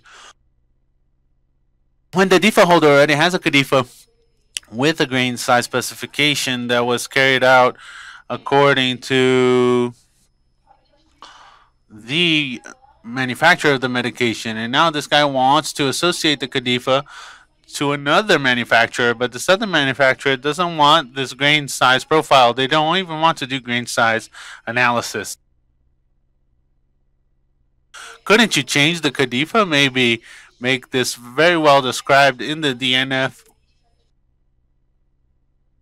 saying that you have different specification for two clients in this case, uh, in uh, changing the CADIFA, would it really be necessary to have a different CADIFA for the same product?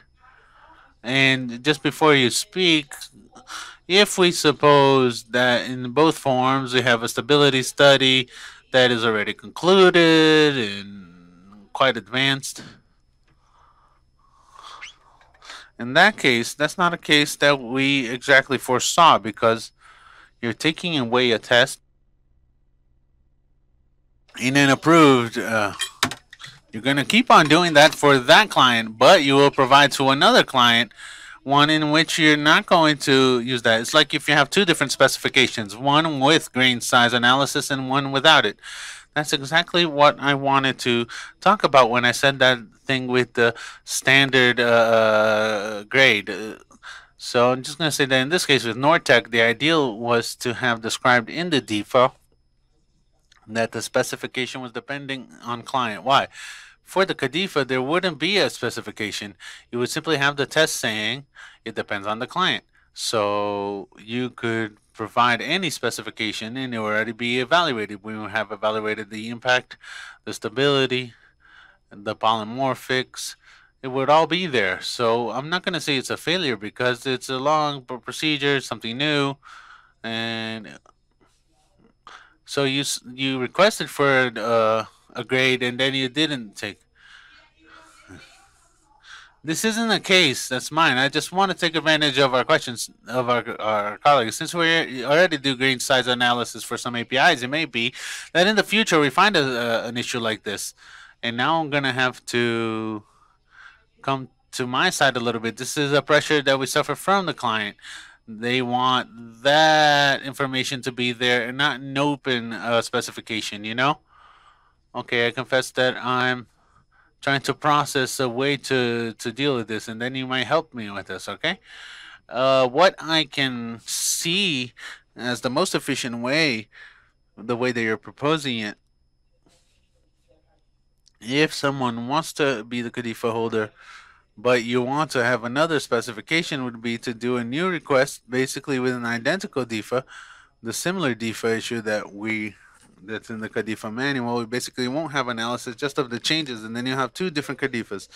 So in this point, I think you have two CADIFAs, and that would meet your needs because you have a similar DIFA, and the analysis on that would be minimal. So it would be a very small analysis. You say that you already have stability studies on the on the EFA and everything. So this kind of analysis should be very fast. So if you want to have both, what I'm imagining as the most efficient is using the procedure of similar DIFA. So you petition for a new CADIFA and you say in the FB, I think it's on Annex 8 or something like that. When they talk about comparison, we have an approved uh, DIFA and we're only changing this. We want a new CADIFA. So I think that in that case, that would probably be the most efficient.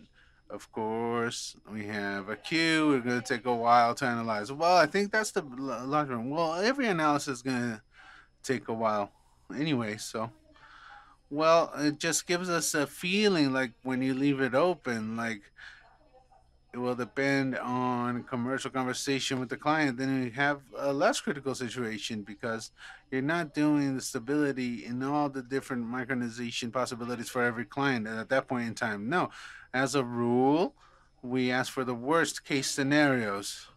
Yeah, but we understand that if you already have a CADIFA with a micronization process and you already carry out all the studies of a product that wasn't micronized, but that you might compare to, well, from the technical point of view, I completely understand what you're saying.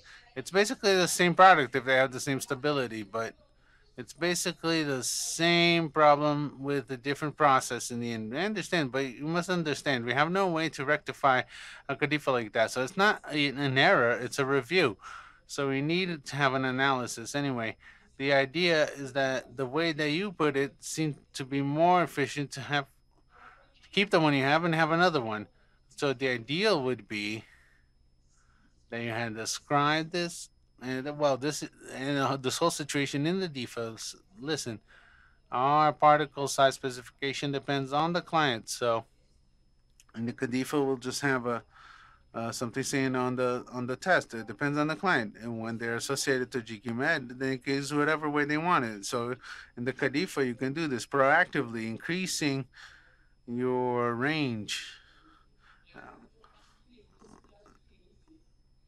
your possibilities for clients. Oh yeah, this campus situation also happens.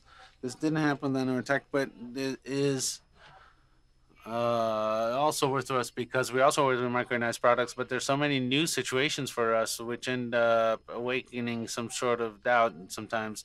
We talked a lot about the definition of starting materials, and we had a request for uh, starting material definition and so we really had a very different understanding from the agency because our product was a product that came from fermentation. So our provider delivered a fermentation product to us that was already uh, a chemical product was already fermented that was done initially by fermentation. So we initially defined as a starting material this fermentation purified product that I'm going to call X, which was a well characterized substance that structure is a part of the API. But after this product, this X product, we only had one more step, which was to make the product more basic. And so the agency understood that we had, we didn't have enough steps to call this uh, product, the starting material. So there's a new confusion. If it is the intermediary, who is the starting material? Is it my fermentation broth? Who? What is the starting material? Then we started to talk, to ask for a conversation with the agency to try and understand what the the understanding is as far as uh, this company. We need to redefine the microorganism for the uh, uh starting material. Well, exactly. Well, this discussion is concluded then because I think there's already guidance. I'm not going to remember exactly where it is. I'm sorry, but I think the guidance would come from the precursor, maybe the fermentation. Well, we had a cell bank. Well, in that case, that's it. But since it was a very different product that we never worked with something like that, we're always used to chemicals. We think, well, this product of fermentation is our starting point because this idea that we should have a part of our structure in the final API. How, if we're talking about a bacteria, if we're talking about fermentation, it's impossible for us to know this. And So I'd like to thank you for this uh, uh, uh, uh, availability, but I'd like to thank you for your availability. But this is essential for us to have this understanding and this uh, all this learning. Okay, I'm going to make a few comments here, but at the end of the day, I have a very sincere question. Did you understand the or agree with the agency understanding? Yes, we didn't see that. And so when we went to the meeting, we were like, "Oh my God, it's not possible." And in the conversation as it went on, it, things became clearer and clearer, and everything's okay now. Well, I don't have a lot more to add other than what you said but this is just a consideration just so that you understand that we're still learning a lot how to interact with that and we need to have information to justify it. we don't have the know-how to do this so little by little we're walking forwards and learning the same way that you're learning especially in the administration administrative issues and in some more spiny issues as far as the technical point of view. Nothing stops the things that are happening he, i'm saying here that there, we might have a changing understanding in a year or so because it is a learning process. It's a regulatory framework which is modern. There's very few agencies that work in this way. And we even see that this might not be in the best way but it will certainly be the more efficient way to do things in the future. So have everything having everything concentrated in there with the DIFA holder having this conversation with you what is the definition of starting material and so on and so forth it's an opportunity to learn from from other companies uh, from technical learning for the pharmaceuticals i'd like to thank you that you agreed with us so that's great. No i'd like to thank you. I'd like to say that pharmaceuticals are here. You thought we didn't have any pharma- pharmaceuticals. You wanted to say that we're not here? Yes we are here. We have someone from torrent as well. Listen if you're buying with nortec chemica you you can ask for anything you want. Anything that's not an industrial secret. And industrial secrets, those are parameters, things that we can't reveal. Other than that, you can ask Nortec Chemica for whatever you want.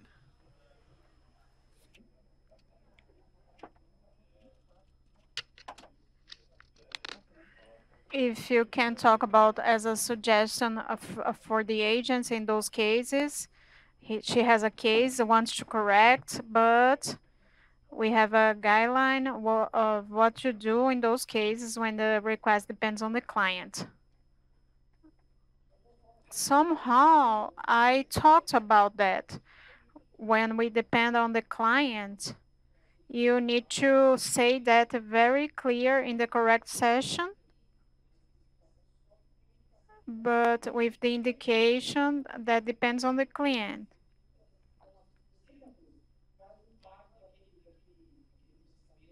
A part of this processing of the stability. So that's our suggestion.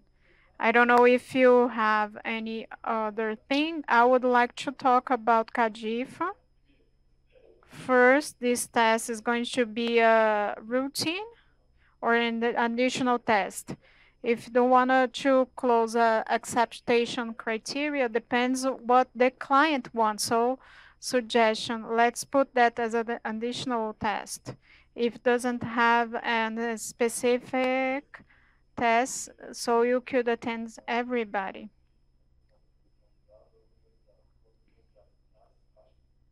Several ranges. The guidance that we give is work like that. It to not put any limits in all the discussion that we mentioned.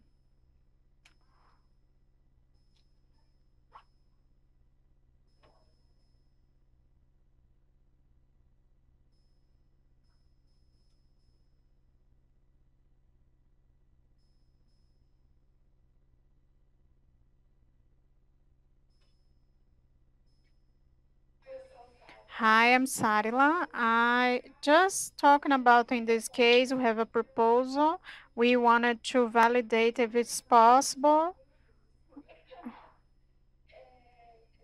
This issue, we had a condition issued with a special particle to avoid make a new CADIFA an identical similar one. It could be done a post register and uh, to extend the criteria because nowadays the legislation allows that. Thinking on that case that we already have.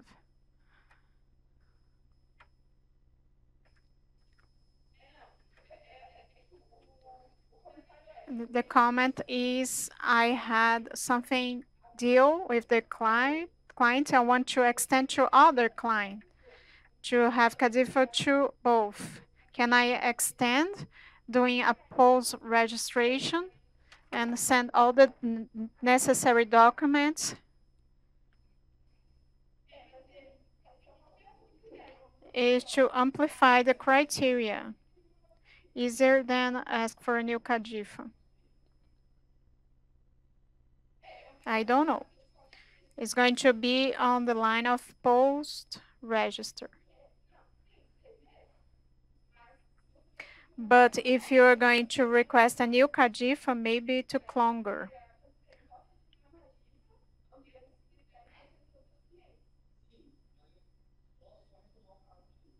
Just to take the previous case, I understood that you want to state because somebody wanted that. I'm sorry, can hear, uh, can hear because it's not on the mic. So I think it's better if you have, if you, we have a side talk.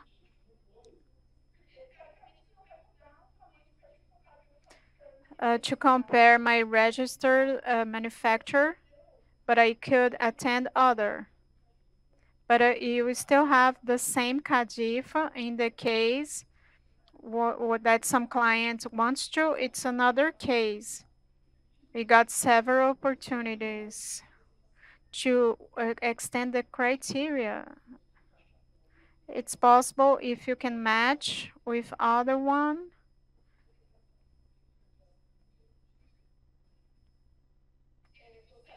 I'm leaving 90 less than 190 less than 600. I'm extending what I want to offer to my client in a more closed uh, specification.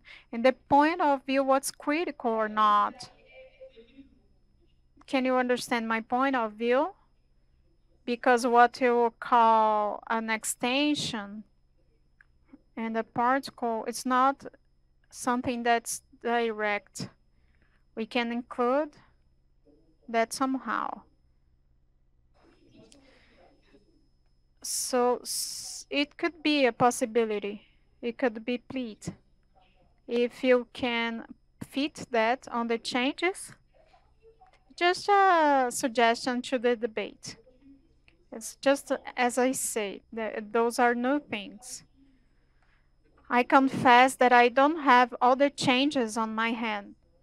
I had, and uh, it's good. I like to think ahead, looking at the norm. Something happens more, and then we can think quickly about that. But I like to look uh, matching with the norm. Thank you, and I'm sorry if I couldn't respond to that.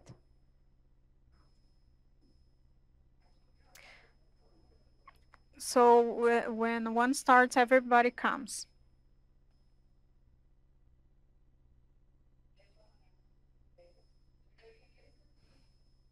I have three questions. Regarding this granulometry, the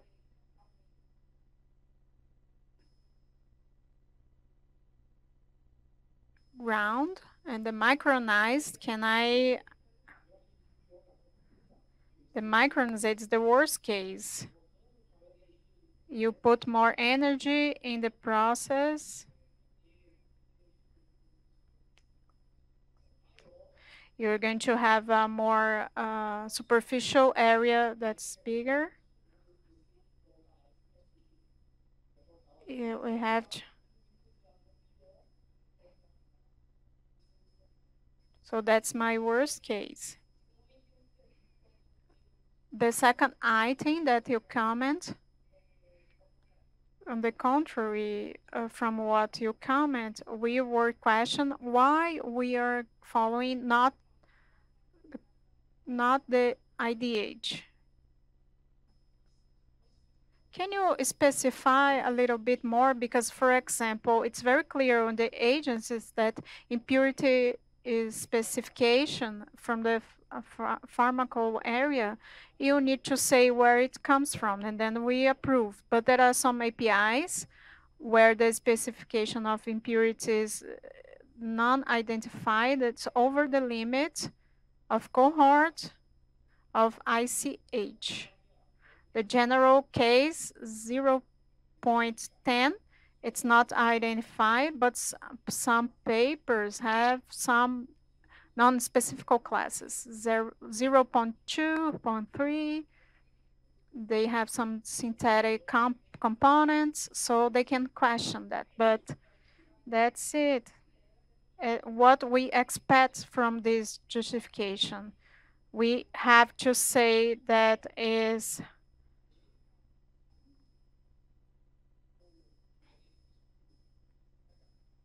pharmacopoeial. In the ICH, we are going to check the alignment. In the other cases, no. And sometimes we ask why the API is not attending this spe specification, asking why.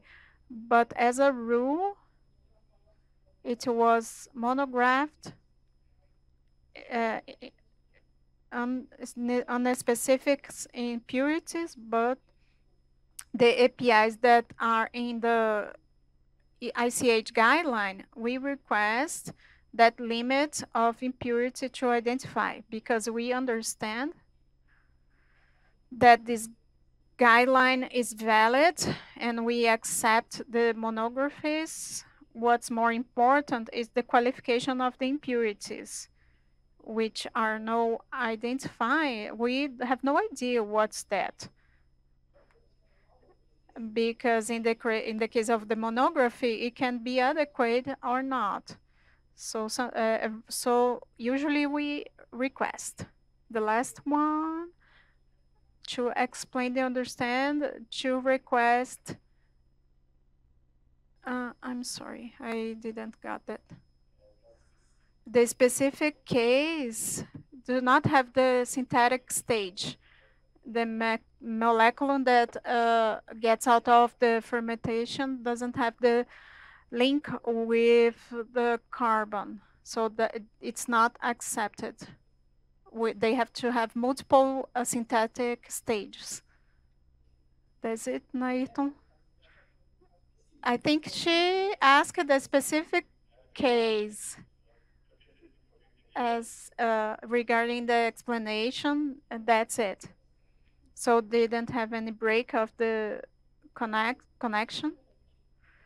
The start material has to have synthesis stage uh, according to everybody's understanding. In the in the case of same synthesis, ICH Q11 gives an understanding that the cell bank could be the start point, the first intermediary of chemical synthesis are not requirements to define that.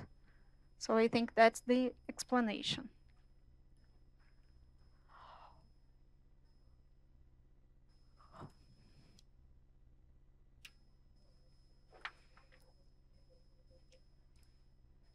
I'm sorry, I can't hear what's the main stage that generates more impurity, fermentation or emulsification? So if we leave the fermentation outside, we, we evaluate, we need to understand the profile because of the quality control. That's why we requested the redefinition. Good afternoon. Aché Labs, I would like to make a question about the optimized evaluation, RDC 750. There's no sound. I'm sorry, I can't hear.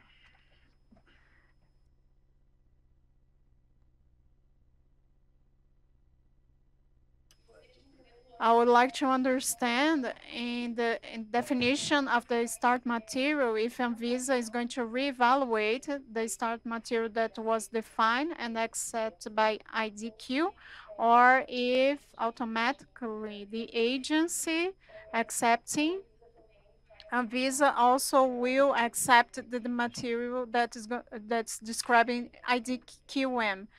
Nélio said that's nothing that's automatic. It's the regulatory trust. So we are going to take advantage what could be do. So it's area E, equivalent regulatory area. So relax because everything that we can uh, take advantage, but we have a rule that could be requested another uh, requests, but the agents want to use this tool in the best way.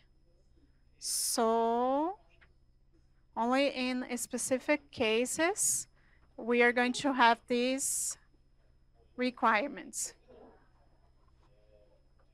We need to understand the context regarding this evaluation, in what moments we have the ICH guidelines. So the idea is not to do a new technical evaluation, but we can have an exceptional case that we want to do this uh, redefinition request. So I understand it's not because of the flow the, of the RT 606, it's complicated to put in the regular line. We just have one. The flow of the RDC you cannot put in front of something. That's my point of view. We don't have a, a, a regular line or a 7th and 50 line to analyze by the flow to have a quicker analysis. So is on this sense. Just one more thing. Recently, we received a request about redefinition of start material that was request the redefinition. Clearly, the material was not well defined, but the start material follow all the requirements and the guidelines of the CHQ on N, N minus 3 and 4 it's possible to justify this item of request or when Anvisa requests the redefinition, the pharmac the industry it's uh, obligated to redefine.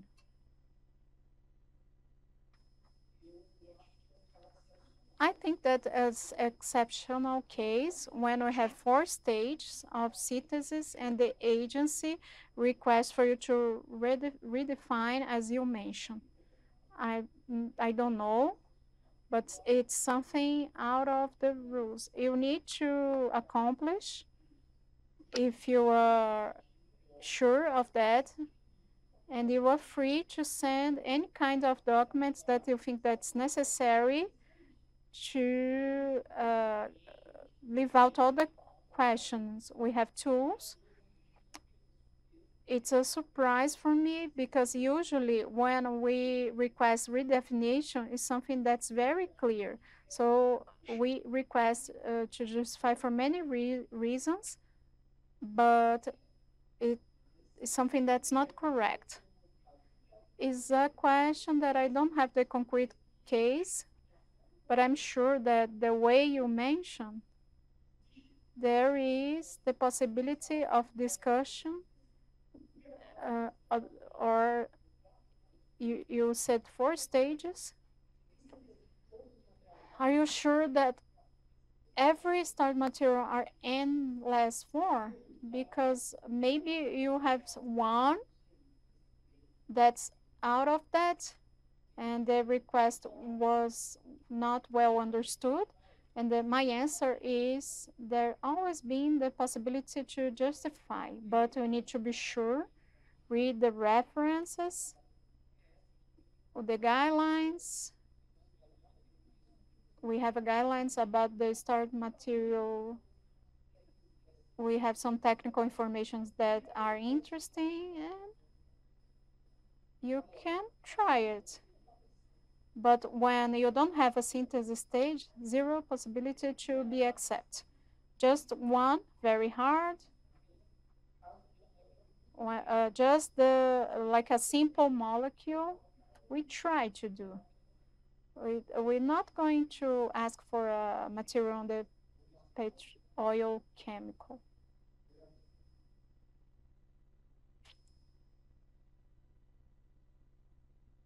Good afternoon, Mayuko from GeoLab. I don't know if it has to do with the question that you are going to talk with us, but it's a confirmation of understanding.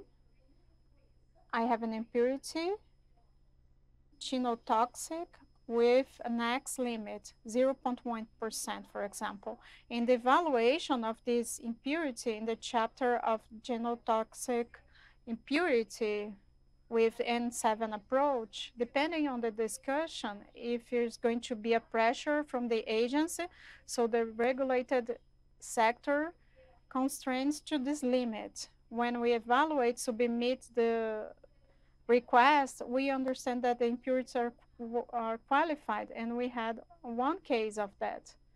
Described in official companions are qualified. I do not recommend that you constrain, that's wrong.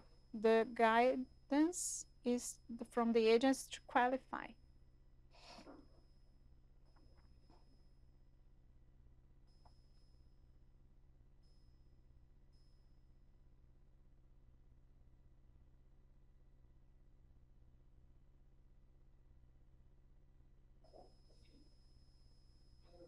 Anything else?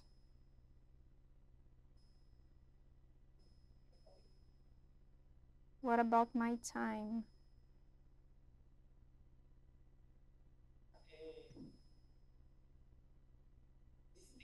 This theme, the handbook ICH M7 in the superficial, superficial or the profound. It's not the point for us to have many details, but some information needs to be on DIFA, otherwise going to be uh, something of request. I don't know if you can read it on the screen. What's the expe expectation from VISM and an evaluation of uh, accomplish of mutagenical impurity. So the company needs to send the evaluation.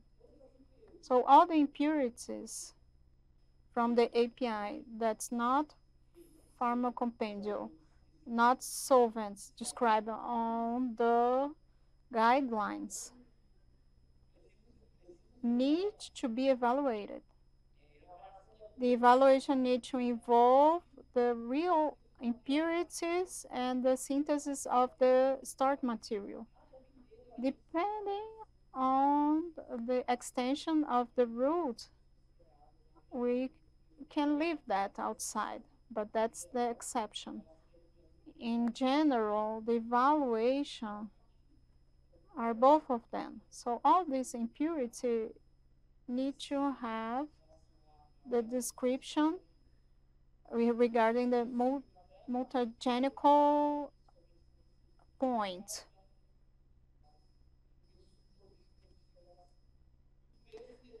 Impurity describes in uh, companions recognized by ANVISA are considered qualified when the evaluation will be conducted in the comput computational method. It should have the prediction that complement itself. APIs that don't have evaluation for two met uh, methodologies. So the evaluation of mutagenical impurities when made by a comp computational method. We have two, expert rule-based or statistical based. So in summary, all the real impurities and potential ones of its synthesis route, except the pharmacopeical, need to have the evaluation two, with two techniques as described in the guidelines. The results of the evaluations uh, need to be sent on a spreadsheet because sometimes sometimes we cannot reproduce the evaluation Sometimes we need to reproduce the evaluation of the company. That's why the ones that receive the demands regarding that maybe could read that read that we got an important evaluation. So they have to identify the structure, identification, the chemical names, the evaluated impurity, the identification of the used softwares, So in summary, the expectation of Anvisa is that all the impurities would be evaluated and the outputs in the spreadsheets, all the softwares described and the results of the every each softwares need to be present. That's the basic expectation when the evaluation will be done by in silico method it can it can have a bi bibliographic uh, mention, but it needs to be evaluated. But the company needs to classify the impurity of the uh, the, the, classification according to the guidelines. And according to this classification, need to describe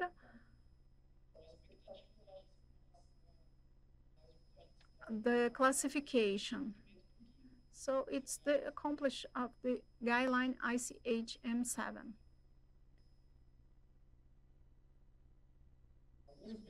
Something that's important to remember that to impurities class 1, its control needs to be from the specific limit 50, per, for example, or toxicological study. Every time that the company have toxicological studies to be evaluated by Anvisa, those studies will not be evaluated by the quality areas.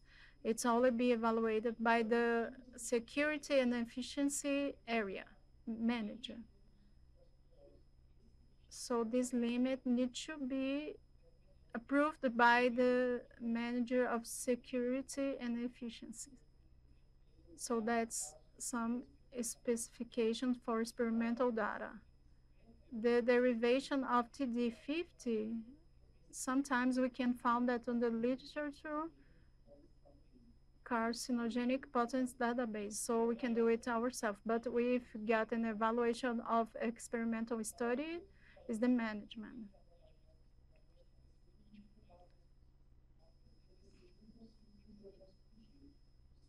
So those impurities that have a prediction of mutagenicity has to respect this limit of 1.5 micrograms per day. It could be increased with the use of the API if it's a use of not that's not common a molecule from the pharmaco the approach less than lifetime could be used I'm going to try to summary that. We expect that the company makes an anal analysis of all the inputs of the API. When just one software, one methodology says, flags that it's mutagenic, this company uh, needs to classify that as class 3. So with that, the conservative approach is to control it through a derivate limit that's 1.5 micrograms. So depends on the time of treatment. It's described on the guideline ICH-M7 that Anvisa adopts. So once more, we want you to accomplish this guidance and we want to receive a spreadsheet with the results, the evaluation, the name of the software, and the options of control of that those impurities because otherwise uh, we are going to take out the request. It's not the focus to say how the analysis is going to be evaluated. But I want to say that there is a way of do this analysis regarding the silico approach. We understand that all the evaluation need to be reviewed by experts, but there is some, there are some cases that's very clear. One one methodology based on rules, expert based, gives a 100% of trust. This group is a warning structure. The company need to control according to TTC only if there is a review of experts with toxicological information to undo this prediction. So if one of the two methodologies gives positive, the impurities need to be treated as mutagenic. Uh, the company needs to review the result with an expert of the area and data or experimental study. What we want to receive on DIFA is that all the impure potential impurities need to be evaluated according to the guideline ICH-M7. Silico and both rules. Software need to be validated with the principles of OECD. You cannot look and code by itself. The software need to be validated. We have we got several ones in the market, but it we have free, uh, paid, based on web apps of any kinds. So all of their all of them are validated.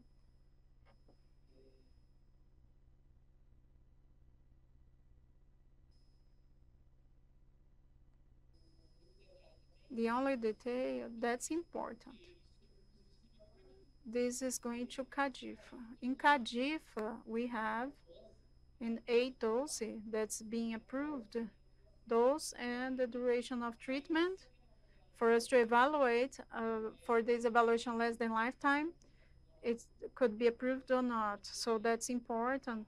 It's important that the company mentions the information of the medicine uh, related to the dose and the way of tre treatment because if the company uh, adopted a strategy less than lifetime and say that this limit is not applied it, they have a higher limit it needs to use the time of treatment of the medicine approved by Anvisa.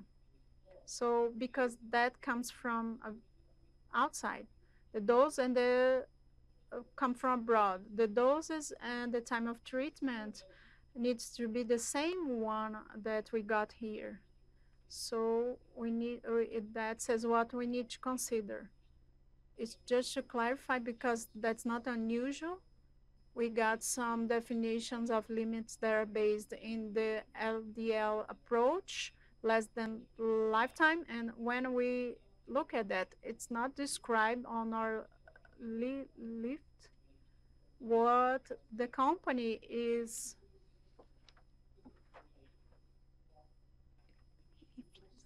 so that's li the limit of 1.5 so to make that flexible we need to adapt our our time of treatment and not always eh, that comes on DIFA.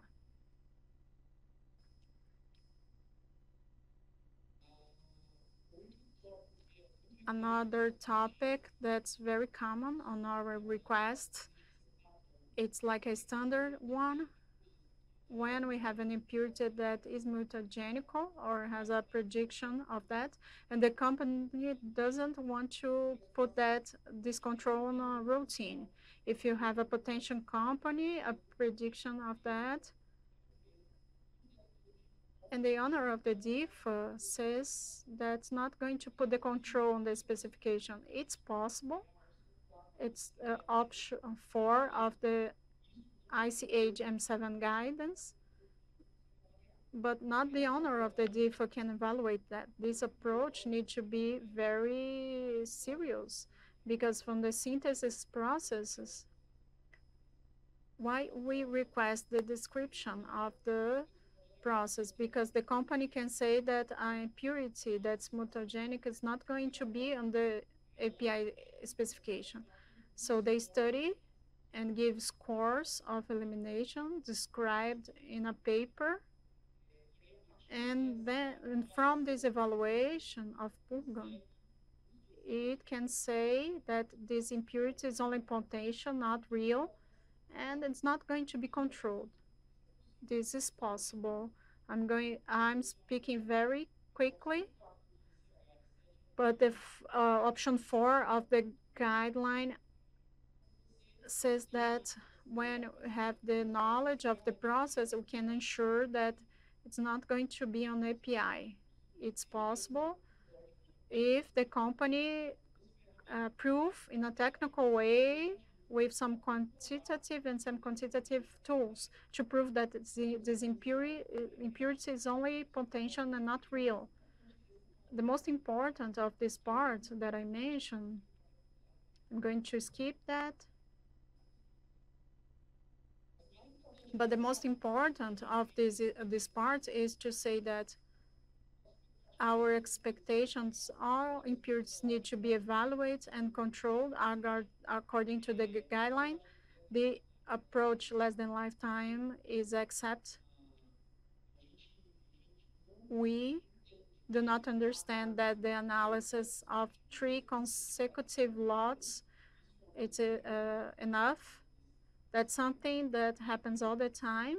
The company, the owner of the different have an impurity that's mutagenic and makes uh, three lots, consecutive three, three lots, and it's not possible. That's not accept at a moment. We can accept the company sends and these three lots analysis that under 30% of the limit, derivative limit of TTC, and then we can approve the inclusion of the periodical control, but it's not the exemption. There are some cases where we can mix the approach by the option four and the approach of load analysis, but there are specific cases that it needs to be described what's happening with this impurity. So just clarify the three batches. It's not accept at this moment. That's that's periodical control the API specification. You can do a, a skip test, but not um,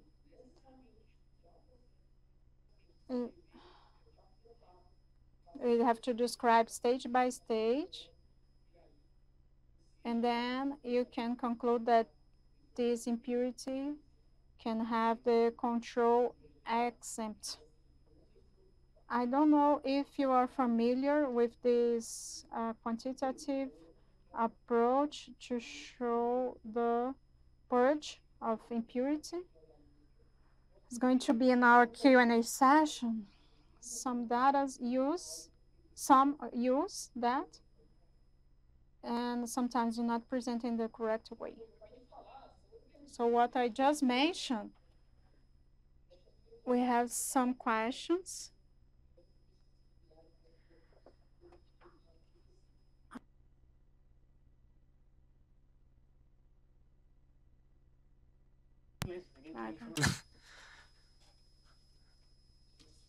This is not enough. The analysis of three batches is not enough for to exempt the control of impurities in potential mutagenic impurities. Are you awake? Is everything all right? Can I can I continue? Excellent. Let's go. Let's move on. when to register the auditing of the impurity. I'm going to do a disclaimer to you, uh, but it's necessary. Just for you to understand that when have the organic impurity of, of synthesis above the qualification of, of the RDC uh, qualification, uh, I mean the College Board's Resolution 359, when there is uh, experimental studies. This topic is in the management of, of safety and they do the analysis. The guide, the guide, the ICH guide, Q3, and the data of mutagenic uh, experimentation test has we need to have the mutagenic uh, activity. If there is an experimental test, COIFA does not analyze only the management of experimental tests will analyze that. This is how it should be. You should not do the, the request of the impurity uh, of the companion recognized by Anvisa. This is just what I mentioned to you. The auditing should be registered when toxicological security date are requested. This is the auditing.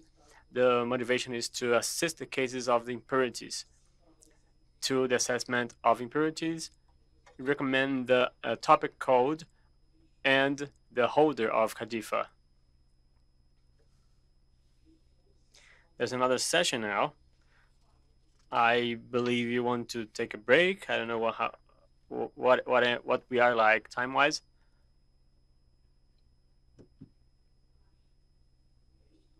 Extra time. That's good.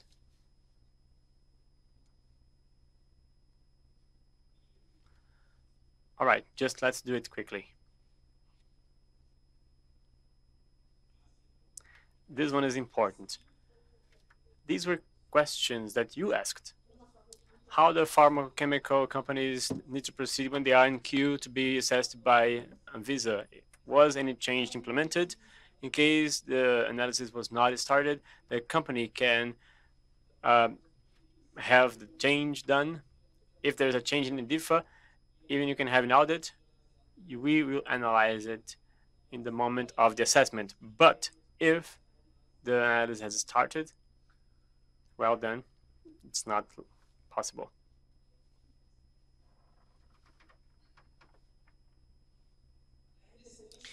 RDC 359, the batch analysis, can we include the, the results of pilot scale for example, can I have the analysis of pilot scale and then decision of the process uh, of quantity of materials in industrial scales? The answer is yes. Yes, you can. You should present the analysis of uh, three three batches, at least three batches, with the process described and the specification proposed by DIFA. The company needs to present the results, test results, with, with the described processes, but the scale can have the pilot scale results uh, at least uh, as soon as if it is in the same process you need to have two results in industrial scale and commercial scale in your CADIFA request none of them can be the pilot scale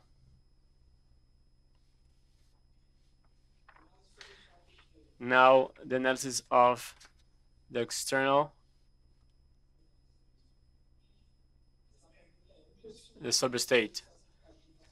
But the CADIFA request associated was given as uh, CADIFA as sub-state. When the, manuf the manufacturer of the medication wants to register, this movement will be altered to, to as in analysis. The answer is no. The petition will have the situation changed to in analysis when there is a technical sub uh, uh, uh, under technical analysis when, if it is effective, the CADIFA request is connected to the process, it will be distributed to analysis or waiting for analysis. So in, uh, in summary, the situation will be changed to under analysis when it is actually under analysis. I think it was clear, right?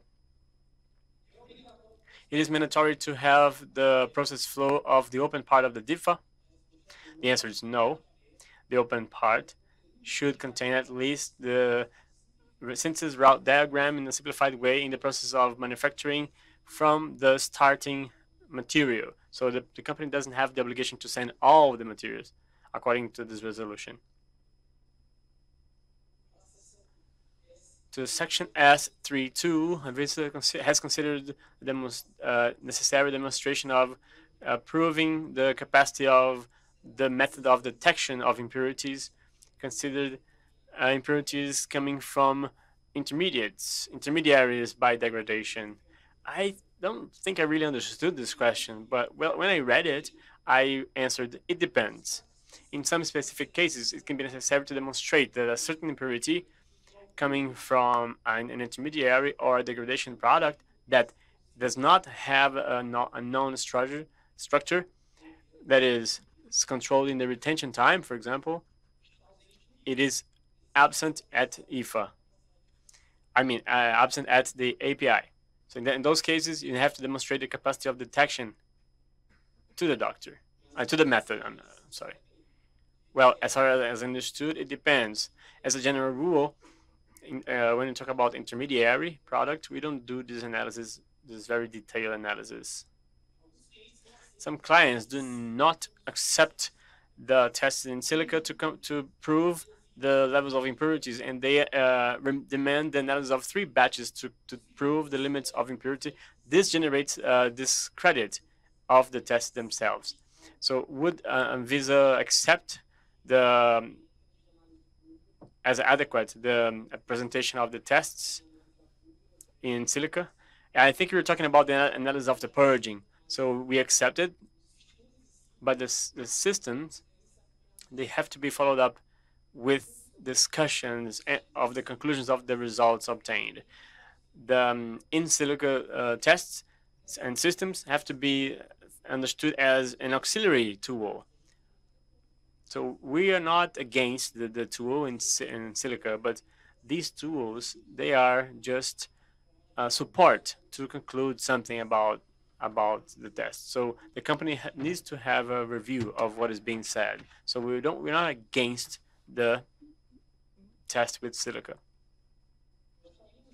We would like to confirm the exemption of CADIFA in terms of uh, when in cases of inclusion of new concentration in case the API is the same that was already registered.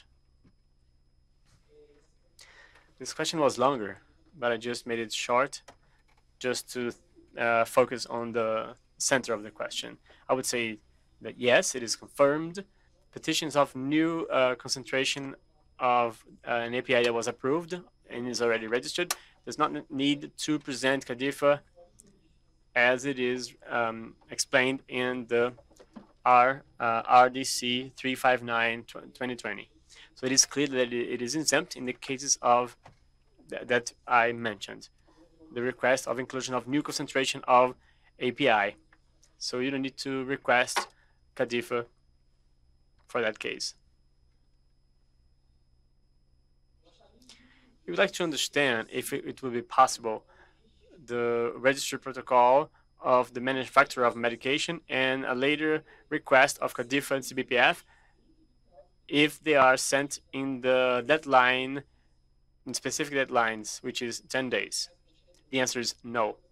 According to the the normatives in force and the CADIFA and the number of registration, it is a request in the moment of the submission and should not be postponed it has to be fulfilled in a moment uh, within the auditing um, deadline. So the company needs to request the, the register of the medication with this information already.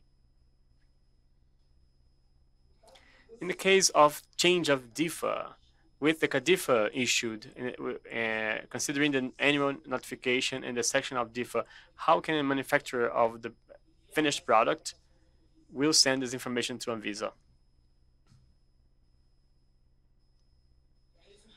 Just to summarize it, the change related to DIFA with CADIFA has to have to be registered in the terms of the RDC 359.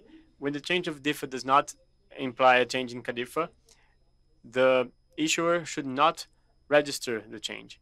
So it was not mentioned, so I'm saying this now. But the changes that review CADIFA will require a protocol of for registering the, the medication according to the norm. So in general, as a general rule, when there are changes in the DIFA with CADIFA, the register holder of medication has to assess if there was a revision of CADIFA for the corresponding uh, register as it is uh, provided for in the RDC 361. So you can imagine people, you can interrupt me anytime you want, okay? Register protocol. Register protocol by the company that owns the that uh, holds the medication and CBPF.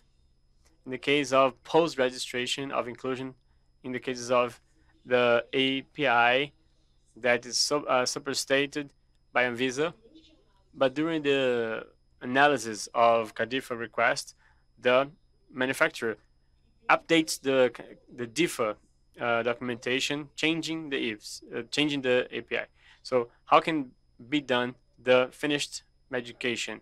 The question here is when CADIFA was approved and there was a change of information on inclusion of tests, how is it treated in the GQMed uh, requests? It will be uh, will it be requested the documentation of the finished medication and both um, requests of CADIFA will be done in the sequence. The, the answer is when the manufacturer of the medication has the knowledge of the changes of, of DIFA and changes the methods and specifications, the most efficient approach is to have an auditing of the specific update of the registry after the analysis of the procedures. And it, it has to be done by the medication manufacturer and you have to inform this change to Anvisa. This, this will allow the agency to, to have a process of with the technician for the analysis of the changes. It facilitates the follow-up and understands that, that all the it, all the changes were considered in the process. The agency will decide uh, the necessary mechanism to update the documentation of registration of the medication. In all cases, this me mechanism will cause a slowness in the process. Was that clear to you? If you have questions, we can ask GQ Med.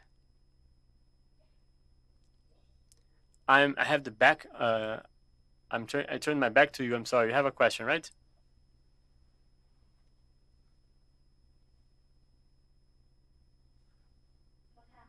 Good afternoon. My question is regarding the previous question, the second last question, when you talked about changes that the manufacturer registers. And my question is, in this, in the following case, I'm going to give you an example. The manufacturer of API registers a change of annual notification for an event, but it had an impact at CADIFA. So would it generate a revision of CADIFA? For example, an exclusion of tests of non uh, significative test. So I understand it will generate a revision of CADIFA to exclude this test. But this change registered by him is in the annual notification. Will you carry out evaluation in this case? Because it is a notification change in CADIFA. Okay, let me see if I understood. You're talking about the document that you, as a pharmaceutical uh, company, will send to Anvisa. No, I didn't reach this point of the question. The manufacturer has a change in the the DIFA holder. They, they made a change, and it is understood as an annual notification change. So he will send all the uh, proving uh, documentation of the change, and it will um, have a review in, in CADIFA. So all these annual modification re, uh, report, they are by the RDC uh, 359 considered minor. So we'll have to issue a revised CADIFA. Yes, because you reviewed the CADIFA. So it is a document that was, if you revise any change in the present CADIFA, or if it was a, a major change, as you're, you're, describing, there was a change in the document itself. So if there was a change, we need to assess that. And the CADIFA will, will be signed by the main uh, the general manager. Now, the question is about is concerning the medication manufacturer. If because it's an annual uh, change by the CADIFA holder, it, it can change a little longer to send these documentation documents to Anvisa within 12 months. But they will implement this change and they will notify this change to the medication holder. The guidance is we as medication holder, is it for us to wait for the reviewed CADIFA to, to make this uh, modification to 73 or because I have the knowledge of this change, I can register it to make this situation regular in the 73 and when the 73 requests the revised CADIFA, I just send the technical justification for the document because the document was not issued at Anvisa. Let me clear out. This question is directed to the area of medication registration. I'll try to answer it, but please, uh, my colleagues, help me. We send a justification? Yes, for us interpretation service apologizes. People are speaking off the microphone. The second option that she mentioned to send a revised, instead of sending the revised CADIFA, to send a justification. This change in the IN 73 can take a while to be registered. So the company will take a little while to do it. So we need to understand this coupling, how uh, how this coupling will done will be done. So I recommend uh, for you to make a justification in the revised CADIFA because it can take longer. I want to take the chance to ask another question. I think it will be more um, addressed to GQ Med because it's not about um, the, uh, I'd like to understand a little better how the communication between COIFA and GQMed is, is done when we show the information regarding not a legal entity number or the address of the manufacturer, thinking of the flow of CADIFA. Let me give an example to make it easier to understand. For a, for a, a API that has a CADIFA and the manufacturer needs to have um, an update in the legal entity number. It is a completely administrative uh, change. And if you look at the IN73, you have this change for the ones that do not have CADIFA. But when I go to the 73 framework for APIs that have CADIFA, I, I, I would have these changes from DIFA to CADIFA. So this change today, if you merely look at the prerequisites in, in the administrative changes, that would be considered a minor change and it could be done. But we know that for changes that are registered uh, through MP is not the most efficient regulatory um, means for the registration uh, update. And for us, uh, as a company that holds the medication, the um, legal entity number of, of the company can impact in other areas if it's not clear in the dossier of the medication for all the areas to consult, we may have some ejections in the import process and other and other things. So how is this communication of these registration data in this new CADIFA flow? I think, I hope I was clear in my question. No more. I hope I, my answer will be clear too. Well, if I'm not mistaken, when there is an update of CADIFA, this will be in the registration of the medication. So I understand that people, my name is Saul, I'm the CPMEC coordinator, and basically we take care of the registration of medication and we do some small complexity requests. We provide support to GQ Med, our biggest client, COIFA. We've had some uh, combats, and I I'm, i keep interfering interfering in their job. The change in the legal entity number were uh, was a request created to update the registration of the medication. This was all before CADIFA and before COINS. When COINS decided to handle the registration of the manufacturers uh, for APIs, when it is when the information is changed at COINS, it is changed in the medication number. But in any case, because it is a request that is already in the in, in the IN 73, you need to protocol it. So in the beginning, we wouldn't uh, do that because the, the registration was correct. Yes, it is correct, but we have to do that. We have to understand that the legal entity number was changed. At CADIFA, we still have the so uh, the legal entity name included. If CADIFA communicates with COINFA and this legal entity name was changed, automatically CADIFA is updated. But there is a problem here concerning systems. When I need to check the report of all medication that use a certain manufacturer of API, if I don't have this API manufacturer uh, registered by code B of COINFA, I cannot check the CADIFAs. So unfortunately, until we can have the system reports to generate BI that will see API and CADIFA, the B code of COINS and CADIFA, you will have to do this protocol because we updated uh, update B code actively and CADIFA will be automatically updated. So if I already have a CADIFA issued today, do I have to do this protocol? Yes. What is the change uh, in the 73 to do the protocol? My administrative change, it was the change of DIFA to CADIFA, right?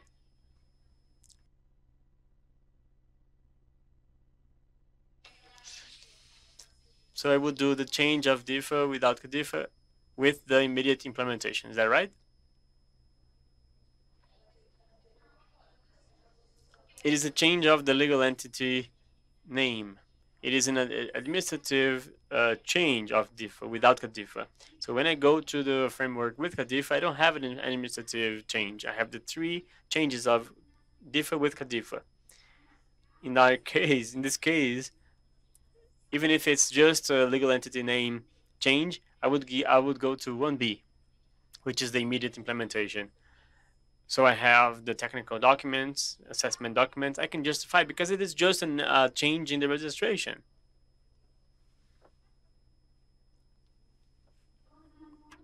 I have a final question, taking advantage that you're here from GQMed.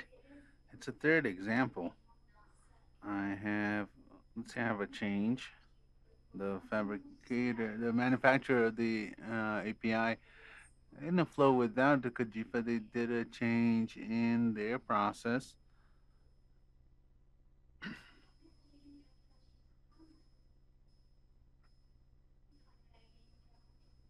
Yeah, but that one doesn't have a specific protocol. That's what they're saying.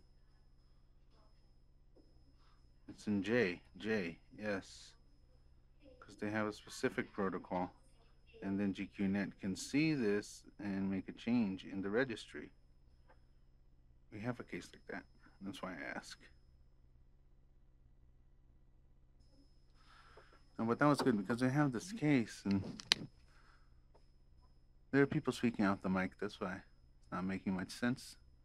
Interpretation apologizes for that. And once again, there are people speaking off of the microphone.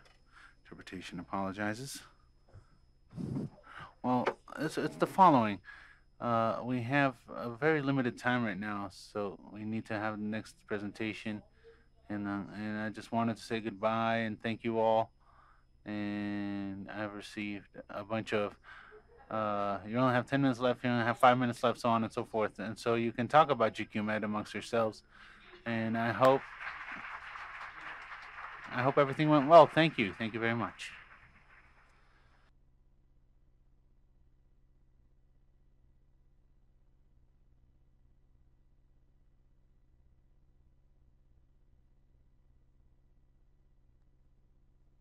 Thank you, Aiton Hosh, for your presentation. Are you going to finish your question or are you okay?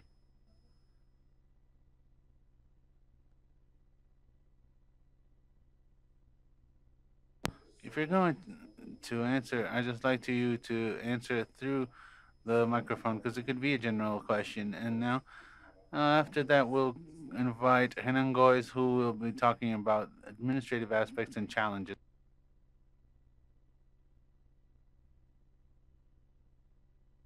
So let's say we're doing a change in a registry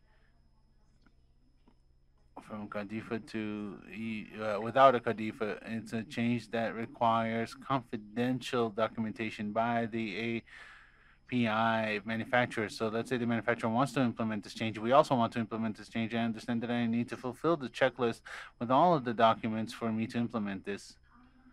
Is the guidance that I should wait until the EMP until I do a third party addition so that they add this uh, documentation? Or would I be able to, in, uh, in a legal manner, change this change so that the manufacturer can implement this and we should implement this and only, well, because I understand they can only do this addition to a third party after we have an expedient from DMP.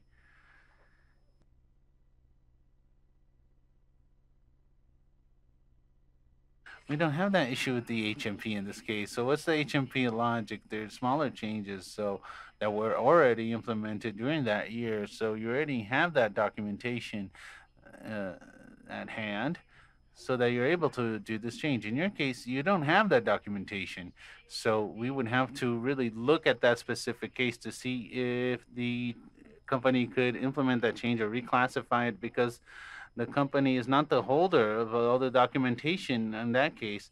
So how do you actually do this? Because they have confidentiality issues. I see this as a fragility, really, to be able to implement this and to be able to be an HMP. I have, let's say we have a change in the in- inclusion of a starting material. It's explicit both in 359 as a small change and in 73 as an HMP change. So I think that the question is not really about if it's a small change or not, but rather of how I'm going to give the agency to this documentation if I need an expedient expediency number. I'm only going to have that later when I protocol the HMP.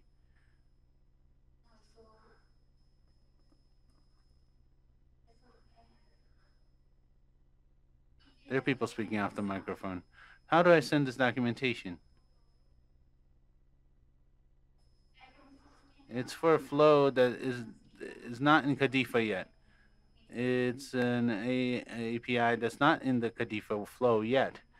We also went through that situation, so we can talk about that later and in, in another moment with GQ Med.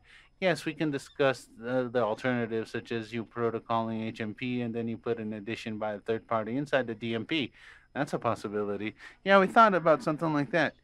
But the issue that we is that we wanted to implement this change. We wanted to receive the API in these new conditions, even without me having closed all the documentation because we shouldn't have that specific documentation. But I think that we can talk about that later. Yes, we can ensure that because it's a very specific case, the one that you mentioned, and that's what I would suggest. Maybe we could have the third party edition later. Just-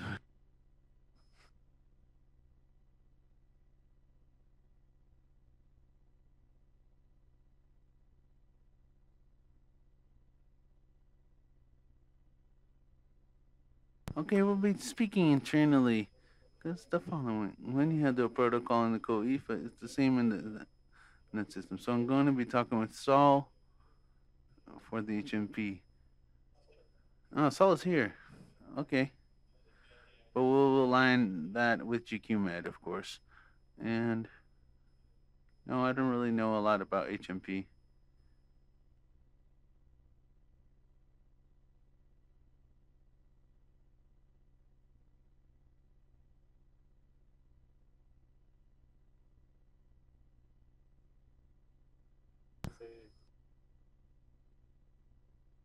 We inverted the program so he started before me because it was a more important part the more technical part that we rarely talk about. The administrative part is a little bit more well known, so I'm going to try and go a little bit faster.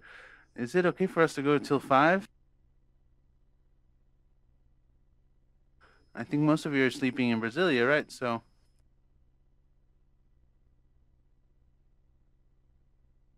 So I'm going to talk about analysis management, that issue that we talked about, external uh, management. I'm going to go quickly because we already discussed this. So CADIFA, when it comes in, it comes in as an external.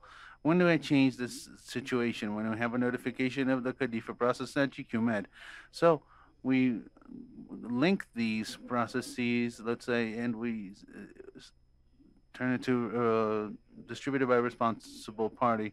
And then when we when it's uh, waiting for analysis, then we change it to awaiting analysis, and then it becomes a CADIFA after the analysis. This is already something that we already discussed.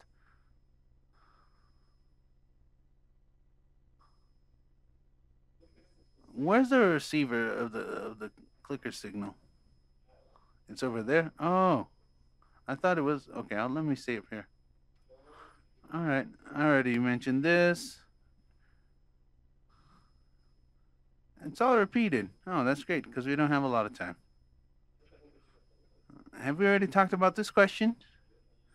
Okay, Marina, please read the question. We're going to have the collaboration of, of Marina. She's going to be reading the questions.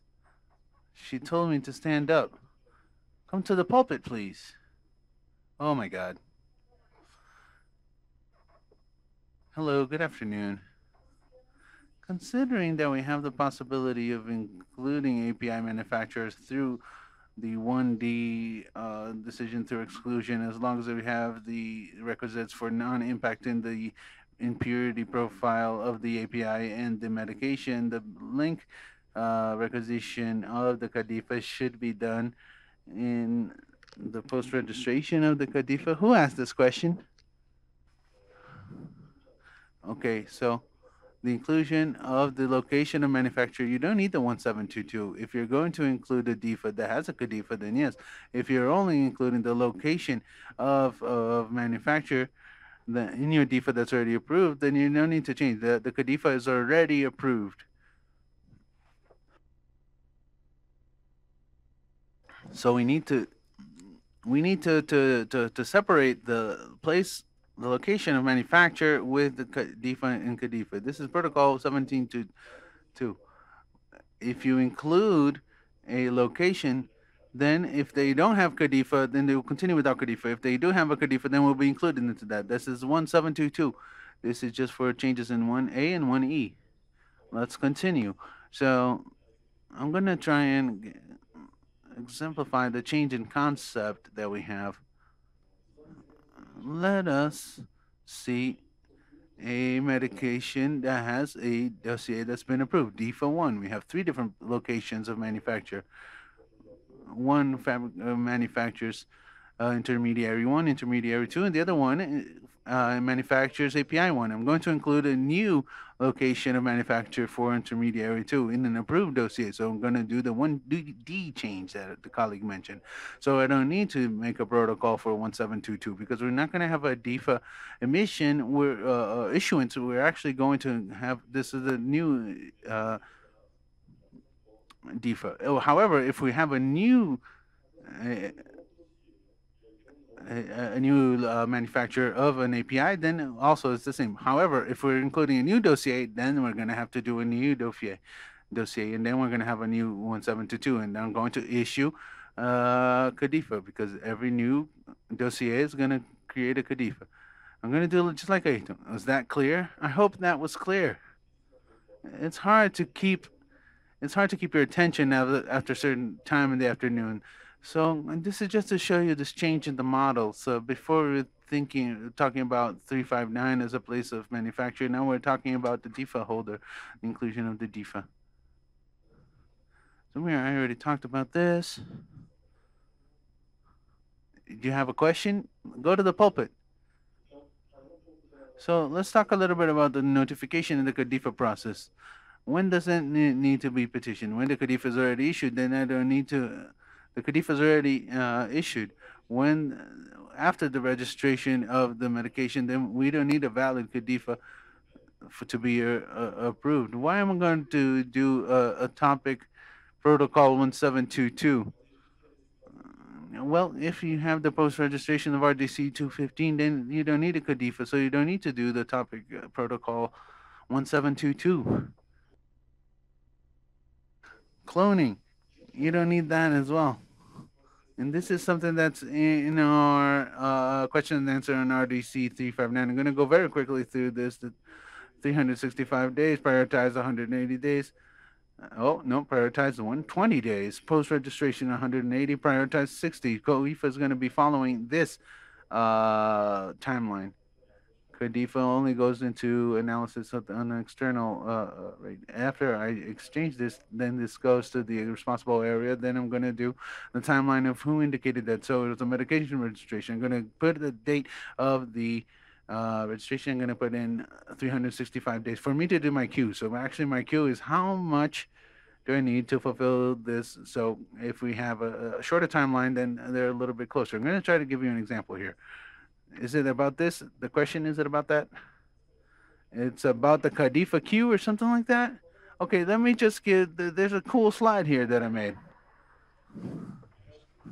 And then I think you might understand. Have we already talked about this, Andressa? Marina? Okay. I'm I'm gonna be a little more joyous. Yeah, I'm sounding bad. For conditional approvals, uh, the emission of CADIFAs is necessary. The issuance of a is necessary. However, we're verifying and monitoring that the issuance of CADIFA is taking longer than what is uh, uh, uh, assumed for a petition. In this way, should it be? No, this is already in the questions and answers for RDC 73. They already updated this. Marina, could you continue, please? This is the answer for the question that came. It's in, it's question 366 on question answer RDC 734, conditional approach under RDC. Then we'll,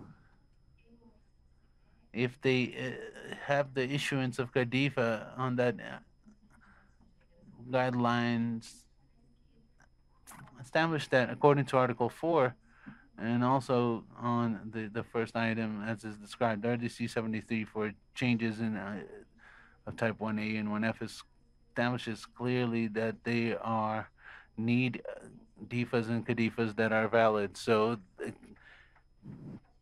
CBPF and the CADIFA go against what's going on in the first item of the fourth article.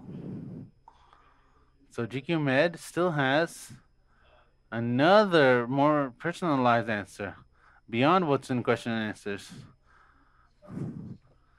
CADIFA is for issuances that have conditional foreseen in RDC 319 in the case that is of technical documentation foreseen in the list of instruction documentations in that topic code. That means that if CADIFA is demanded for instruction of a given petition, then its non-presentation makes the petition precarious and therefore it, they cannot use the conditional approval mechanisms as disciplined in that article for first item and therefore CADIFA is necessary for uh, conditional petitions and for post-registration in the case that they are needed in the instruction of the petition. If they are not demanded for that specific petition, then they won't delay the approval of that petition. That was a very long answer. Let's continue. Okay, you can ask your question. Well, actually, it's a little bit more of what you were saying before in the timeline for analysis. Actually, I just wanted to understand what the issue of the distribution of the processes is like. Why am I asking this question? Well, we have two different situations. I from Physioscopy and Tasia. I have a situation of one registration that was prioritized. The analysis of that registration was already concluded, but the CADIFA is still distributed to area. So the CADIFA still wasn't analyzed, but the registration was already evaluated a while now, and it was prioritized. And We also have situation of CADIFAs that were accepted way before the registration was accepted. We have a few processes in which the CADIFA was already uh, was already accepted when the registration wasn't. So I just wanted to understand how this actually works because if the registration was prioritized, technically we understood that the CADIFA would also be prioritized to actually be accepted. Yeah, that's the way it should happen.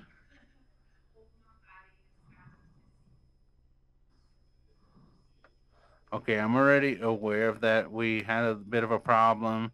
We uh, got delayed in the priority in advance in the regular one. We're talking to GQMed because we need to follow their instructions. Ronaldo, do you want to say something?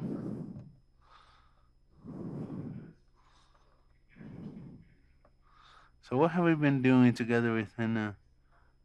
Distribution, as you know, is by trimesters. So in my distribution, I give that to henna. So they do theirs based on ours. And as you know, we implemented that in the last distribution. So we hope that very soon all of these unalignment problems are solved.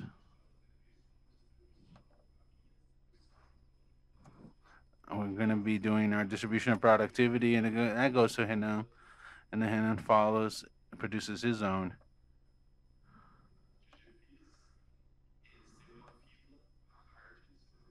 They have another uh, queue, and they've been talking to us lately to try and do a meeting so that we can discuss the mechanisms for prioritization what's the order they should follow. So very soon we should have an alignment in this sense.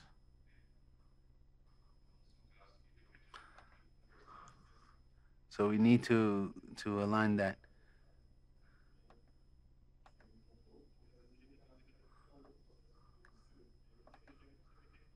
And then you can see that we're actually ahead, but we were following another process really. Still about that, right? All my questions related to conditional. We went through transition both as the, the, regulated sector and through you, and we received some guidance that were supposed that conditional would be applicable for API manufacturer, and some companies received the publication of the condition while the CADIFA still wasn't issued. And now, in the question and answers, we have a new guidance. So our question is, how do we do this from now on? Okay, so in these cases, in which the company received the conditional approach without CADIFA having been approved, uh, as you were saying that, I was thinking about, I was thinking about that and thinking, okay, that was a mistake. Now we're doing it right, okay? So what went through my mind was, oh, we made a mistake. So that shouldn't have been approved. So these sort of 1A petitions, the inclusion of a new API without a CADIFA. Oh, I wanted to have a conditional approach. How could I have an approach or how can I have an approval if the soul of it isn't approved? So that would be a very precarious uh, approval. So we see all of those changes as a precarious document. So while the CADIFA inside it, because the information is inside it without approval, then there's no value there, is there? So at the moment when it's approved, then we'll do that. This is my COIFA. Oh, it's always analyzing the CADIFAs. Was that in January? No, that was recent, right? Oh, okay. They they were in protocol starting in January. But if you want to give us a list, then we can solve that, I'm sure. Just send us a list. I think I need it. I didn't want to say that, but.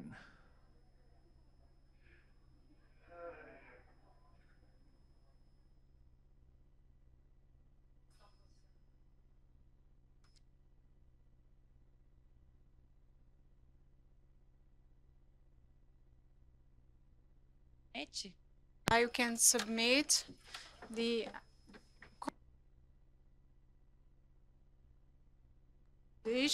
to 219 qualifies the petition to be approved conditionally.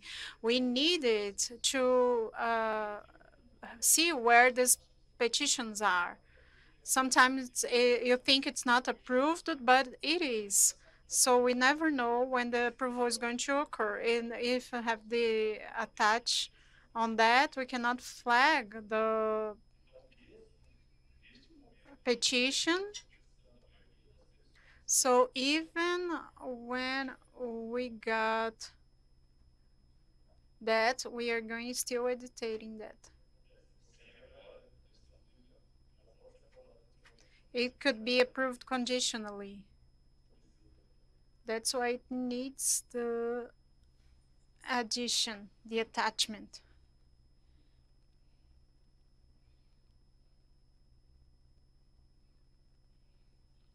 I'm Vanessa from Glaxo. Uh, regarding the conditional to make the deadlines be uh, to happen. So that's being done, the petition. A different analysis in the traditional approval because sometimes they're uh, penalized because the it's not viable to accomplish regarding the necessity. Let me explain something. Can you go back to other slide? We need to clarify an issue which is the 219 the 19 do not, does not apply to this case. So to join that, they, they are not penalized. On the uh, Article 4, they would be instructed with all the documents. So one of that is the CADIF. Why in this case they are obligated to make the attachment?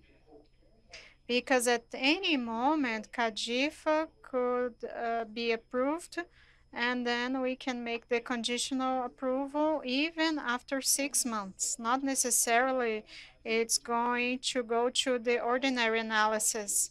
Maybe nine months it could be approved with the additional the attachment.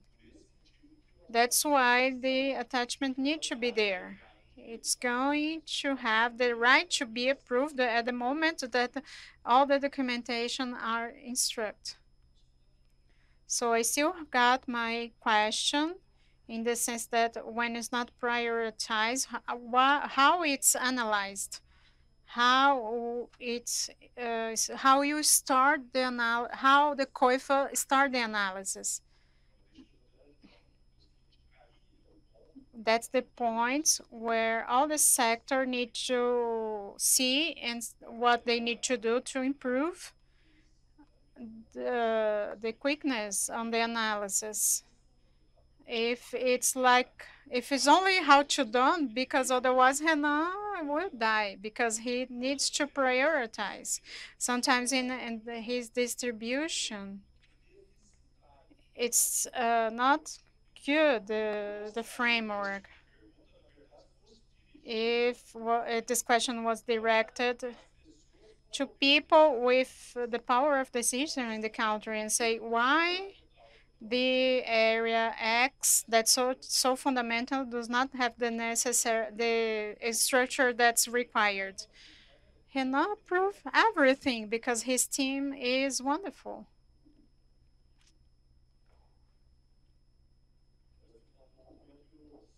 I'm going to explain how I work, how I dance the song. Are you going to talk anything about reliance?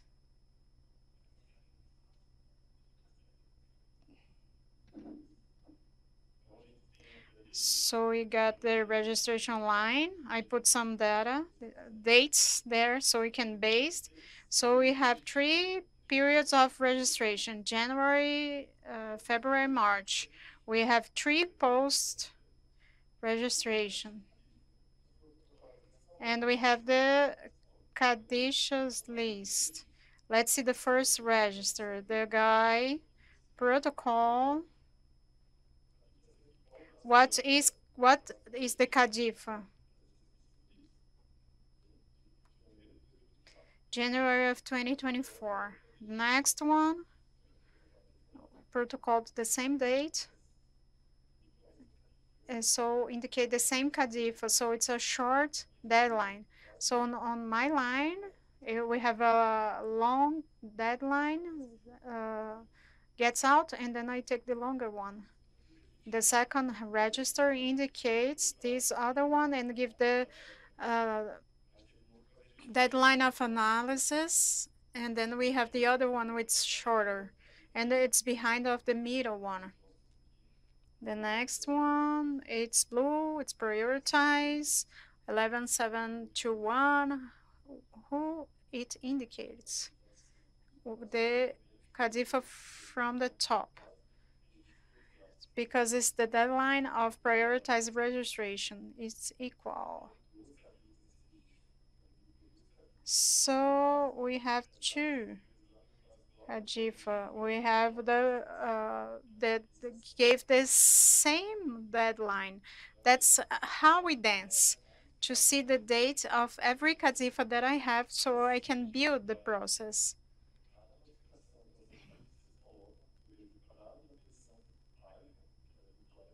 I can see the deadline of the main one and then I give the deadline. And then I, I build my line because CADIFA is each one, each one is one. So depends on the deadline. Did you understand?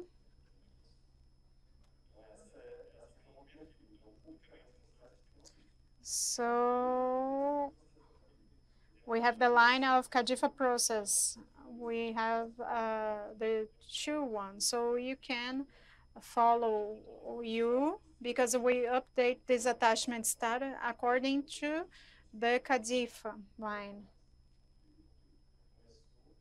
So when it starts, that's are the states that I work with. Andressa, can uh, did you talk about that? Naive?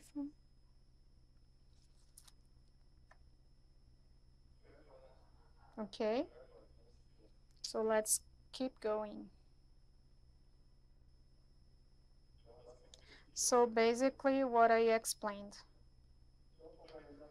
So the analysis following, uh, you can consider that. We have CADIFA handbook so you can uh, see that uh, we have English and Portuguese. So enter in the website. That's the fields that you need to fill in. So you can see your process state. So you can follow up on this website. The administrative documents, the dossier of uh, APIs,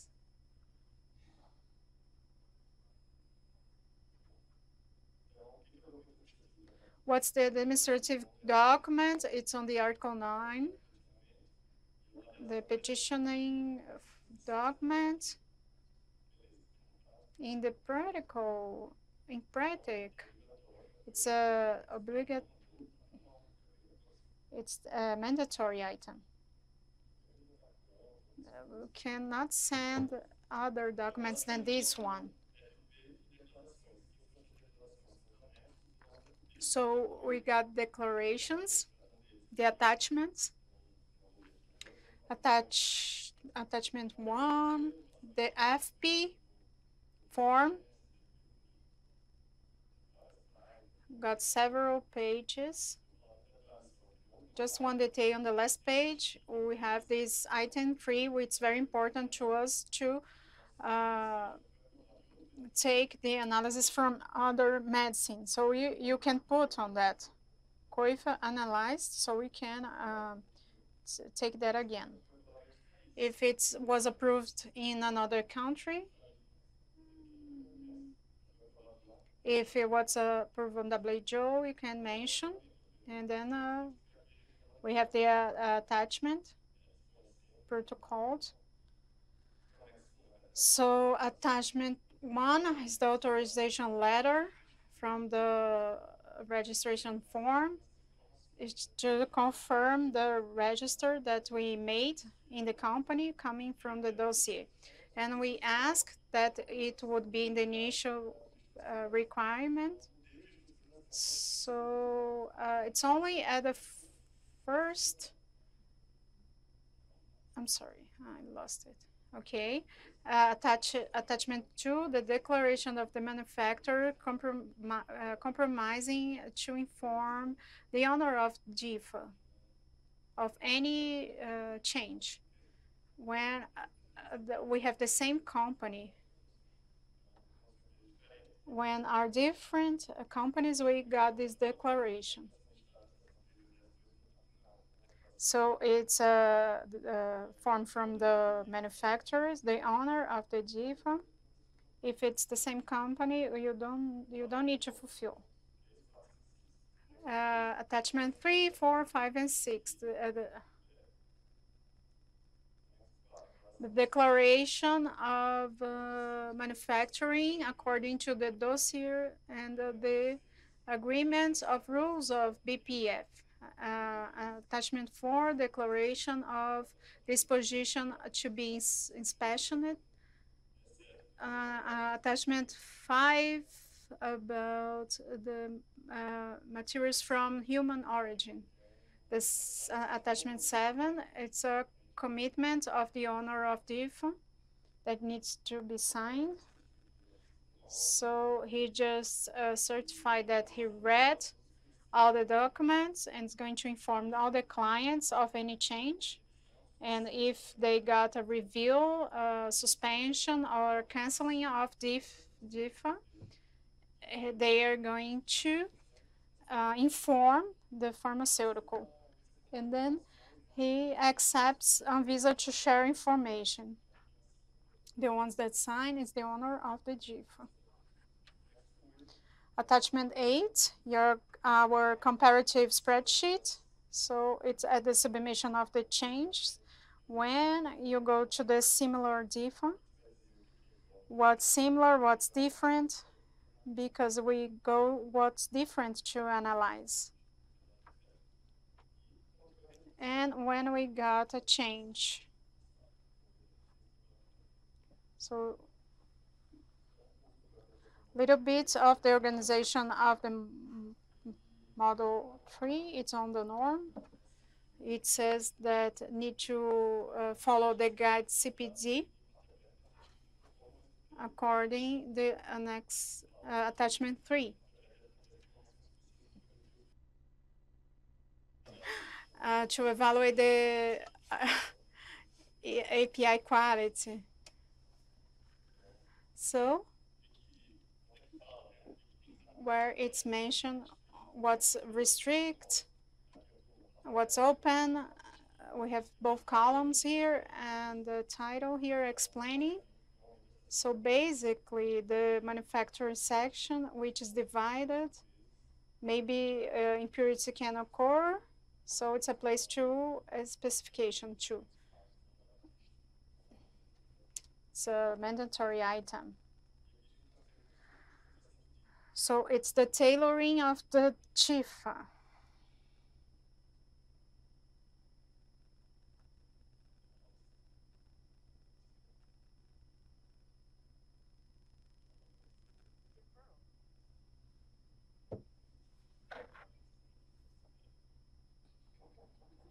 Maybe I can have a different answer.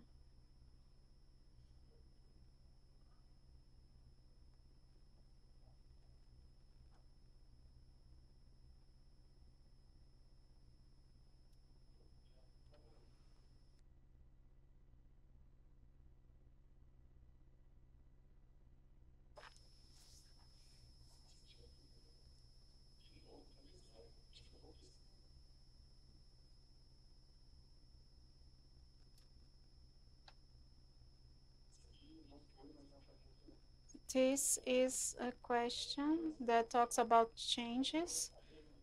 Marina is going to read. According to Article 68 of the Norm 359, the number and the date of DIFA needs to have the owner of the DIFA data and the place of manufacturing, the description of the package, conditioning, and the ex expiration. So we can consider that any change on the quality or administrative impl implicates on the need of a new request of CADIFA or it will be just reviewed. In case of necessity of a new request, it will uh, be on a priority line. You can protocol a change. CADIFA has a circle of life. You don't need to uh, register a new one. So any change, we can review it.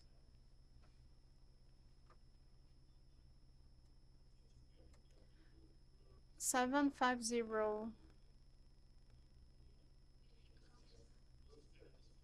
All those questions the association sent to us uh, previously, so we can uh, give the answers on this presentation. Thank you co for collaborating.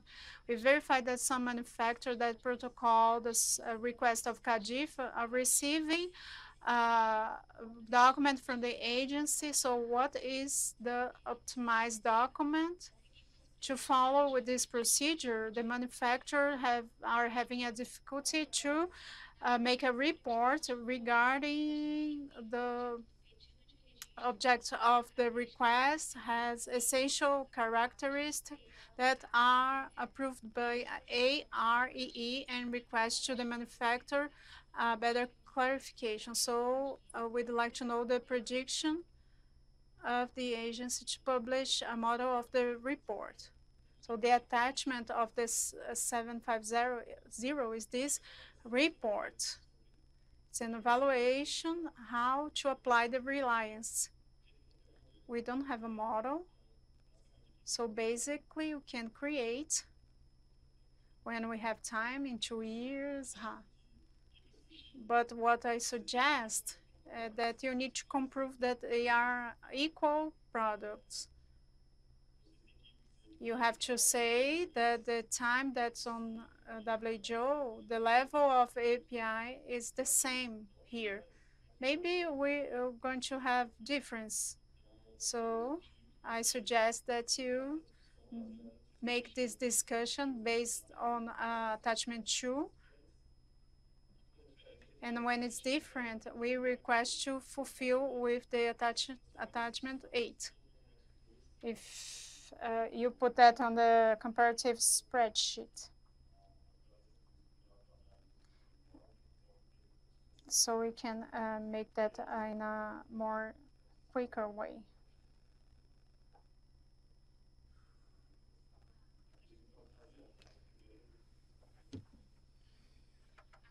Currently, the COIFA is uh, issuing documents about the optimized procedure and use the analysis conducted by AR EE according to the norm for uh, AFIs that uh, have CADIFA request. That's why we got, I have some questions. Some cases, the request of CADIFA of a specific item had the approval from CODIFA and this information was reported in the petition uh, form, approved and approved in another agencies. So I have this following questions. Why it's not using the approval uh, of OS 58? So we are going to take the one that's under OS 58 what happens that we demands the fulfillment of all the uh, normatives. We have to request to the owner of the DIFA, or you can articulate that with them. So it's uh, uh, one more administrative work, or you can compare the dossier. It's a huge work. So we go through the norm uh, 750 and the ones that submit that is easier. Some cases, the emission of DIFA, I understand that's a cooperative document. Example, attachment 8 would be collaborative to uh, don't leave any doubt.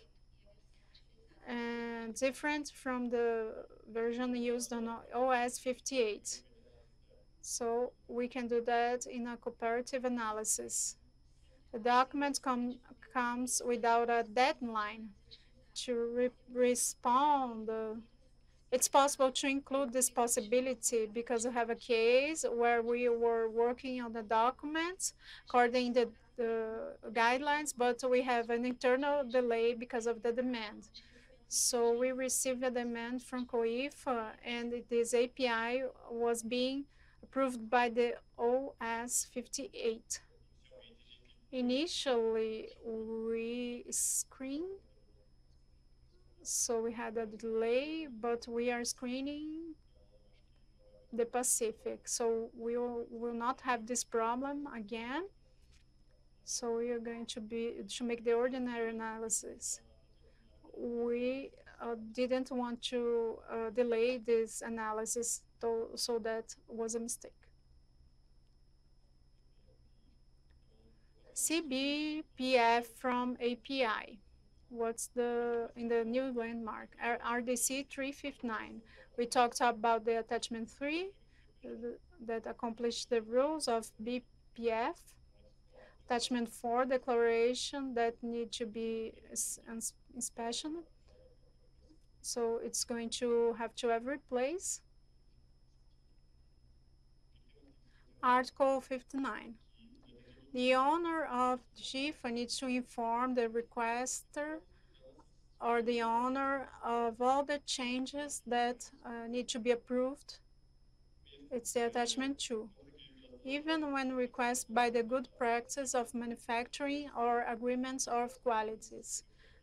It's not only the change that I need to uh, protocol on the agents, any change needed to be informed.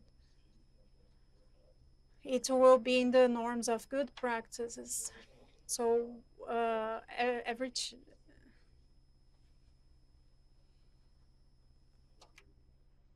Oh, it was about reliance. I'm sorry.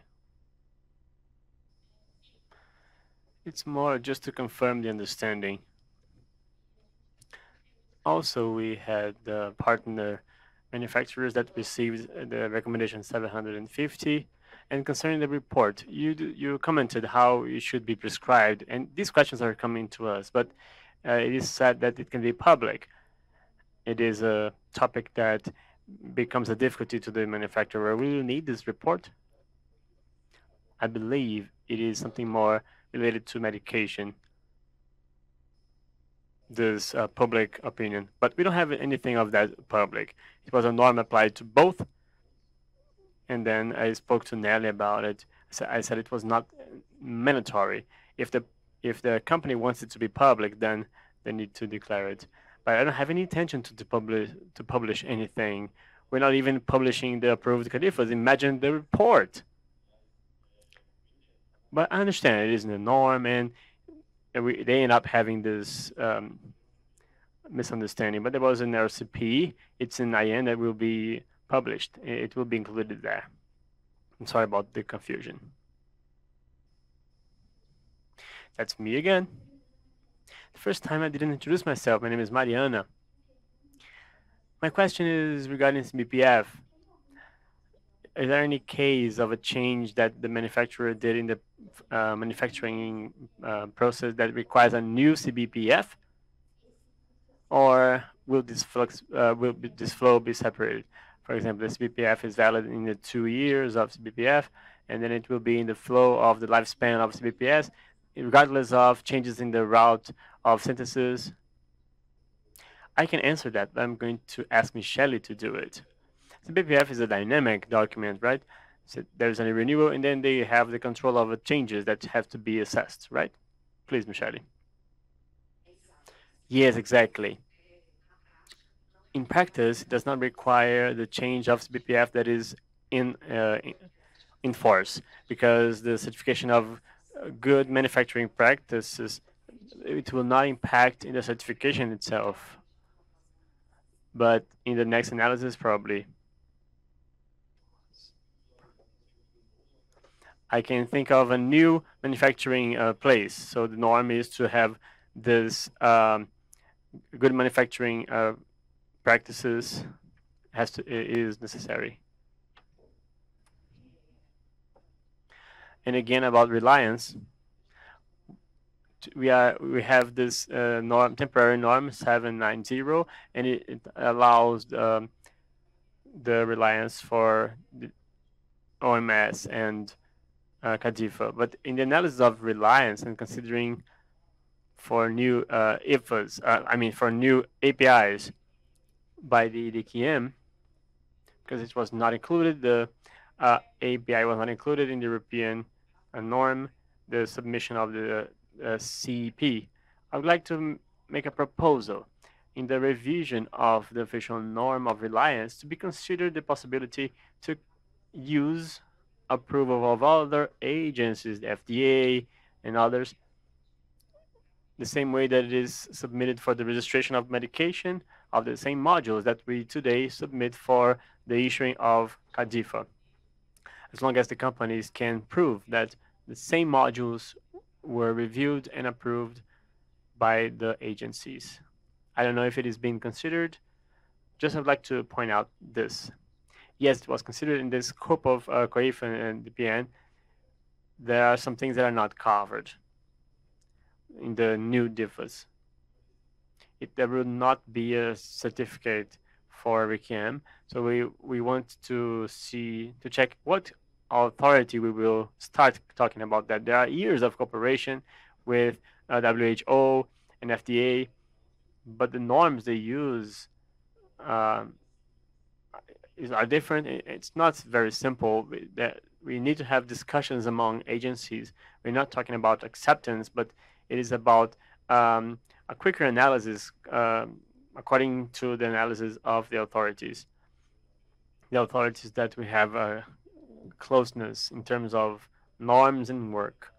We're going to consider other agencies, and well, it is going to be covered. And if you want to suggest a, an agency that you usually work, as far as I know, none of them has issued a report analysis for API or a separate submission, a separate analysis, or or um, a letter of adequacy. So we need to think of this, uh, this use. It will facilitate the work. So we need to start the talk with FDA, Health Canada, to speak to them to understand how they work. I don't know what how they work. I know what what is public for us, but I don't know the detail. But we want to have this alignment with some of them my team is here. It's only five people, and we need to analyze the CADIFA. So it's one by one. If you have any suggestion, because they have their own regulatory um, trust among them, and maybe they have another uh, some some procedure. So you could give us the hint.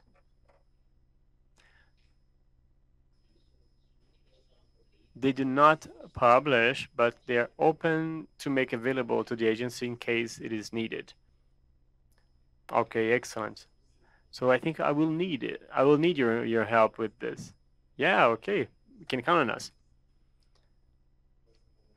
So you can talk to the associations. We are interested in that.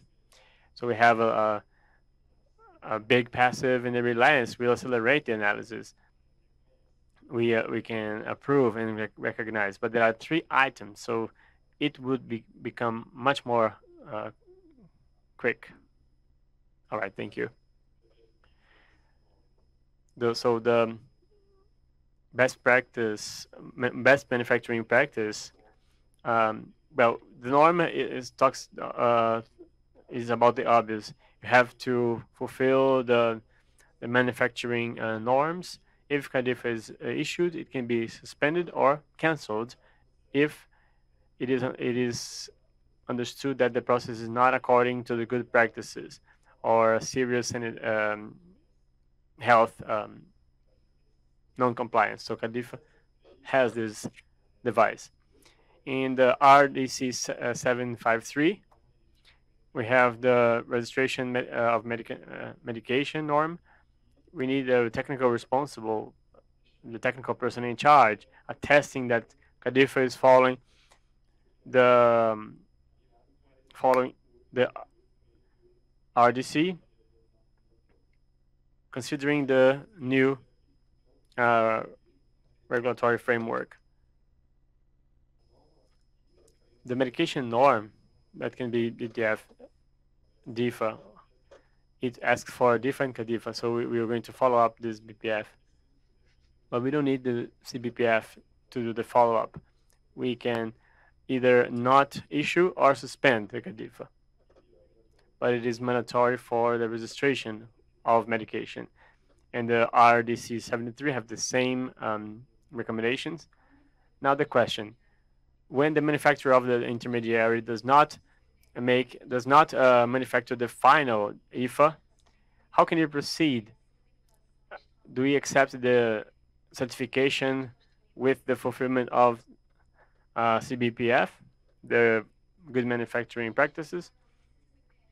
It is justifiable the absence of the good, good manufacturing practice uh, certificate for for each place of the, the material of the end I mean, the starting and intermediate uh, material, this absence is justifiable.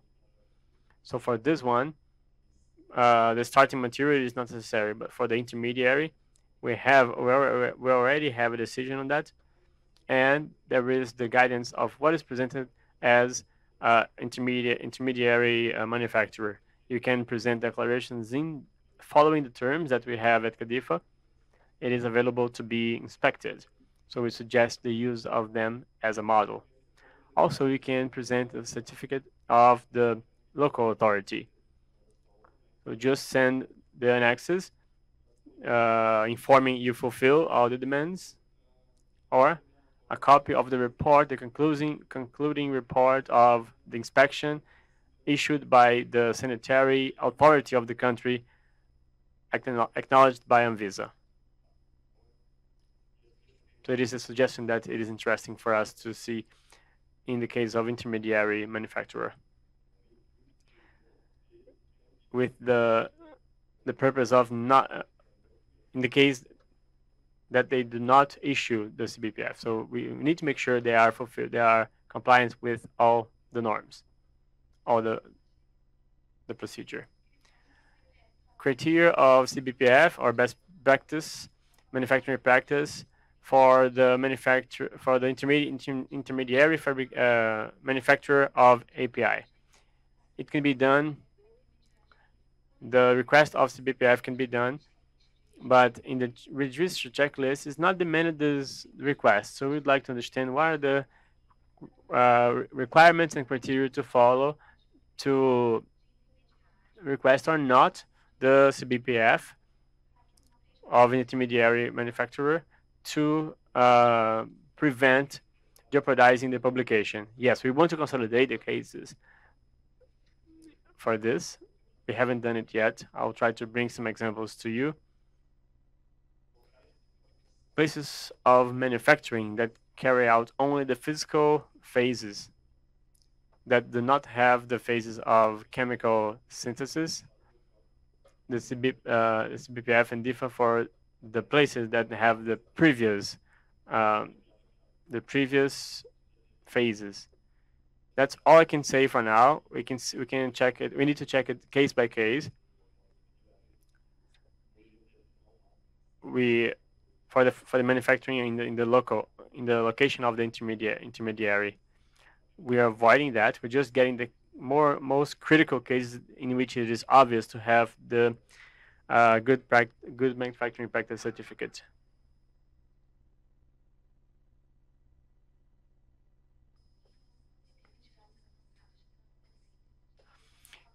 Concerning the synthesis uh, route of API, uh, an ingredient coming from the chemical industry that still has to go through chemical uh, state, uh, steps and also to be commercialized as a um, API that is that goes through a simplified transformation.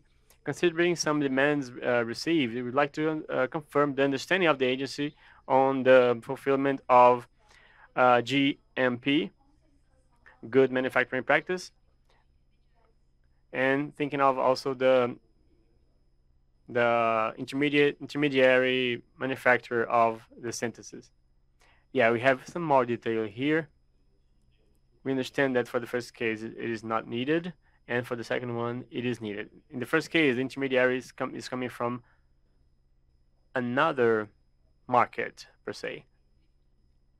It's from the chemical industry. And this one, in the second case, the intermediary is also an API manufacturer.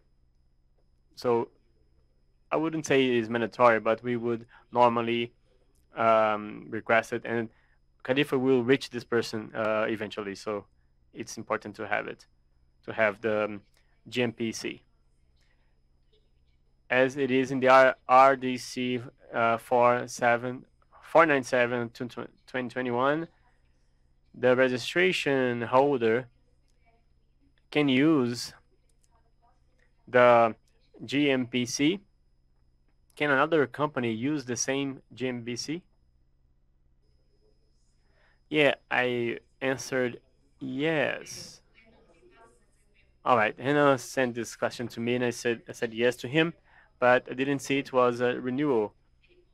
He can use it, so it is only up to that part. So it's a different uh, people requesting. So you need to, you cannot have a, re a request for renewal from another company. Yes, um, this is his fault because he, he didn't, he didn't send that that question appropriately. I'm just kidding. But it can be done if the certificate is valid. If the first re requesting uh, entity doesn't know for sure, they need to ha to have a new request, a new request. Yes, I forgot to write no here. The answer is no. It's probably it will not indicate new inspection. It, it's going to be a document analysis. So you can request everything that can facilitate the analysis. People, this is Michelle. She's the coordinator of COIFA. I forgot to introduce her to you. I think you all know her, right? Marina, intermediate, uh, intermediary manufacturer um, GMPC. Considering the analysis uh, below, uh, it's a company of the same economic group with a different uh, place.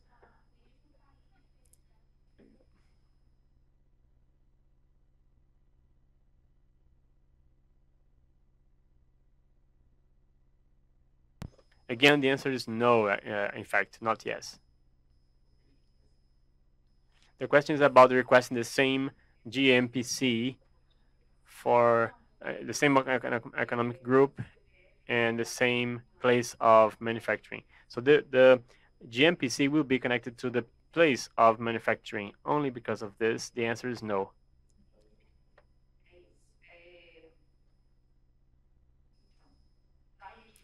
It will require a new analysis. And there will be a risk analysis in this case, we may require inspection or not. In this case, we need to evaluate. Doesn't mean that the second one will have an on-site inspection. You can just do the risk analysis. Yeah, maybe. We're working in possible changes in our procedure to encompass, increasingly encompass certification uh, in these cases.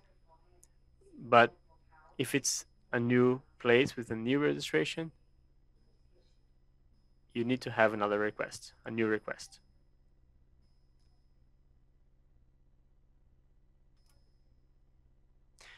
Interpreting service apologizes the person is not using the microphone. It is the same manufacturing place, but the buildings are different. In that case, you could include the API. The yes was only for this. So it was it's yes, no, and no. Yes, that's right. If it's the same manufacturing place and only the, the building is different, it is considered to be the same. So the answer is yes. However, there it's it's done case by case. Sometimes we get an analysis, and with the uh, requesting uh, manufacturer, we separate this registration. There are situations in a visit with different uh, registrations with different address, but uh, they have different buildings.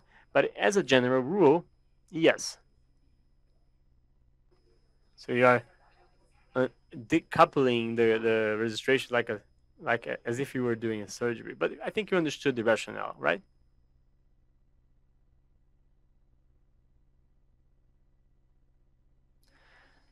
The possibility of CADIF and GMPC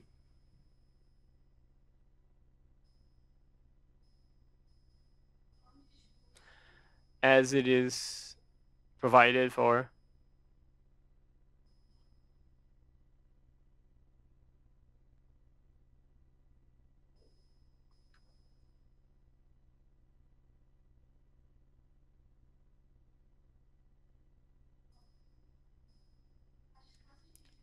for the DIFA cases without CADIFA, when there is a change in the specification of method of, API, should we only follow the, uh, the requirements of the framework 2 of the RDC 73? We have a specification of API, a specification of the holder of DIFA. If, for DIFA and CADIFA, it will follow the change.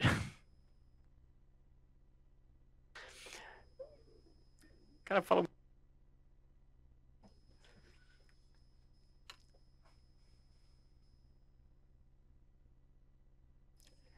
for DIFA without CADIFA in the cases of pharmacopoeia, it is used the previous specification. What would be the the framework to be followed? It is the same answer, but we are not aligned, I would say.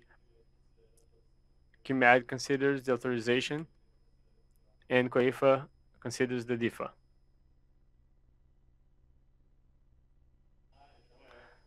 Oh, okay. In that case, protocol. The change of DIFA without CADIFA, 1B, 1A, and the medication holder changing.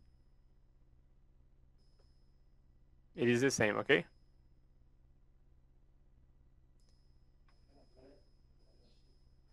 I'm André from Aché. Uh, still about the specification, I know the norm has a limitation, but do you have any idea of when you review to improve the point? The important point, in my opinion, is the 4.2 of the specification. The 4.3 indicates the uh, pharmacology uh, specification. If there's an update of test, that would be a change of test and import material to improve this specific point. We want to do this alignment of understanding. It's a different point involving specification. So it is in the radar. If you ask us to move faster, we will do it, but it is in our schedule there are some changes to be done. I will present it in the in, during the challenges. If we do not generate demand, many things will be ahead of us.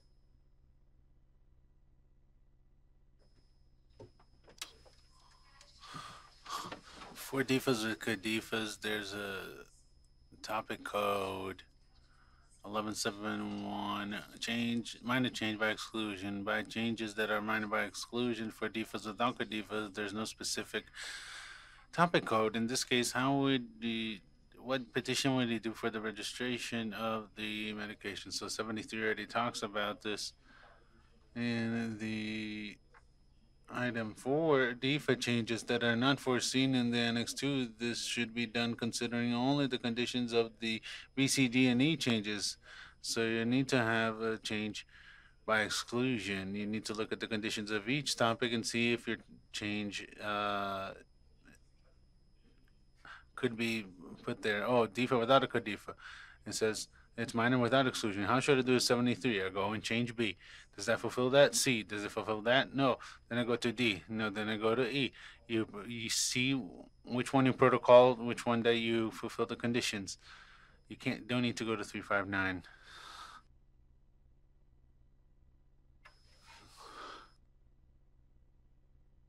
Sorry, we wanted to hear your voice, but let's do it for another question. There are cases, uh, we already did this. Yeah, we already talked about this. Because up here, my reading is uh, compromised. In the case of that one's already. I don't already talked about a lot of these. What about this one?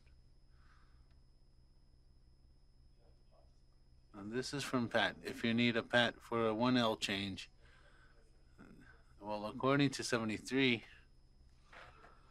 you can read Marine. I'm sorry. According to 73 and change 1, connection of CADIFA is an immediate implementation requires an individual protocol considering the requirement that we need to send to Anvisa after the post registry and has the objective of evaluating changes and clearing up the need for PAT in case of the regulation for CADIFA in case there are no changes between the condition that is registered in the CADIFA.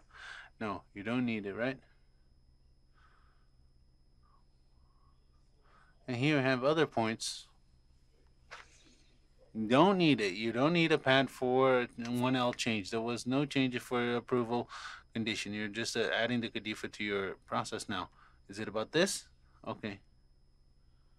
There's a question.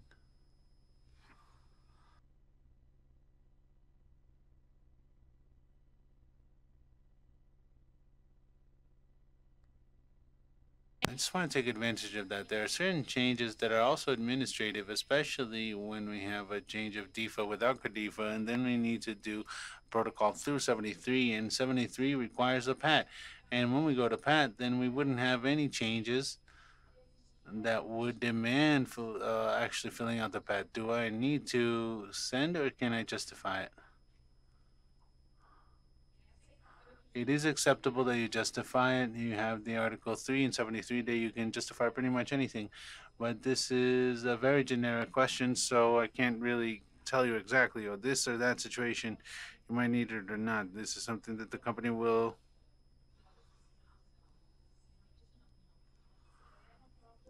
usually you don't need it. Even the question is 73, you have various changes that we already say that you don't need it. Uh, yeah, exactly. This is a very clear case where you're not going to have any real changes.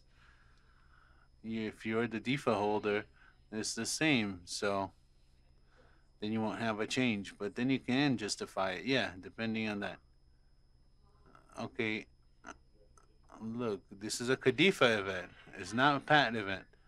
I'm just going to add to my question because in PAT we have information from the medication, the technical uh, documentation of the medication, just like we are talking about the specification conditions of, like I mentioned, when we have a specification change just in the API, we're going to change in uh, changes one, and that wouldn't actually change anything in uh, as far as the medication. So we would just do a change in uh, Annex 1, Item 1, 73. But is the manufacturer of the medication changing? No, not necessarily. Oh, in that case, that's just a 1. And I'm not talking about the specification of the medication, the manufacturer of the medication. No, just the specification of the API. By the uh, manufacturer of the medication? No, by the DIFA holder. Because if this goes into the specification of the medication, uh, then we go into Annex 2 or another annexes of 73 of the API as well. By if it's done by the manufacturer of the medication, then I would go through item 2 and by the other ones in 73 and then that would require uh, filling out the pacha, but not in changes in item one, which are exclusively about the APIs. It might be that item one also require PAT. It will depend on the situation. It's because in thesis, I wouldn't have any changes in my medication, just in my API. Okay, then let's go back. I don't know if this is very clear. The manufacturer of the API is going to be doing the type 1 change. the manufacturer of the medication is going to be doing a change in their API. They're going to be doing the control. There's a type 2 change. Well, in this case, if we're doing a change of DIFA without CADIFA, I the uh, the manufacturer of the medication and requisition might changes through the the uh, manufacturer of the API, but that also has specific PAT also has specifications of the API and general discussions. So I can't just tell you that it cha- all changes in type one will not involve a PAT. Okay, I can't give you that general answer in that case, that type 1L change, that yes, but it will depend on the case. All right, thank you. Question, Marina? Anvisa suggests that a company from the same economic group that is hosted in Brazil be responsible for the distribution of CADIFA and a representation between both companies, the international group and those that are hosted in Brazil. No, you don't need them. Many manufacturers report that they have a difficulty in seeing their mailbox in the system, seeing that they don't have the customer verifying them frequently. Is there a possibility for the system to send an email automatically when there's a demand in the in the mailbox? No. I would want that, but it's that's not under my domain. Is there a forecast of building a database with APIs and manufacturers that have CADIFAs approved? Yes, we do want to publish that we know that EDQM has them, so something sort of in the same uh, uh, mold, but we need to discuss this anyway. It's a very complicated theme. What has been the what is the timeline considered for the consideration of analysis for the um, API manufacturers? Before they had said that it was five uh, work days, but we've been seeing that that has not been fulfilled. Yes, we're trying to do that, but in some moments the system is uh, is off the air, someone is in vacations. It's not an activity that COIFA should have, but we're we're doing this with as much zeal as possible and trying to keep our timelines. And I'd like to congratulate the people who work in that area. And in the future, we should have an evolution of the system so that we can avoid that registration. I think that we'll have a meeting next week, and it might be that we improve this scenario. The creation of DHN for the manufacture of API is currently created by email without creating any tracking number, protocol number, process number. Is there the possibility of creating some sort of tracking number so that the manufacturing company of the medication can see what's going on in Anvisa and can help in any uh, added demands as done by the agency for the API manufacturer since it's a new procedure. The API manufacturers have been reporting many doubts. Of course, we're going to try and but no, but the answer is we're going to try and do an evolution of the system soon. We're working with that goal in mind. It's not an activity that I wanted to have at COIFA, but we're not going to invest a lot in the system for that. We're going to wait for Anvisa to do this, allow the international companies are able to access and, and do the registration. That's the perspective I have to present here today. So that's it. Thank you very much. What's our time like? If you want to stay, you can stay. We have a final presentation. It's about the challenges that we have ahead of us. So you can, if you can change the presentation now so that we can win some time.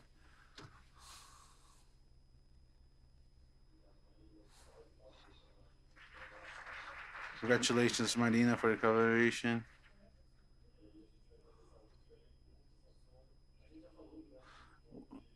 You already talked about the challenges throughout the day. This is just to consolidate this a little more.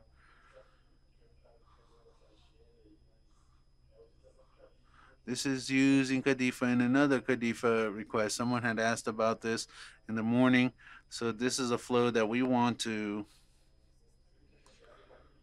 when your intermediary is an IFA and has CADIFA, they're going to they're intermediated by another API, they will get another CADIFA, but you don't need to submit all the intermediary. Of course, we're going to be inspired by the QM uh, flow that already exists, but we're going to adapt it to our own needs. So maybe we'll have a change in the 359 or 9M to uh, encompass this. So we have this nice little slide. And let's say you have uh, API C through intermediaries A and B, but then you also through API C, you produce API uh, D, and then APIs for API D and DIFA C, then the API can become an intermediary. And this is sort of what happens for a few molecules. Loratadine, and then the manufacturers can use loratadine and then uh, another acid. We have scenarios like this for some molecules. So I just like to remember that the starting material is the same for everyone. That doesn't mean that I start from this and that is my starting material. No, it's an intermediary for this one. The starting material A, starting material B, and then API B, C. Why do we have this more established? Well, we want the holder of this DIFA to do, do the notification of the process of the CADIFA to indicate this CADIFA as a part of the analysis of this other CADIFA if we didn't emit the CADIFA for uh, DIFA C, since we have an API that has a DIFA and a CADIFA, then this is going to be a part of the analysis. They say that this CADIFA should already have been uh, issued. We're not working with this scenario because we're beginning and we have very few CADIFAs, so we're going to analyze both of them together. So we're gonna ask for similar uh, registration than what we asked. So the holder of, of API D or DIFA D has to present a letter from DIFA C uh, authorizing DIFA C as a part of the analysis of, of DIFA D. This is the text from uh, from RDC 73, but it's very bad. Uh, but it's what I'm using. When there's a restriction of confidentiality between the holders of DIFA D and C, then the DIFA D needs a declaration that using the open part of DIFA C. And we're gonna, the holder of DIFA D has to say DIFA C is my intermediary or my starting material because it'll guide the documentation that they will present and that we will evaluate.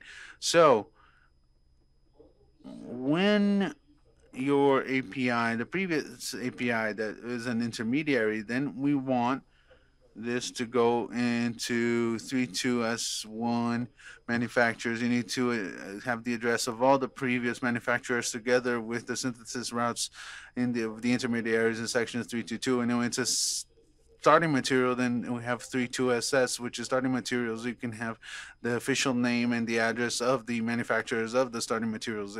If they're intermediary, they're in 22 or 21, and if they're start, uh, starting materials, they're in the 32. In CADIFA, when it's an intermediary, this location will be in CADIFA because it is a intermediary manufactured. But if it's a starting material, then it's not a CADIFA because we don't have starting materials in CADIFAs. It's a little weird, but that's what we're working with. That's a challenge.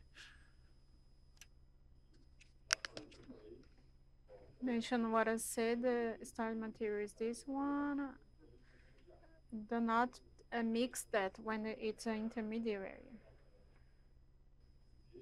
So let's define the starting material according to the guidelines. This change that I just mentioned is something that's on the radar to promote this change that has these pharmacopoeial uh, alterations we are still we are going to work with a change by uh, annual notification. It's a question about that.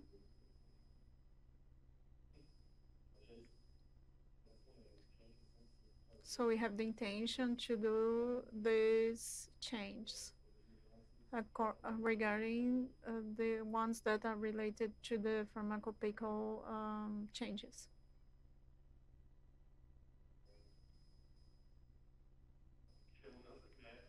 The change of method because of the update is regulated by the uh, 359. we have a problem with the uh, the DIFA that's not updated so we have a scenario that I brought here, the assets by year from the submission year. So we have one from, we have some from 2020 that's not updated. The first bar is 50, so we maybe have 20 here from 2022, got over 100 and the current year 250. So at some moment we are going to need to work with deadline because the documentation is not updated and it's not good to analyze. So I fight for my technicians. Here in orange, the one that are distributed to the responsible area, we got some things from 2021 that's still in the line. And here the waiting for analysis. Same way, just to show that we have old processes on our line. The change of model, let's erase the place of manufacturing. So now it's the owner of the diff.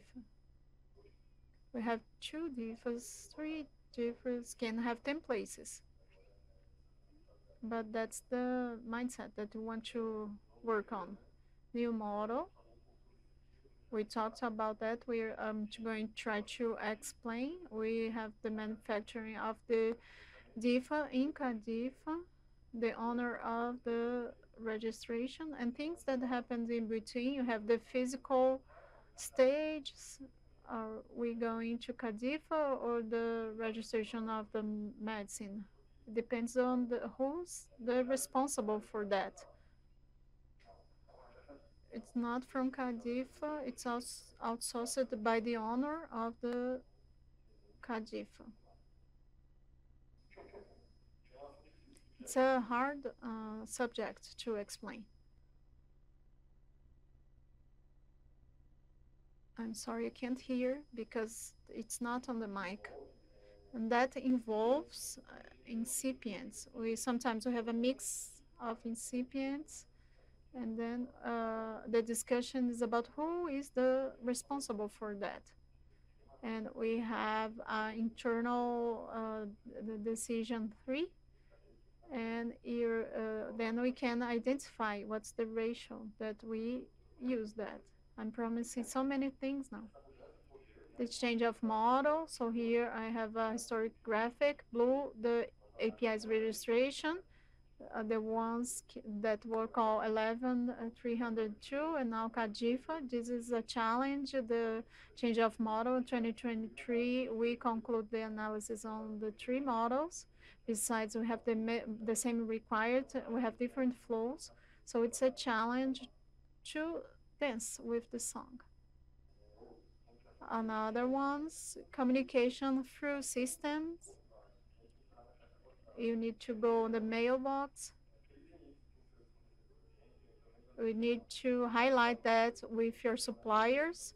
Sometimes they take two months to read the documents, so please help me that they read the documents because I don't want to send emails and I don't have time to do that. And this lack of communication is a challenge. So we ask for collaboration. We are in direct contact. We take the material that we make and uh, follow it. system migration and all the CADIFA inspection is in, are on the system. So we need to review all the CADIFA handbook to have the internal and external alliance relicense WJO. We are learning 750. It's like a pil pilot. It's a temporary norm. It's something that we talk. Remember uh, the subject about start point, start material. Uh, my answer was, let's see when this CAP was analyzed uh, CAP is not a bad material, but it had a, we can't have a big registration which is recent. So let's not have prejudice with the old CAP. And implementation of the cycle of life of the CADIFA. We know that's coming. Every time that we approve more CADIFA, we are talking about changes we know register and post register and we have a lot of things so we got this expectation to uh, have more I will have more work on me. And the interesting manifestation, we don't have perspective to, to analyze. Thank you to you all for your presence, collaboration, questions. I'd like to thank Giacomelli, Coins, the directory, all the COIFA team, the trainees, and all of you. It's an internal joke. All of you, because you send your question, I hope that it was fruitful. It's an effort for us to make uh, this kind of event. We uh, want to make that uh, each. So we're going to open, uh, I call Ronaldo to close. Thank you very much.